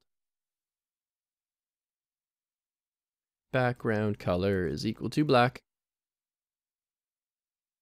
And then at 100%, let's change that background color again. Background color is equal to yellow. And let's go ahead and see what this looks like. Oh, actually, we need 100% to be uh, left 100%. And so what this is going to do is say at 0%, this is where the CSS should be applied. This kind of CSS should be applied at 0%. At 50% of whatever that animation is, that animation duration is 4 seconds. So at 50% or 2 seconds, change that background color to blue. It should be completely blue at that point, and it's going to try to be nice and smooth. And then at 100%, at 4 seconds, that background color is going to be fully yellow, and the position is going to be left 100%. Let's go ahead and give this a shot, and let's see what this looks like. Just like that, and then goes from yellow to blue to black. Now, what I would like you to do is I want you to create an animation that does something like this. However, I want you to make a, a box or a circle or something. You can even animate an image if you wanted to, just like a little div with an image in it. I want you to make yours go from the top left to the top right to the bottom right to the bottom left and then back up to the top left. So I want yours to go all the way around the frame of your page. Don't forget you're going to need to use position absolute for this. Position absolute. You're going to want to set the initial state on your element before you get into the keyframes. So this says top is zero, left is zero. Even though I'm redeclaring it here, that is a-okay. It's nice and explicit. And then you want to give it an animation name that needs to match your keyframe's name down here. Give it a duration, otherwise it's not going to work. And then for your task for this, you're going to be using four percentages. So 0, 25%, 50%, and 70%, or 75% rather. Uh, and then maybe, possibly 100%. I'm going to leave that up to you. See how that works out for you. Go ahead, give that a shot. If you get stuck, don't forget you can ask questions in the Learning to Code Facebook group. We're here to help. Okay, let's talk about table layouts, or not table layouts, but page layouts. So up until this point, you've probably been using display inline block. You've probably been using tables or floating to move your elements across your page, but there is a better way. There's two better ways to do this actually. And the first one is Flexbox. So I'm going to teach you Flexbox. It's important that you get familiar with Flexbox. I'm going to teach you the, the basis of Flexbox, uh, and then I want you to go and maybe explore Flexbox a little bit further. Now, the thing with Flex and what we're going to be learning after, Grid, is these are very big CSS modules, and you do not need to know all of it. You, like, you don't need to memorize all of it. Honestly, you need to remember sort of like how certain things work um, but then you just need to be able to Google your answers later. Because honestly, I've been writing CSS for a long time and I still don't remember every single way to apply Flexbox off the top of my head. Um, and that's just the nature of the beast. There's a lot to learn in CSS and there's no possible way you can learn all of it and remember all of it. You just need to be able to remember how to get your answers. And again, that's about 50% of web development these days is knowing how to find your answers. So let's talk about Flexbox. Flexbox is a layout module that makes it easier to design flexible, responsive layout structures without using float or positions or tables and things like that. So let's go ahead and create a div, and I'm going to call this the, no, I'm going to call this a container. And in here, let's say I have two elements and I want them side by side. So I've got a div here, I'm going to call this left, and I've got a div here. I'm going to call this right. And when I boot this up in my page, and this is just from the last lesson there, it says left and right. Now, what if we want them actually to be left and right? Well, we can float them, we can position them, we can do all sorts of things, but there's a better way, and that's Flexbox.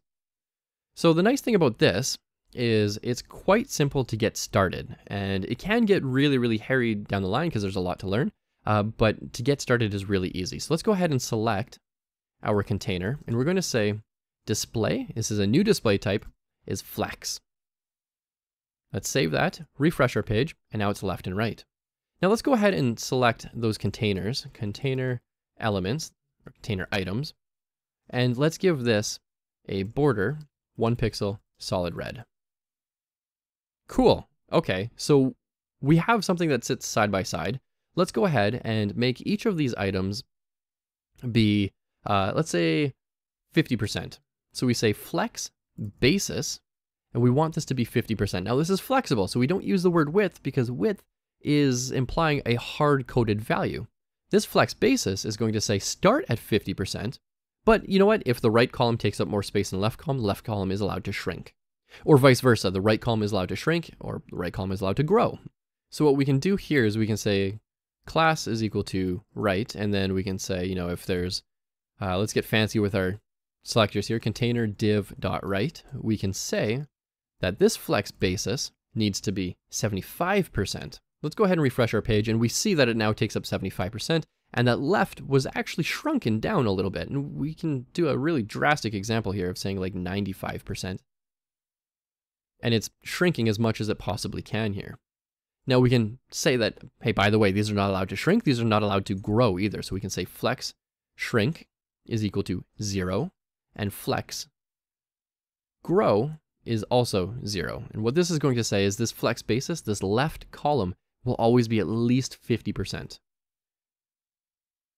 Now what you don't see is I can scroll over here, is that right is 90% of the viewport width. It just happens to be going onto uh, the part of the page that we can't see by default.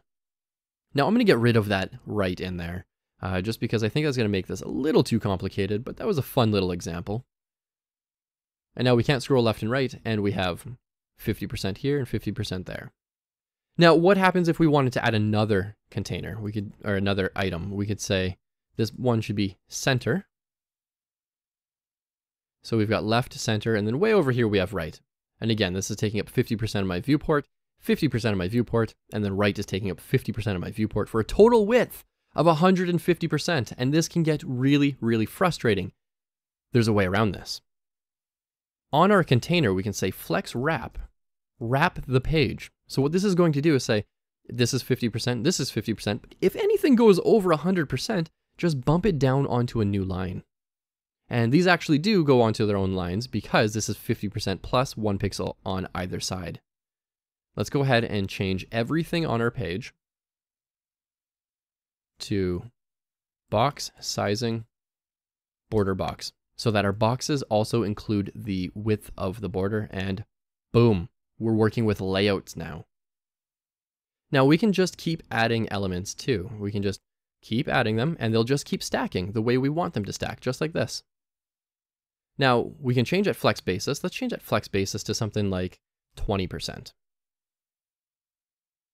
And now we have 10 cells, all sort of side by side, nice and tight together and they are flexible. Meaning we no longer need to use tables, we no longer need to use floating or position absolute with relative and things like that. We can use Flexbox to put things side by side. Now, this is not the greatest example. A better example is going to be if we do this. Let's create in our container div, and this is going to be called navigation. So let's give this a class of navigation. And we're going to create another one called content. Content in here. And so what I can say is, let's keep the box sizing. Let's keep our container to be display flex and flex wrap, so it wraps onto a new line if we want it to. Let's go ahead and get rid of this. This stuff in here, except the border. And we're going to effectively restart. Okay, So we don't have a flex basis or a flex box. width is a way you can think of it. We need to set that width now. Now, we don't want to necessarily set the flex basis on both of these. This is selecting the container and both divs. We want to select it on the navigation and content. So let's go ahead and type navigation. Let's give this a flex basis of 20%. And is it allowed to grow? Flex grow. Nope. Is it allowed to shrink though? Flex shrink. Yeah, we're going to say it's allowed to shrink if it needs to. Okay, so that's 20% of my viewport width. That's this entire white section that we're looking at here. And for content, let's do dot content flex basis is equal to 80%, the remainder of 100% minus 20%. And let's do the same thing here where we say flex grow and shrink. But the content is more important. So is it allowed to grow? Yeah. Is it allowed to shrink? Let's say no. Now we have some content in there. And we can get rid of all that in there. And we can do all sorts of stuff. We can say h1, hello world, paragraph with a lorem. Uh, we could do another h2, another heading, hello world again. We could do another paragraph with some lorem in there. And boom, we have navigation. We have content. We have a page layout. We can even, if we wanted to, put a header in here. We can do dot header. And let's go ahead and style our dot header. Let's say dot header. Flex basis is 100%. Can it grow? No, we don't want it to be more than 100%. Can it shrink? Flex shrink. No, it needs to be 100% all the time. Let's say the header needs to have a background color of FFF. Nope. Let's do CC, CCC. Let's say the color needs to be 555. Border bottom, two pixels, solid black. Okay, that almost worked. We just need some actual content in there. So header. Look at that. Okay, that looks kind of terrible. I mean, I can't live with that in good consciousness. Uh, so let's do background colors equal to F5, F5, F5. Color is going to be black. Padding is going to be 20 pixels. There we go. And if we go ahead and get rid of that border, and because it's the only thing in there, we can get rid of all of it, but let's just comment that out so you can access this code later if you wanted to. We have some sort of table layout, or not a table layout, but in CSS 101, we did this with a table. In CSS 201, please don't use tables anymore. We don't need tables for layouts. We can now use Flex. And this is the way you should be creating page layouts in the future. Flex or grid. We'll talk about grid in the next lesson. Now, what I would like you to do is spend probably 20 minutes, maybe even more. Uh, you're going to want to set display flex on a parent element. So we have our parent element. All the child elements will be flex items. That's what they're called, flex items. So we've got a navigation, content, and header item. And then I want you to set the flex basis of them. See if you can get flex wrap to work, flex grow and shrink. Mess around with that, see, see if you can get that to work for you or not work for you, and get a feel for how it's supposed to work. And I want you to, before moving on to grid, create something that looks a little bit like this. Now, it doesn't need to look beautiful. We're focusing on the layout here, where we have a left column here, we have a right column here, and we have a row on the top called header. Go ahead and give that a shot. Remember, if you get stuck, ask questions down below. Ask questions in the Learning to Code Facebook group. There are a lot of us who know a lot about Flexbox. We can help you at a moment's glance. Grid is an even better way to create a page layout. It's more advanced than Flexbox, and it's specifically designed to be good at making page layouts. So while Flexbox has its purpose, like being able to vertically align things, which is nice, we didn't cover that. Uh, that's something you might want to go and Google on your own time, though, as a little extra homework. Uh, Grid is not designed to do that. Grid is literally for a template layout. So when it comes to Grid, there are a few things we need to know. There are columns, rows, and gutters. And these gutters, we call them gaps.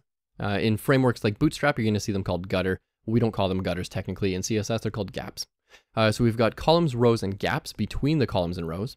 And like an HTML table, we can make each cell span one or more columns or rows. So let's dive into this. So let's go ahead and create our first grid. Let's create an ID in here. And I got to change that from Django template back to HTML.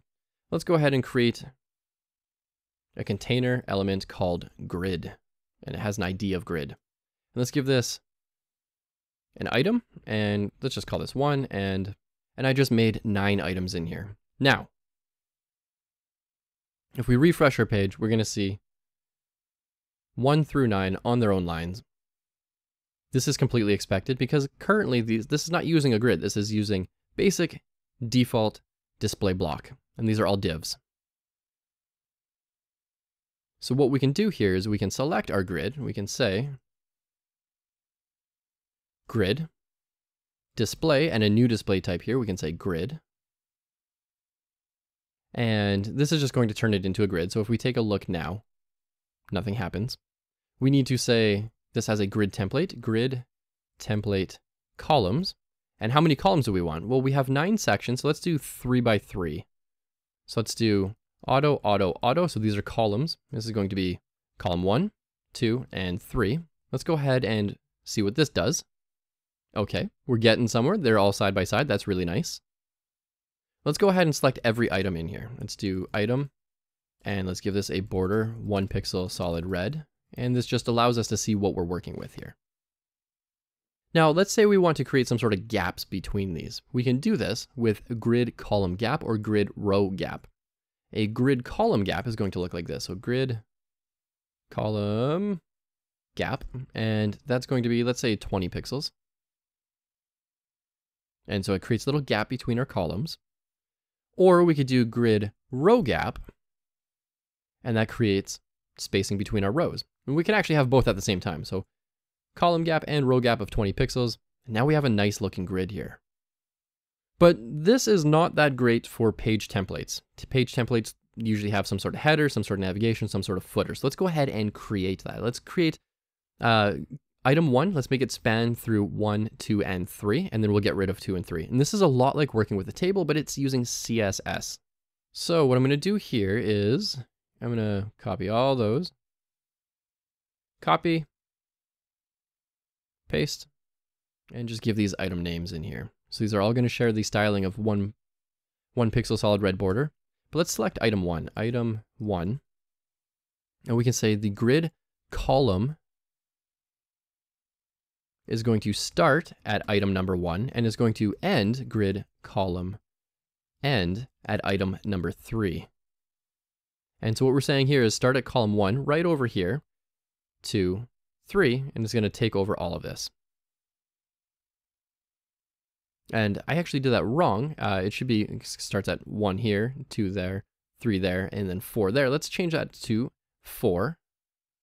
And item one is now going to be a header. And it displaced, it dislodged number two and three. So if we wanted to, we could get rid of those if we wanted to. We don't need to. Uh, let's go ahead and actually get rid of two and three. So item two and three, there we go. Now let's merge 6 and 9 together. And we can do that with grid row start and grid row end. And we want to work with item 6 here. So let's do item 6, grid row start. Where is this going to start? 1, 2, 3, 4. So let's say this starts at 2. And let's do grid row end and one, two, three, four. Let's do four. And occasionally I actually get these mixed up. Uh, yeah, there we go. Did that right. And so now we dislodged the ones that were just after it. So let's go ahead and try to touch this up. Now, sometimes when you're learning this, it's a little bit of a guesswork, uh, but we now have row six. Right, so we've got one, four, five, and six.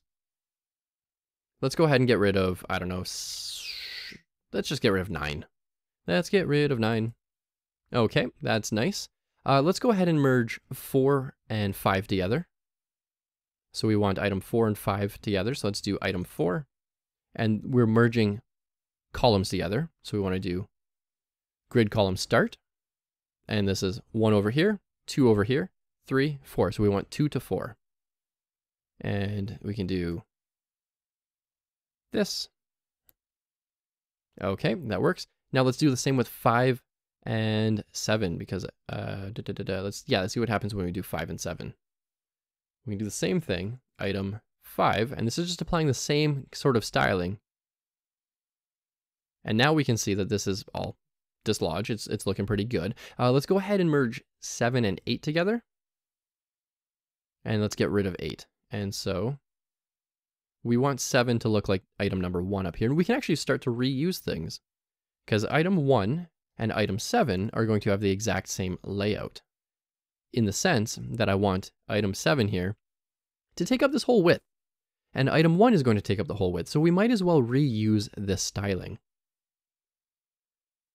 Now, we have something to work with here. We have a header up here. We have a footer down here. We have perfect spacing. We have a navigation section or maybe an advertisement section. We've got some content for the top content, maybe like a summary section and the content of the page.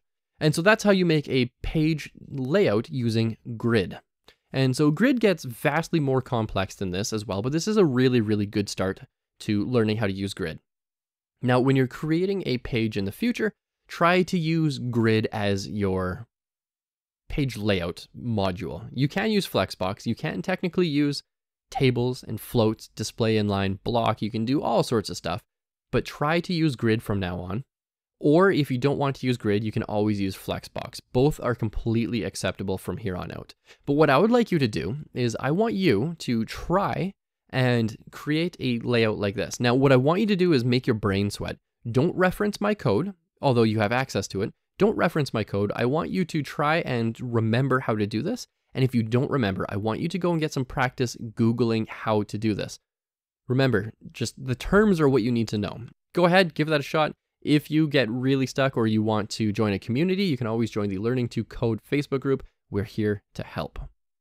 Your final project is going to be find a really nice website design and replicate it as much as you possibly can. You're going to run into a plethora of hurdles. It's going to be really hard. It's going to be really good practice. I would say just do the best that you possibly can uh, and just have some fun with it. If, if you can't make it perfect, that's totally fine. So what I would like you to do open up your favorite browser, go to pinterest.com, and just type in web design or web design inspiration, web design layout, anything like that. Uh, let's do web design inspiration. And create a nice looking site. You know all the pieces, and don't forget to break things down into smaller components. Don't try to look at a page and be like, oh, I don't know how to do all that. Break it down into small components. So a good one would be like this one. And this is a Squarespace website template apparently. But what you can do is you now know how to make this navigation up here. You know how to make things center. You know how to select these, the center element for your logo. You know how to make a hero. You know about padding and margin. So you have this section covered already. Down here, we have uh, like a little card you have that section covered already. So just style. It doesn't need to be functional. It doesn't need to be an actual carousel and slide and everything. Uh, but you do want to make sure that it does have like a background color, that the layout's nice. You can try adding in arrows and things like that. Uh, this section here would also use a grid. This is a really good candidate for grid. And then you just use background images. So you can go ahead and get started with something like that. If you don't want to do that particular site, that's totally okay. You don't need to find that one either. Uh, you can go and you know, if you're feeling really spicy, you can try to do something like this with all the angles. Uh, you can use uh, transform to skew things, to rotate things, to use like uh, this section here would actually be a square and then it would just be rotated a little bit and so that it meets right in the middle. Um, yeah, give that a shot. Don't forget to break things down. Like this could be Flexbox. This would be Flexbox, not necessarily grid, but Flexbox. And this one would just have a margin top of an extra like 50 pixels. So what I would like you to do is go ahead and give this a shot uh, and just try to break it down piece by piece. Don't, don't try to tackle all of it all at once. Maybe tonight you try to do like the navigation and tomorrow you try to do the hero section and the next day you try to do the next section. Take your time with it, have some fun with it, uh, and really try to get into the nitty gritty of CSS everything you've learned in this course is applicable to these style of designs. These designs are pretty wild, actually. Uh, and to be totally honest, this is a very, very advanced design. Um, so maybe, you know, if you're not feeling comfortable, don't start with that one. But you can start with something like this. This is a really good one. It has your navigation, it has a header, it's got a button in there. Uh, it's got different font sizes, different font types. Uh, you've got different styles in here. So this could be flexbox as well, or floating, or position relative, or position absolute. Um, you can try anything like that. I would say try one of these. If you want to start with something easier, I would say go to rocketman.learnwagtail.com and just try to recreate this site. Just this page, not all of it, not all the pages on here, uh, just this page. So you've got navigation in here, it's nice and simple. You've got background image with a gradient on top. You've got a button, you've got different text, you've got different fonts, so custom web fonts. In here we have Flexbox, we have two cards side by side. Uh, in here we would have two cards side by side, but this one's using position relative and position absolute to sort of bump it over just a little bit so it's layered on top using a Z index. Uh, same thing with this, just the opposite way. Instead of moving left, this section is moving right. And in here, we could use grid or flexbox. I would suggest flexbox for this one. And then you could use grid down here. Go ahead and give that a shot. Uh, I know it's a lot to take in, but honestly, and I cannot stress this enough, start small. Start with just a navigation, start with just the header. Take your time on it. Google a lot, ask a lot of questions. I'm here for you. The Learning to Code Facebook uh, community, they're all here for you. Go ahead and give this a shot and feel free to share your progress along the way.